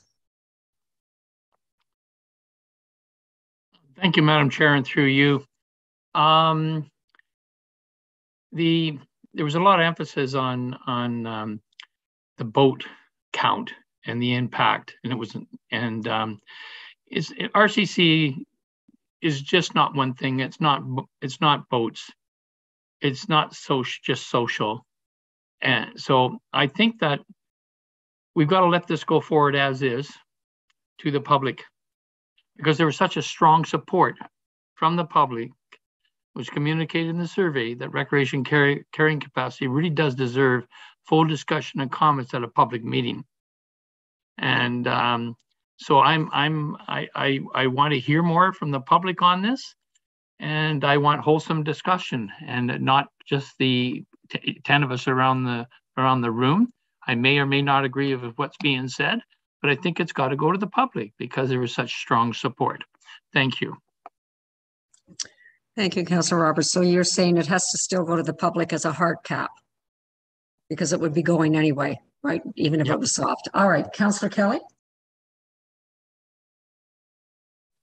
Uh, thank you, and through you, I, I, I just want to, uh, I may be uh, splitting hairs, but I uh, want to ask uh, Mr. McDonald or um, make a point for Mr. McDonald. From what I hear you, how I hear you describing RCC, it's not exactly the same way that I interpret it. It's not really a measure, to my knowledge, of boating activity or a, me- I mean, it's not, it's not a way to restrict boating activity or social engagement. It's, it's almost like a proxy or a barometer for overdevelopment. If the water is too full of boats, um, then that tells you that the waterfront is probably at its capacity for development.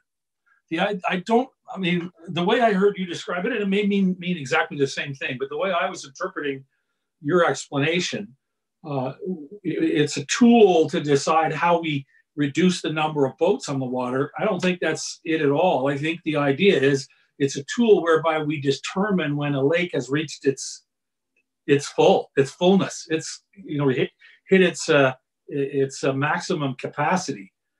And, and maybe they mean the same thing, and maybe the result is the same. But I really think that having a hard cap can work. I have some questions and issues about whether it works on large lakes or whether you can break it down and make it applicable to specific bays or specific parts of a big lake. But I think the goal is to use it as a barometer for um, the capacity to, to extend development around the, the uh, waterfront rather than a way to control the number of boats on the lake.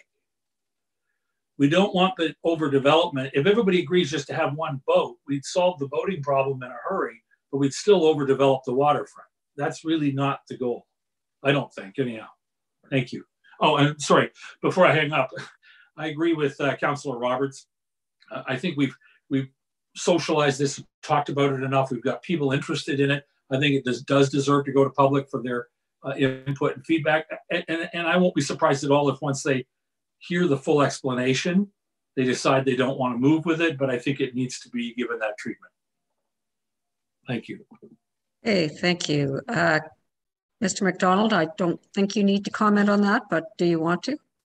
Uh, just very quickly, I, I, I agree with how uh, Councillor Kelly is describing it. I kind of described it a little bit differently. Uh, it certainly is a tool that, that allows for the consideration of how many people use the water, whether it's with a boat or not. So I, I, I get all of that. Uh, it is a theoretical tool, and I think we all understand that. Um, and, and it applies to a lake regardless of context. Um, so some lakes will have less usage because that's just the way the lake is because of its history, uh, the nature of the people that live there, and another lake may be quite different and used differently based on that context. And that's one of the challenges I have with applying it um, as, as a hard cap. But I really do see the value uh, in RCC in decision making for sure. Um, so just a quick response on that. Okay, thank you. Uh, Councillor Zavitz. Thank you. Yeah, and I guess to what Nick just said, uh, more of a moderating influence from my perspective. I don't, I don't really believe I want to see it as a hard cap yet. I do like the idea that we've um, fashioned this into our language. It's becoming part of our um, our discussion, and uh, for everyone to see. I do like recommendation uh, 8AB, and with the change as recommended by uh, Councillor. Um, uh, Hayes to to see, uh, I'm quite fine with it. I'm not in favor of a hard cap though. Okay, thank you. Councillor Nishikawa. Thank you. I think uh, my question is, I, I still don't understand recreational carrying capacity. We, we look at it from a development perspective, but there's a few lakes on our list here that I will say that since COVID got very, very busy from um, public boat launches. And, and in fact, in some cases, camping actually occurred on um, sort of remote uh, locations. Um, but I don't understand how we capture that amount of um, people um, you know, using Long Lake, for instance, that normally would never have in the past. But that's continuing on and on. And I, I don't understand how you balance all of that. Like, who's going to do that work, I guess, sort of thing. And I guess just to respond to that quickly, uh, Chair Bridgman, uh, you're correct. The calculations only take into account uh, the cottages, dwellings around the lake. They don't take into account the activities that may be carried out on, on some of the larger properties like a campground or the public boat launches. Um, I suppose it could. Um, we've never, we haven't done it that way. Um, but that, that, that gets to, you know, one of my points about how fair is the calculation if it doesn't take everything into account in the outcome is, is really what I'm getting at. I, I think it, it, it, does really well in terms of looking at number of cottages and dwellings, but it doesn't take what you're what you're referencing into account. And I'm not sure how easy that is to do because figuring out how many people use a boat launch, that that's speculative, and it really depends on weather, uh, COVID, pandemics, and other things that sometimes we have no control over. Okay, Councillor Edwards.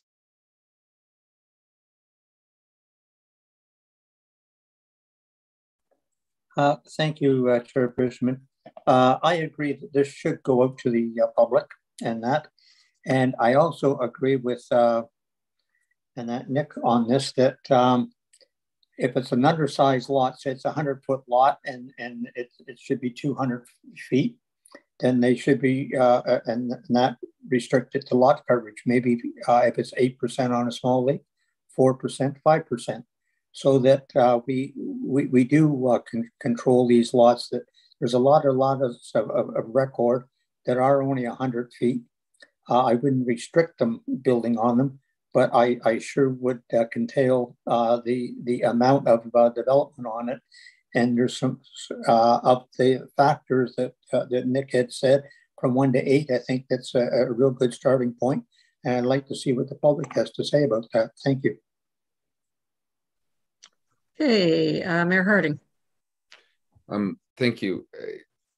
As I'm listening to the conversation, I, I don't think anybody around this table is really firm that RCC is a hard cap.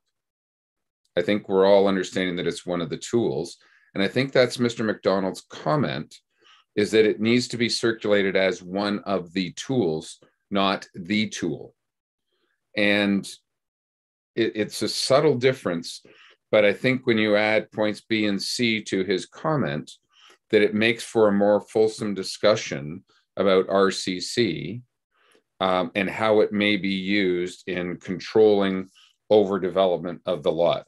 I, my, my fear is if we put it out there that just says hard stop, no pun intended, this is RCC and we're going to put it in and this is what the policy would look like. We're not going to get as much discussion around points B and C because people can say, well, all of these lakes are over capacity at this point. So there's no more, that's all we're going to evaluate. And I think as a planning matter, we're bigger than that. So I, I like the way it's worded um, and that Mr. McDonald's done that. I think he's given greater thought. I appreciate the public's direction. And uh, public doesn't always know everything contemplated in the concept of RCC and how it implements. So uh, I think we're going in the right direction in this particular case, and I'm supportive of putting this out there as his eighth recommendation. Okay, thank you. Councillor Roberts. Ah, uh, I don't know where to start, and I'm sorry for speaking twice, but the public knows much more than anyone sitting around this table on an RCC, excluding um, Jim Dyment and Nick McDonald. The public for the last few years have, in the small lakes, have really studied this, have done investigation. So and I, for one, I'm not convinced that hard cap is not the way to go. I am want to decide. Now, I want to pick up on one point that was mentioned that we, you know, it's not a, a fair measurement because it doesn't take into account everything. Well, it doesn't take into account the significant impact of the boat launch, a significant impact on the lake of a campground type of thing. So um, it, it, it's uh, I, I, I right now this this needs to go out the way it is. We can get the experts or more expert type of people to come in. Maybe, perhaps, rather than just a tool, because tool is a four a four lettered word, is that it is a once it, it reaches RCC, there's a set of criteria that are mandatory, not just left to an opinion of group of tools. So um, that's what I would would think that we really got to think more about this. And yes, I I say they really got to think harder on this because RCC will limit, um, you know, a, a, lot of development. But um, we got to get the small lakes that are really pushing this to get there, really listen to them rather than just in a, for, a public forum, but it's to sit down and really understand what they what they're trying to to fix. Thank you. So, Mr. McDonald, I have a question for you some of our lake plans actually have this as part of their lake plan. Does that, does that, what, what predominates? When you're looking yeah, at a, a new lot creation on one of those lakes? So, so that's so that's a great question. I was thinking about that as as as you were all speaking, and I should have mentioned that. Is that of course, if a lake plan is done, in my view, uh, the lake plan takes precedence, um, provided, of course, that that that you as a council are satisfied that the process was that a proper process was followed and that divergent points of view were considered you know with those provisos in my view the lake plan would take precedence and if we went down the road i'm suggesting if there are uh, certain small lakes or groups of lakes that that come forward and say this is what they're looking for based on the work that they've done then that would be the way to solve it for that lake in question. Um, so that that door is always open uh, for folks to walk through. Thank you. So you answered my question. I like that way better. It is a tool to be used, but if a lake plan is in place and that's what the lake wants, then they have the ability to hard cap it. So I think it gives us more flexibility. Um, Okay, so I am going to ask here, I know Councillor Roberts, there are a couple of people who want this to stay as a hard cap when it goes out to the public. So I'm now going to ask directly, do, do we want to not take this recommendation and stay with it as a hard cap on these 51 lakes when it goes out to the public? Those in favor of keeping the hard cap? Just give me your thumbs up. Okay, we've got three. Those that would like to see uh, the recommendation go out as as crafted here through Mr. McDonald.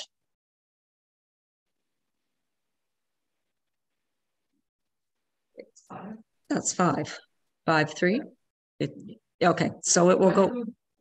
We're missing Councillor Mazan. We only have nine. Okay. All right. So, Mr. McDonald, I believe that goes out as recommended. Great. Oh, five, three. Wait a minute. Who are, we? yeah, wait a minute. Where's Frank? Frank, what are you voting?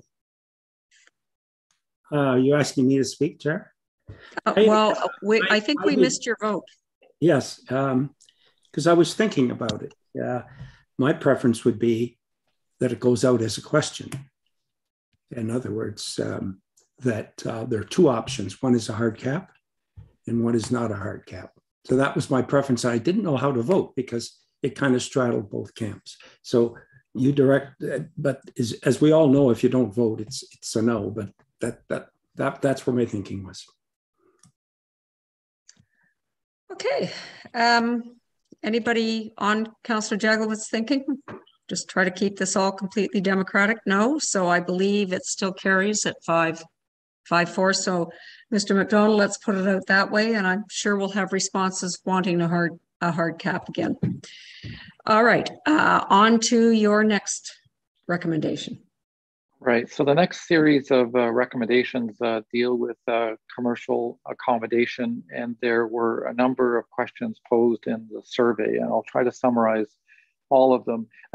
I guess in, as a as a general comment, um, many many, if not all, of what was suggested in the draft plan is supported by the folks that uh, that responded.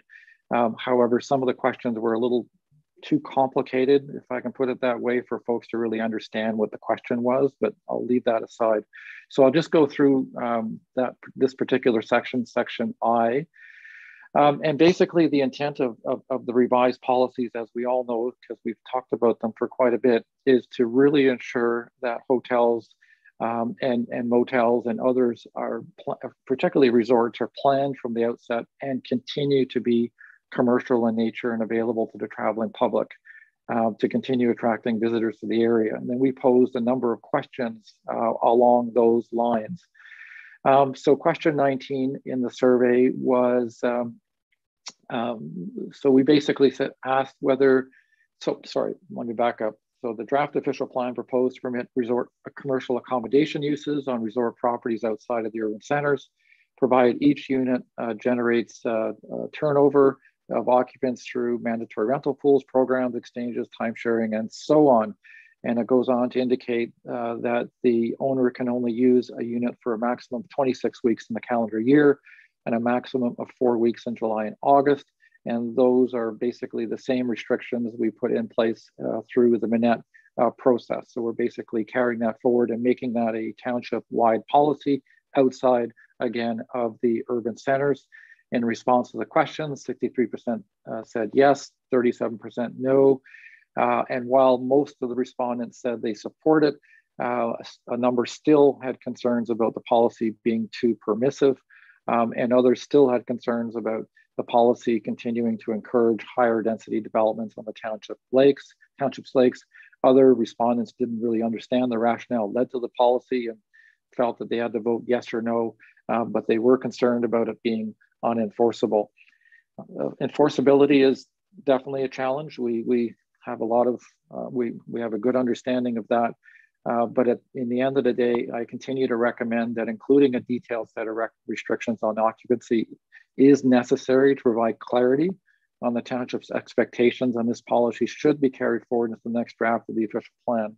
I'm also aware that a few comments were made uh, by uh, Federation of Muskoka or MLA uh, or both, I can't recall, uh, that look to strengthen some of that wording along the lines of what we did with the Minett official plan amendment, because that came afterwards.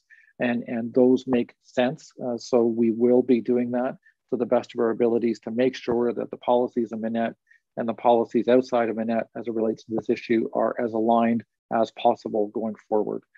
Um, so that's my recommendation on the issue of turnover. Okay, thank you. Welcome back, Councillor Mazan. Um, okay, do I have any comments from anyone? Uh, Councillor Jaglowitz. Uh, thank you. Uh, actually, I support this uh, this recommendation, but I believe there's two other things that haven't been dealt with, and I'm not sure, Chair, if they belong in this item. I couldn't find another item. As you know, commercial resorts are a very important part of our uh, OP, and there are two issues that haven't been dealt with, and one is uh, density, and the other is a lot in siting. And I wondered if I might address them in this point, or do you prefer that they come in at a later point in this discussion? All right, uh, just let me ask you, Councillor Jaglowitz, are you talking about what's in it, what's in our Minett OPA in terms of those references, and they're not here? Is that what you're referring to? Uh, when we talk about density, I'm talking about one part of it's in the Minett and one part of it's in Seguin's bylaw. When I talk about uh, lot inciting, they're, they're provisions that are in our current official plan that for some reason didn't get carried forward into this one. So I think that's a question for Mr. McDonald. Yeah, I, I, I think I understand where you're going, uh, uh, where you're going, Councillor. And there are uh, provisions that establish minimum frontages and minimum areas for new resorts, and we did not carry that forward. I think there is merit in actually doing that and considering an increase in size as appropriate. And that's something Mr. Pink and myself will, will talk about. So something like that, I think makes some sense. In terms of the siting and location, I'm, I'm, I'm not sure what you're getting at, uh, Councillor. Um, so perhaps you can expand on that point and I can consider it. Yes. Uh, well, they're in, they're in the existing official plan. Uh, oh, I'm sorry. Uh, uh, I'm getting myself mixed up. You're, you're agreeing with the uh, frontage and, and area definition, yes. that, that part. Uh, the, the, the density part, uh, the first part that's in Seguin is they limit the accommodation units to one every for every six meters of frontage or one for every 20 feet. And then the Minett, um, the Minett bylaw talks about um, um, the size of that uh, of that unit. In other words, that it's not just a room or a three; it's like an 850 square foot cottage. So, so putting those together, uh, they they have a, a limit on some some upper limit on uh, on that, and that and uh, as I say, one was in the Seguin bylaw, and the, the second part was in the Minett. So you've already agreed to carry the Minett part forward, uh, which is the definition of 850 square feet. The other is then having some idea of what density uh, might be expected. And, and that, that particular one is, uh, is um, 10 units per hectare or four units per acre. And then uh, uh, based on the fr uh, on frontage, uh, one every six meters or 20 feet. And, and those are fair comments. And, and actually, Mr. Pink and I have been having conversations on and off about that moving forward in terms of how we can do that in the new official plan um, as it relates to this issue. Uh, there's also an issue in terms of how density is calculated um, and whether it only applies to the front portion of the property near the waterfront or it extends as far back as as it can. Um, so those, I, I guess I can't give you an answer right now in terms of what it'll look like, but I agree in principle that those are good ideas that should be in the official plan. Uh, Mr. Pink, any additional comments on that? Mr. Pink? Thank you, Chair. I, I think uh, just wanted to agree that yes, those those policies need to be carried forward. But I think rather than um, and Mr. McDonald and I can go through the details and come back with something. But rather than the Seguin approach or what we do in our uh, settlement areas, which is a, a unit cap uh, per acreage, uh, what our current official plan policy state in our zoning bylaw, we we have a uh, sort of a categorization of resorts into four different zoning categories, and we limit gross floor area depending on which category you're in. So uh, ranging from you know very remote small resorts on small lakes to uh, the very large, uh, and it will be a gradient. And we find that that gross floor area limitation is much more restrictive than a than a unit count. Um, the unit count we use in our settlement areas, and and we've heard some comments about the uh, extent of development allowed uh, there, and that seems to be the approach Seguin is taking. So, but to summarize, we don't necessarily have to hash out those details right here. I think the clear message, and we've agreed, is we will look at the existing policies and make sure that uh, the appropriate ones are carried forward with respect to density, lot and site requirements, unit sizes, etc. So then one, one quick supplementary, uh, I, am I'm, I'm pleased with, with that response. Uh, I would hope though that looking at um, the resorts that are were in Minett, I hope the gross square footage doesn't give the uh, uh, number of units that uh, on the one resort that's being developed there, as you recall, uh, it didn't define what a unit was. Uh, do you know what I mean? Or square footage, and it has much more development rights. Anyway, I'm choking on my words. Let, let me say, I'm hopeful that you will approach the densities more similar to what was done in the Minett uh, rather than what's in her current. That, that, do, do you understand what I'm trying to say? I think 4,000 units on the that one property is, is very, very, very excessive. I hope that's not what our, our new OP is going to say. No, absolutely not. I mean, Minett is a is a special policy area. It has its own set of policies and the densities that come along with it. Quite frankly, I don't anticipate anything like that anywhere else in the township. Just mm-hmm. I just don't see it. Um, so the density policy, while we may use some of Minett's policies, such as unit count, the turnover stuff, and so on, the density will be different than Minett and less than Minett, obviously. Thank you. Okay, thank you. I don't see any further comments. So are we in agreement that we'll move ahead with this direction and Mr. McDonald and Mr. Pink will bring back a little more detail on what we talked about today. So we're all good with that? Great. Okay, Mr. Okay, so uh, the next one is question 21. So the uh, draft plan proposed to develop to support development of single owner accommodation uses and discourage the development of commercial accommodation by plan a condominium outside of the urban centers. And again, survey uh, participants were asked whether they support this approach. 79% yes, 21% no. I continue to believe that this is the right direction for the township to take with this type of development. Um, and I can I recommend that this direction be carried forward into the next draft of the official plan. Any comments, committee? I think we're I think we're all good with that, Mr. McDonald. So Great. let's move on. Okay, question 23, um, and I, I, think this will be simple too. The draft also proposed to require that a variety of substantive resort related amenities and services be available on site and then in-person management be available as well. Again, survey respondents were asked whether they support this approach and it was 86% yes and 14% said no. Um, so I, I continue to believe this is a good approach for the township to take. It was directed to be added uh, by planning committee at a, at, in the past and, and it has been added. And I continue to believe it's the right approach. So no changes suggested. Okay, committee, any comments? Oh, I think that means agreement. So let's move on. Okay, questions 25 and 26 dealt with the uh, downzoning of resort properties.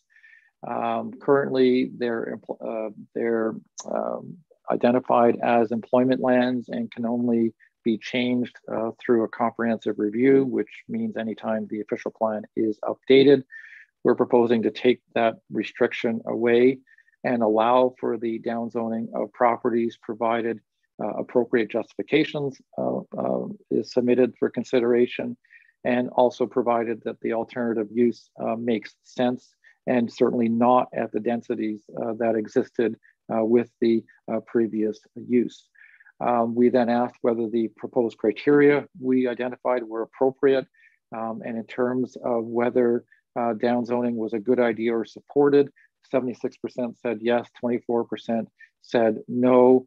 And in, with respect to the criteria, probably a difficult question to ask in a survey format, but 61% uh, said yes and 39% said no, but many who responded to that particular question uh, didn't have the criteria in front of them, so they weren't really able uh, to comment on it. Um, so I think going forward that the approach we're taking is the right one.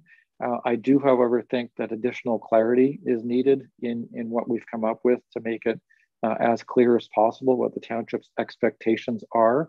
Um, so with that in mind, my recommendation is that they be carried forward and that they be refined to provide the additional clarity that is needed. That's recommendation 12. Okay, committee, any comments? Councillor Jaglowitz. Uh, thank you, Chair. I'm, I'm, sure you all have heard me express this opinion before, and I may be um, alone in this, but uh, I believe these are employment lands. I believe uh, if we allow them to be downzoned, we'll never get them back. Um, however, there are issues with some of them, and maybe downzoning is appropriate in some cases, but it should not be taken lightly. So if this is going to get enacted, I think it has to be worded in such a way that downzoning is the last resort and that all avenues to, to protect these as uh, employment lands be, uh, be, be tried.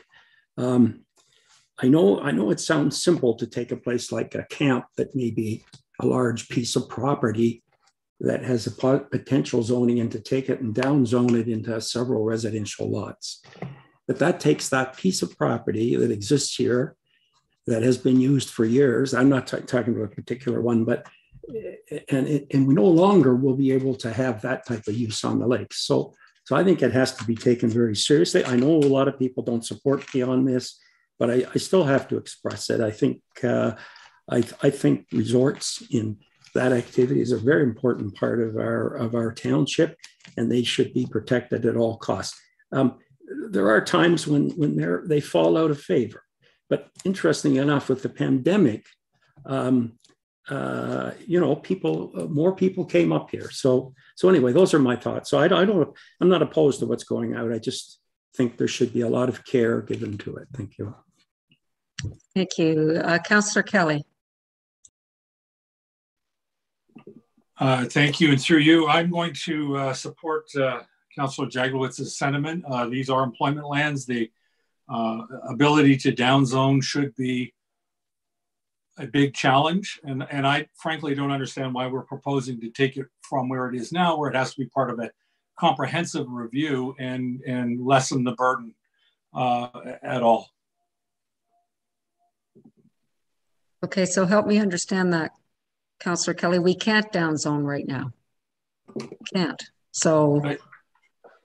But I, I don't think we can look at employment lands in isolation and make a decision to um, change the character or lose the the important uh, lose the value of them as uh, employment lands unless it's in conjunction with a bigger review of the uh, of the, uh, you know, on a comprehensive review of the official plan, unless it's part of a bigger uh, picture. I, I think if we make it too easy on an individual property basis, we're going to lose them and regret it down the road. Thank you. I understand that better now. Thank you. Um, Mayor Harding? Um, I, I, think this new policy is in the right direction. Uh, as much as we call these employment lands, they are no longer employment lands. We have one or two big resorts that will support employment lands, and we have a number of commercial properties that are actually probably being operated more as private residences and cottages and should be continued as private residences and cottages and allowed to be downzoned with lesser densities allowed on the properties. Our economy has changed drastically from a resort based, tourism based economy that we saw in the 50s, 60s, or 70s, or even the 80s to where we are at today.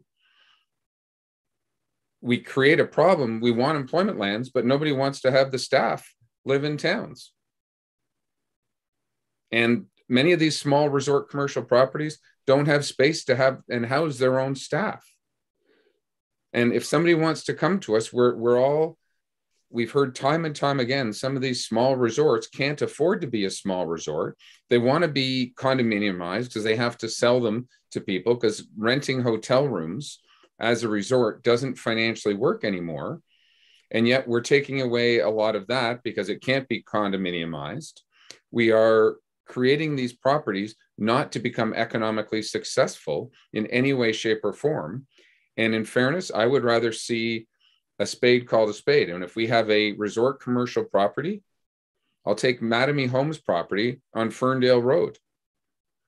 It does some corporate stuff. It's a corporate property, but it should truly be downzoned to a residence at this particular time. And we would stop all development. We wouldn't have five boathouses on the property because it's still under a commercial zone. So I, am totally in favor of this uh, policy going forward. And uh, again, for those who don't know, my background was running and managing resort waterfronts across this province. So I've seen a lot of my old hotels no longer in business because the economy has changed. And I don't see it coming back anytime soon. Thank you. Okay, so I, have a question. Uh, is this grandfathered? Or, or if this goes through, do we look at those properties that are now running as personal residences on commercial land and are we going to make them down zone? I, I assumed we were, this would be grandfathered because, okay, Mr. McDonald? Yeah, so, so the policy is, is, is future looking, of course. So it, it, it's trying to anticipate circumstances in the future where someone doesn't want to operate the property as a, as a, as a commercial property, wants to convert to something else. In terms of how the existing properties are zoned and dealt with, that's a great question. That's not really an OP question. It's more of a zoning bylaw implementation question. And Dave and I have had a few conversations about, well, what happens if, if the direction of the township is to really discourage, you know, resort development by by condominium. What does that really mean for the existing properties? And maybe they should be their zoning should be changed. Question is who initiates that? Should that be the private property owner or that should that be the township? So that's a broad discussion, perhaps for for another day. But to address the the comment about whether these should be employment lands and only looked at every five years, personally, I don't really see what the benefit of that would be, particularly if there is no alternative use. The, the idea behind uh, not uh, permitting uh, the consideration of conversions you know, in five or 10 year increments is because you hope that an alternative use would come in, buy the land and use it. But if it's clear that that's just not possible, it doesn't seem fair to me to ask that person to wait five or 10 years to make an application or, or make a request to convert to something else. The property goes into disrepair during that time. It may become a blight on the landscape. So I'm not sure there's any benefit. And I'm thinking that the policies we've come up with are pretty rigorous and onerous. And in the end, council will have to make a decision on whether it makes sense to convert to another use based on the evidence that's being provided. And if they've done not a very good job in doing that justification, you're, you're, you're in your rights to say, no, it doesn't make sense. And I think that's the most proper approach and fair to those folks who want to proceed in downzone. Okay, thank you. I was just thinking of people listening in who may be on those properties and wondering if the grandfathering would be in effect, but we we normally grandfather when we do do something new like this. Okay, I don't um I don't see any more comments. Uh, do we have uh, everybody in favor of moving this out as the recommendation stands? Okay, all right, so I believe we're down to your last recommendation, Mr. McDonald. And you are you're on mute, Mr. McDonald. Sorry about that. Yeah, and just after that, I we did have another question in the survey dealing with uh, the sharing economy. It doesn't have an OP related, um, um, I guess, impact, but we did ask the question. Both David and I thought it would make sense if we did just to to, to get a gauge of, of what folks are thinking about licensing and so on. Uh, so we asked whether uh, it made it would make sense for the township to explore uh, regulatory options to regulate this use, uh, and 67% said yes, and 33% said no. Uh, so that doesn't result in any changes to to to the OP, um, but I just wanted to mention that. Um, the next one deals with uh, rural lot creation, and um, as you've already heard uh, through previous discussions, we've basically standardized the rural lot creation policies across the rural area so that they are the same. Uh, you may recall that there were two or three or even four different rules in place depending on geography. And we thought that was way too confusing. And it was better to be a bit more specific and clear about what the township's expectations are. Um, so we've come up with a new policy framework that basically says limitations on the number of lots that can be created are being lifted, but new lots have to have an area of 150 meters and two hectares. Um, and we asked in the survey whether folks supported that or not. 63% said yes, and 37% uh, said no. Uh, we don't think that this policy in of itself will open the floodgates to many more lots being created uh, just based on the layout of the township, uh, the lack of road access in many places, and, and environmental features and so on uh, that act as constraints to development. So we don't think it will uh, dramatically increase uh, law creation potential. Um, those in favor of the approach said, for reasons you've already heard, develops uh, supports development of more needed housing, and those opposed were concerned about the potential overdevelopment in rural areas. Uh, we continue to think the potential for rural operation remains low uh, after applying these policies and the other policies that apply in the district's plan as well. So we continue to believe that the current approach uh, makes sense and we recommend that it uh, remain as is in the official plan going forward. Okay, any comments, Mitty? No? All right, Mr. McDonald, I think that's your answer. We're good with that. Great. So the last recommendation in the memorandum deals with uh, Walker's Point. Um, and as we know, there's been lots of discussion about uh, Walker's Point, and there is there remains a desire for Walker's Point to be identified as a community area, uh, which means um, it, it, being a settlement area as per the district plan and the township's plan. Uh, we indicated last time around that we couldn't do that because the district doesn't identify Walker's Point as a as a as a settlement area, so we can't on our own. Of course, if the district did, then we can. Uh, but basically, the way the rules are on you know where settlement areas are and what their boundaries are start with the district. They don't start uh, with the township. Having said that, we did include a policy that basically said enhanced non-residential permissions will be considered through an update to the to the implementing zoning bylaw and recognition of the size and role Walker's Point plays in the larger community.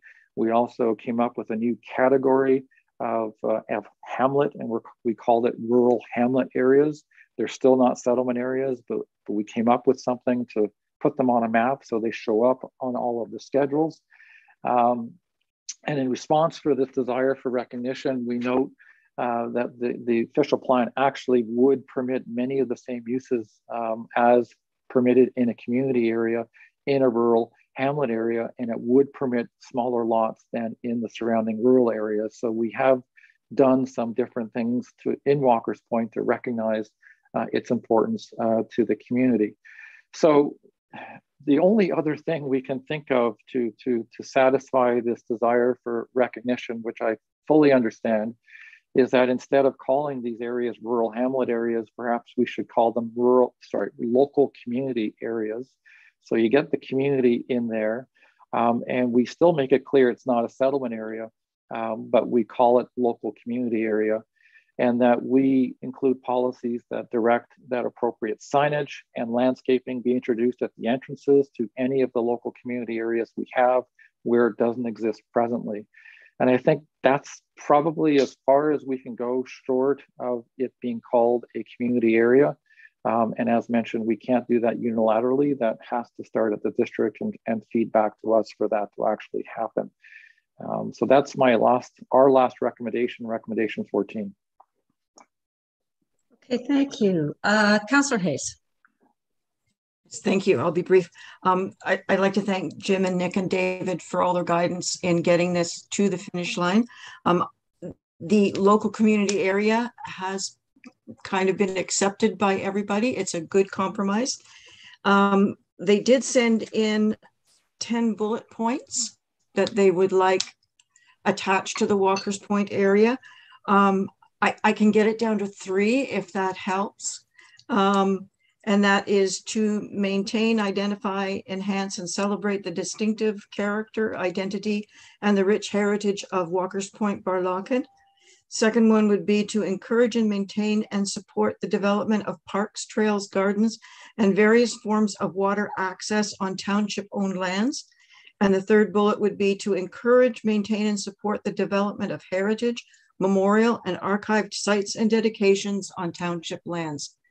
Um, if we could include those three bullets under Walker's Point, um, that would be, you'd make a lot of people happy. Well, Mr. McDonald, are you going to make a lot of people happy? I, I, I think I'd like to do that. So okay. those are great suggestions and uh, that, that could be certainly uh, accommodated for sure. Thank you very much. I'm sure you'll get that along. I'm sure you'll get that to him, Councillor Hayes. Okay, well, that is the end of Mr. McDonald's recommendations. I'm now going to ask committee if there are any other areas that they would like to bring up for discussion at this point.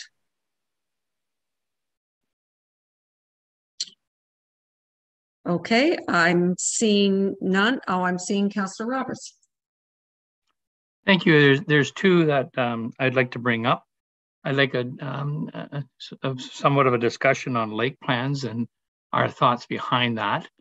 And the other one, I just have a comment uh, on aggregates. So I'll, I'll, maybe I'll start with lake plans first of all off, if it's okay with you, Madam Chair. Go ahead. Okay, the um, it's been do well documented that the township has been very supportive of, of lakes to provide lake plans and that they they could be to be included in the the official plan. But given the the point that you know the the lake plan the lakes would be on their own not supported by the township sort of says well why do we even bother to ask them for their points i know that they all thought and in the lake plans you'll notice came from a ward ward b. I don't think there was any other lake uh, any ward that that created a lake plan. But they were all under the misunderstanding that the, the, the that their their um, um, rec recommendations suggestions would be would be heard by the township and and supported by the township or told that they couldn't and basically, I, I think that uh, uh, it was wrong of us to to ask for lake plans if we weren't going to support them going through, forward because these these these associations put a lot of time and effort. And I know I can just speak to one that's I think is the most threatened lake in in Ward Ward B, which is Little Long Lake. And I know the late Jim McKenna McKenna really was very concerned with the lake and was really thinking that if, if he could get his point across to the township, that they would proactively help that, that community protect that lake from destruction. But but it doesn't appear that's happening. So I just want to what the thoughts of my my my colleagues on lake plans. Um, should we should we even like what's what's the value now? Even given a, a few minutes ago, we talked about recreation carrying capacity and we said that if if if, a, if let's say um, that uh, there there was three or four of them said they wanted recreation carrying capacity, and let's use exa- um, Leonard Lake as an example. But what I'm hearing is that the township be supportive, but it would be up to the the lake to defend it. And so, is that correct? My understanding is that the way we're going to go with this? Okay, so let me ask Mr. McDonald. I think what we're talking about is like an, an appeal to the OLT. The authors have to bring it forward. We could be a supporting factor, but we're not going to bring it forward. Is that, I think that's what you're asking, Councillor Roberts. Yes, somewhat. And, and would would they would they um, put uh, well, just very short. Would we put skin in the game to help support Little Long Lake or Three Mile Lake, or would they be on their own? Um, at the tribunals. Okay, Mr. McDonald? Yeah, you know, and, and looking what I uh, looking at what I wrote here, it does seem a little harsh in terms of the township will not support lake planning. I, I think it really has to do with what is in the lake plan and how much more restrictive it is compared to the township's overall policy. Pick an example: eight percent lot coverage is permitted on some lakes, and a lake plan comes in and says okay, we think it should be 6%. Mm-hmm. I think that's easily supportable just based on context. But there may be circumstances where recommendations come in through lake plans that are more difficult to support. Um, so perhaps what I should have said is that, well, lake plans should be well developed, um, uh, go through rigorous public processes. And in the end, as I mentioned earlier in this meeting, council should be satisfied uh, that, that that what the lake plan suggests is supportable or has been supported by the majority of, however that's defined, of the yes. folks around the lake before making uh, a decision. But there may be a circumstance where something comes forward that can't be supported, but the lake plan uh, is, is, is supportive of it. So I probably should add a bit more nuance uh, into that going forward. Um, and you know, with respect to boathouses being prohibited on Leonard Lake, it is permitted now, uh, and that's a prohibition that that the lake plan has has has put forward. Uh, personally, I'm I'm I'm I'm not sure I've seen all the justification for it, but that may be an example of something. Well, perhaps the lake plan folks uh, would have to support that if there was a, a, challenge to it at, at the Ontario Land Tribunal going forward. Uh, again, I think it's going to depend on every lake plan and what it does and how it does it and how uh, much support it had going forward.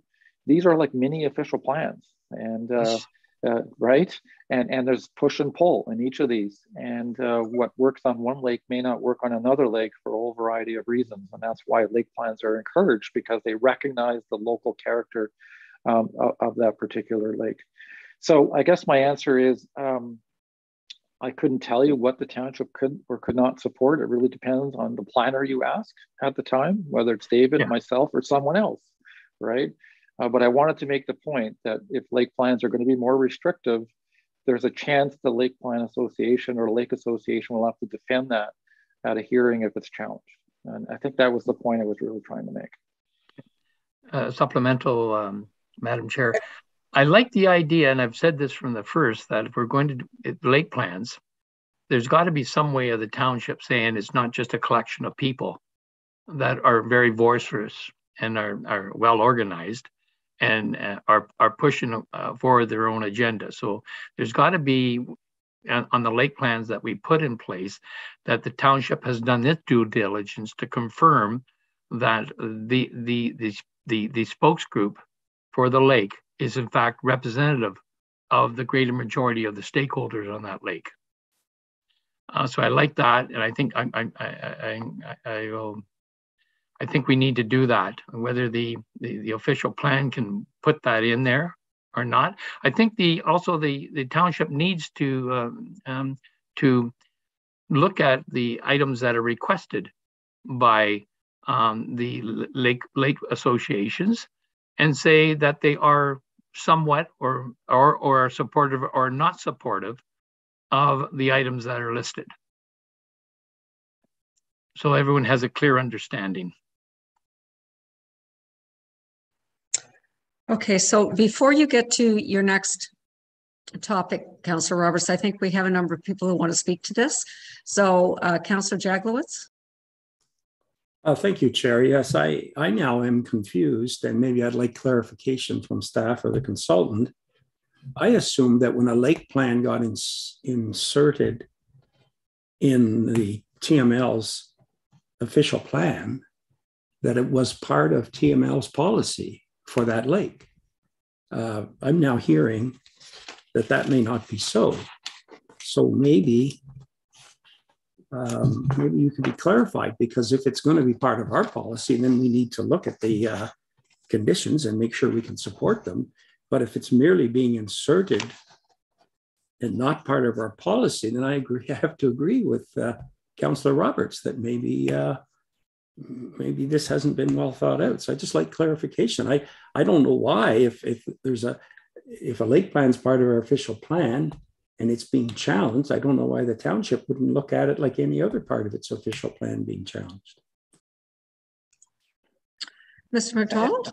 Yeah, and, and, you know that that that's a fair comment. And I, I, up until now, our approach has been to accept the lake plans as is and include them within the township's official plan, and we've accepted them. Um, and I guess what we need to do is basically look at each of them and and ensure that we are in full support of them, so that they can be defended. And if there is a component that cannot be, in my opinion. Another planner may have another opinion, right? So, I mean, that's what it comes down to at the end of the day. So, all I was raising was that there is that potential for a lake plan to come forward. And if the township's position is to incorporate them into the official plan, there may be elements in some circumstances that cannot be supported by the township, but the township will incorporate it because that's what the township wants to do to recognize the value of, of these lake plans. So again, the OLT is all about the giving of evidence and the rendering of opinions. It's, it's not about how something was done and who did it. It will come down to a, person's professional uh, planning opinion. Um, I don't know if that helps you. Uh, with that question, um, I guess I'm doing the best I can to basically say, you know, there may be a circumstance where this will be, be a problem. Um, I don't think we have one now, but there may be a circumstance in the future where that becomes a problem. So before I get to Mayor Harding, I can think of the RCC, where if our official policy is just a tool and these lake plans have a hard cap through the RCC, that is, and that gets challenged at OLT, which is probably a very likely scenario, then what does the township do? Do we basically say we, we're in agreement that they get to make their own tighter rules on, on these small lakes. I just throw that out as a concrete example, Mr. McDonald. Um, I'm going to go to Mayor Hart. I, I, I, didn't need an answer. I just thought I'd throw that in uh, for now anyway. Mayor Harding. Uh, thank you. It, it raises an interesting point as to how we go forward because at the end of the day, any dispute with OLT will come back to a planning justification report and why we should or shouldn't do it. And if a policy was put in place without a justification based on professional planning evidence, I, I, would agree with Mr. McDonald. We may not win, and or the lake wouldn't win, or they wouldn't. I know Mr. Pink certainly want, wouldn't want to be putting his name to that. I, I like trying to support the lakes for the creation of lake plans. I guess the question is, do we need to have a lake plan submitted and then have our planning staff write a document saying these are the areas we would agree with with this these are the areas you would be on your own so that they would understand um, our professional planners uh, who would be supporting this or i guess or defending this uh, at an olt in that so uh, and I'd, I'd really love to have on some of those you know again mr pink mr mcdonald mr Dyment's comment as to here's the lake plan, great in its, in its totality. If it's challenged, we are certainly behind you on all these things. These things you might be on your own because we don't have our own planning support. I don't know if that's a path forward or not, but it's certainly uh, a little bit more work going forward. But at least we could issue an official uh, statement on each lake plan. Okay, Mr. Pink. Thank you, Chair. Uh, just a suggestion, I believe um, those staff reports, uh, we did bring forward staff reports. Um, I can't uh, recall specifically off the top of my head, but I think I did include appendices that outline certain uh, policies that would differ from uh, current or proposed policies. I think what you're suggesting and what can be done, I think we're all more or less saying the same thing. Perhaps uh, Mr. McDonald, Mr. Dyment, and myself can reach out to the various lake associations and have those discussions with them as to uh, which policies we may um, as we've talked about, have some concerns uh, with if they happen to be appealed uh, and have those discussions with those various lake associations. Okay, uh, Councillor Edwards. Uh, thank you very much. I've had a little bit of a problem with the uh, internet coming in and out, but I'll, and that as far as lake plans, I think they're a, a good idea. They should be included in it. You know, again going back to our strategic plan, is the environment. A lot of these lake plans are trying to save the environment. So if we can't support them, then we should change our uh, strategic plan and say we're not in favor of, of the environment at this point. Whether it's the lake plans or the aggregates or anything else like that, the environment should be coming first if that is our, our, our goal. If not, we should maybe uh, change it. Thank you. Okay, so I am not seeing uh, any other comments. So perhaps, Mr. Pink, on your suggestion that you could reach out to the lake plans and explain what can be supported and can't be supported so there's complete transparency. That would be great. I don't know, Councillor, uh, Councillor Roberts, I know you had more, but you may want to still comment on this. Go ahead. Yes, thank you, Madam Chair. And I think this has been good discussion, but I, I really think that our, our, our township needs to uh, validate the, the, that the, the lake plan that has been offered up is representative of the majority of people on the lake and uh, what the formula of that would be. Okay, I think that might be a discussion for another day, actually. Um, and it may be that we we present the lakes with the formula that they need to produce so that so that we can ensure that that's happened. So, okay, and I think you had, did you not have uh, aggregates on your agenda there? Yes, I did. Thank you very much. Okay, so I'd like to start off by, by, by saying to Mr. McDonald that, you know, it has been a long process and you have done a, a, a really good job in stick handling through all the, the, the pitfalls and stuff like this uh, and getting us to the point that we are today. And we do have a, little, a, a much more of the journey to go. But I think in the area of, of aggregates, um, I, I, you know, and I've expressed this from day one. I, I, I, I have not really um, supported the position that was written um, by Meridian. And, and, so with that, but thank you and sincerely, uh, you, you, you, and Jim have done a good job to get us through to this point, as well as our as our our, our staff in the township. But committee may recall that on June the 16th, that um, um, on June 16th, 2017, the official plan amendment for number 46 and zoning bylaw amendment 13 slash 12 was proposed to establish a class A category one pit and a category two quarry within two kilometers of the of a water uh, front uh, a waterfront designation uh, known as uh, Lambert's Lake and Mud Lake, and that was defeated um, you then the committee's uh, 2017 decision was appealed to the Ontario Municipal Board by the applicants. On June 14th, 2019, Council defeated a subsequent motion to reconsider the 2017 motion. Um, and they defeated it and sent it back.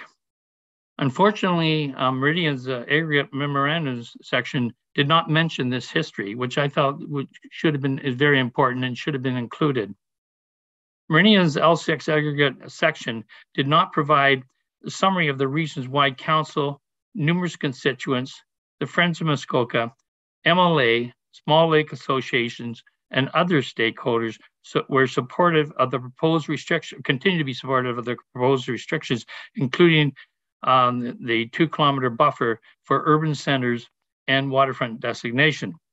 It implies that the the the uh, uh, that the, the, the bold assumption that that only the only reason the two kilometer restriction was because of the proposed Lipa pit quarry, and this is wrong because uh, we, it includes urban centers and there's many lakes, as demonstrated about, about uh, as a, of the comments that we received from the public and interest groups. Speculation that the two kilometer um, restriction is unknown and attempts in no way to suggest, and, and the Meridian report attempts in no way to suggest why the restriction is in place. For what I'm saying for supportive justification right now or most recently is that you should be referencing the 20, the 2021 Township of Muskoka's strategic plan talks about the environment, talks about tranquility, it talks about character. It doesn't, the, the memorandum, uh, the, the report provided Meridian does not provide any option for um, opinion for, for a committee why setting a two kilometer section is not appropriate. They just said it wasn't appropriate. And I'm left with the impression that every group that every group will seek a variance. So why continue to support this restriction? The, the, the, report states that the very well um, states that well-known understanding that any applicant has the ability to submit an application to amend the official plan. Any applicant has the ability to submit an application to amend the official plan and provide appropriate justification for proposal. That every applicant ha application has to be considered on its own merits.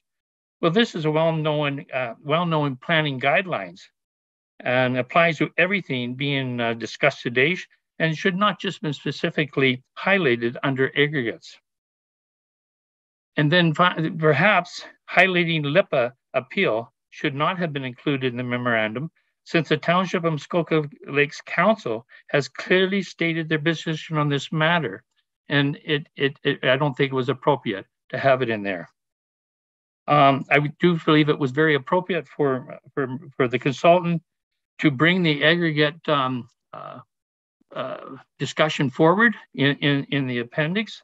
But I suggest, given that the aggregate opinions and guidelines provided and have provided continue to not support the township's uh, restrictive policies, that the consultant reconsider if it, if if the, the the consultant is the appropriate agent to provide guidance and opinion to the township on this specific matter.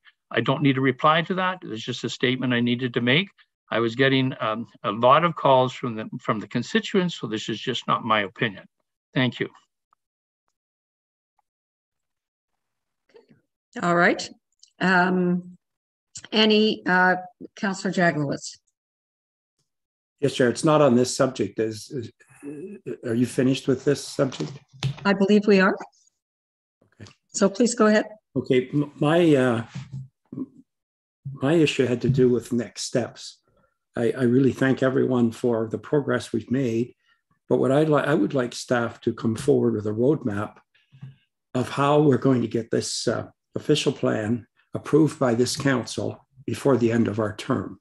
I understand it will not be approved by the district at the end, uh, likely, but I'd like to see us move as as well as as as um, well as we can to ensuring that we have a plan that we're comfortable with and we have endorsed.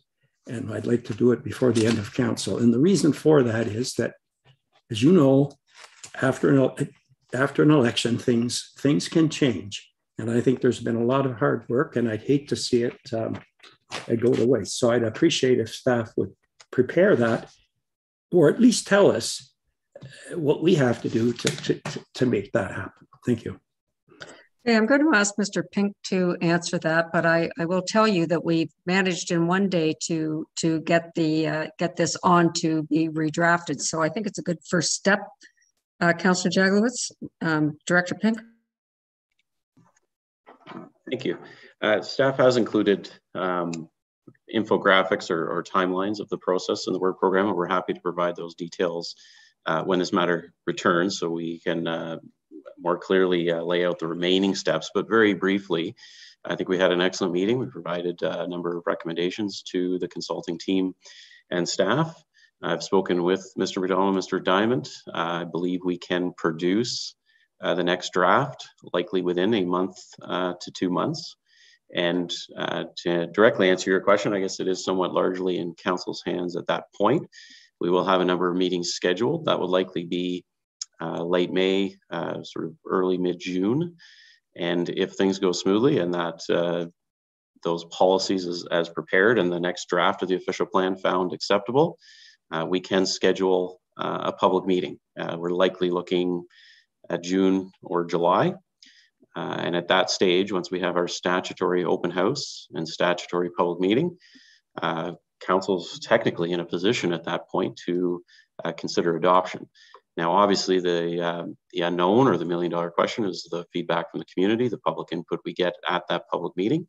Um, and of course, we will need some time to digest that and consider further revisions. That's part of the work plan. Um, but we could, uh, staff still intending to proceed with, uh, uh, with a public meeting, hopefully uh, earlier this summer. And then at that stage, I think uh, our recommendation at this point will likely be to somewhat play it by ear, depending on the dates of the election and the amount of feedback we get uh, and the, and the type of feedback we get from the community through the public meeting process. But we can work as diligently as possible to try to conclude this project in this term of council. I would certainly not want to see the good work uh, that we've undertaken the last uh, three, I believe approximately three years go to any type of waste. Um, so uh, we will continue to move uh, one step at a time forward. Thank you. Okay, uh, Councillor Edwards. Uh, thank you very much, Chair uh, Bridgman. Uh, further to uh, uh, Councillor Roberts, we have been hearing for years loud and clear that the people want two kilometers from, from any water source and near the highway.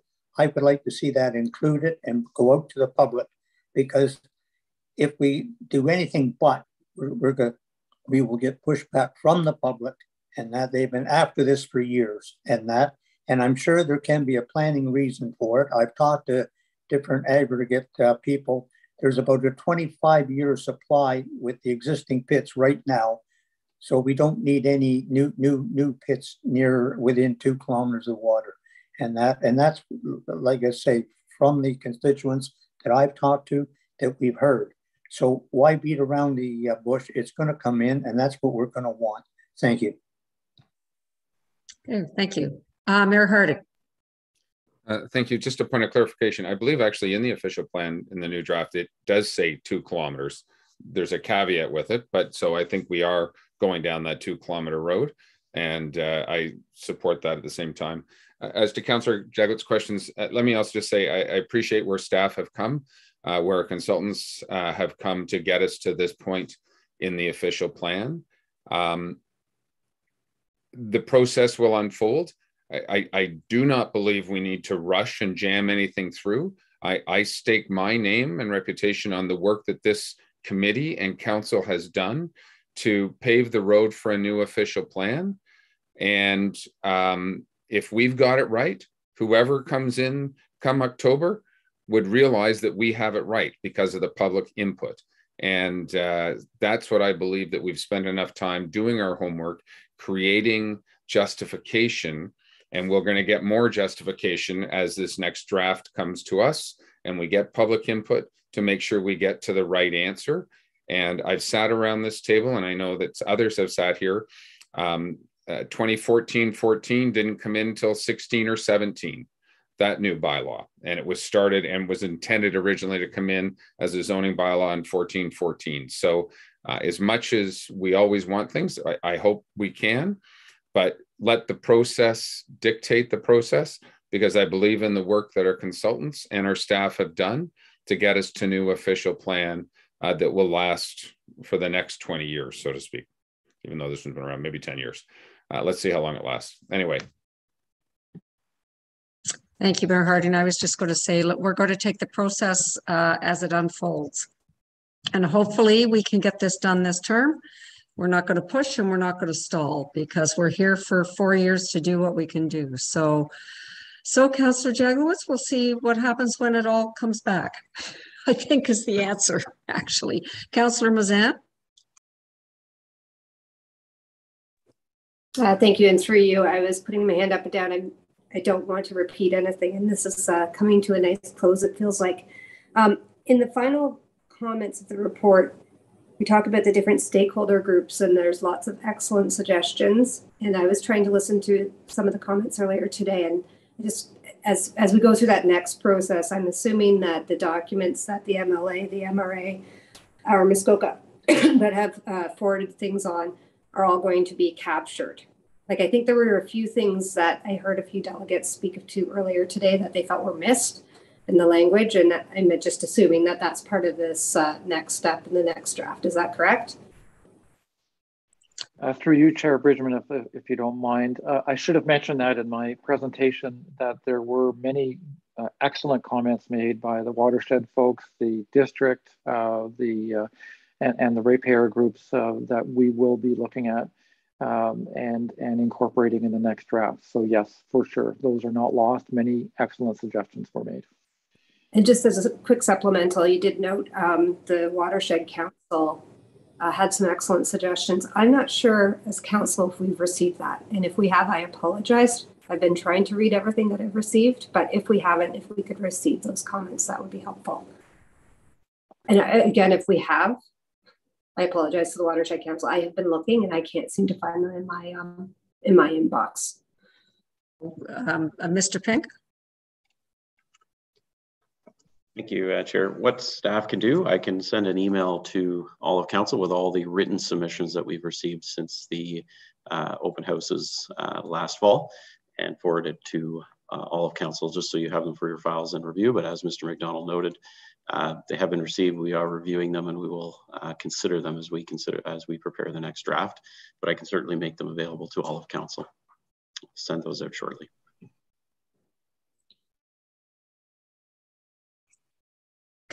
All right. Uh, any other comments? Right, I'm going to read this motion then. Uh, moved by Councillor Hayes, seconded by Councillor Edwards. Be it resolved that staff be directed to provide a second draft official plan for committee's consideration based on the recommended directions contained in Appendix 3 of Report Plan 2022 60. Any comments? All in favor? Madam Chair or Madam Clerk? oh, yeah. Too many meetings too close together, guys. Anyway, um, so that's terrific. So we are now going to um, depart and Mr. McDonald, and I know Mr. Dyment isn't here, but thank you very much again. It's been a very productive meeting and always Director Pink to you and, and staff. We look forward to the next uh, to the next uh, official draft and seeing you back here whenever that works. And I see Councillor Edwards may have a comment too, but thank you. Councillor Edwards? Oh, oh, you having the magic hand now. Okay. okay. I don't know. I wonder if that's going to survive through till next term. What, what happens if you vote, you leave your hand up too long, your, your other hand comes up to give you rest. so I do not have any, uh, any questions. Thank you.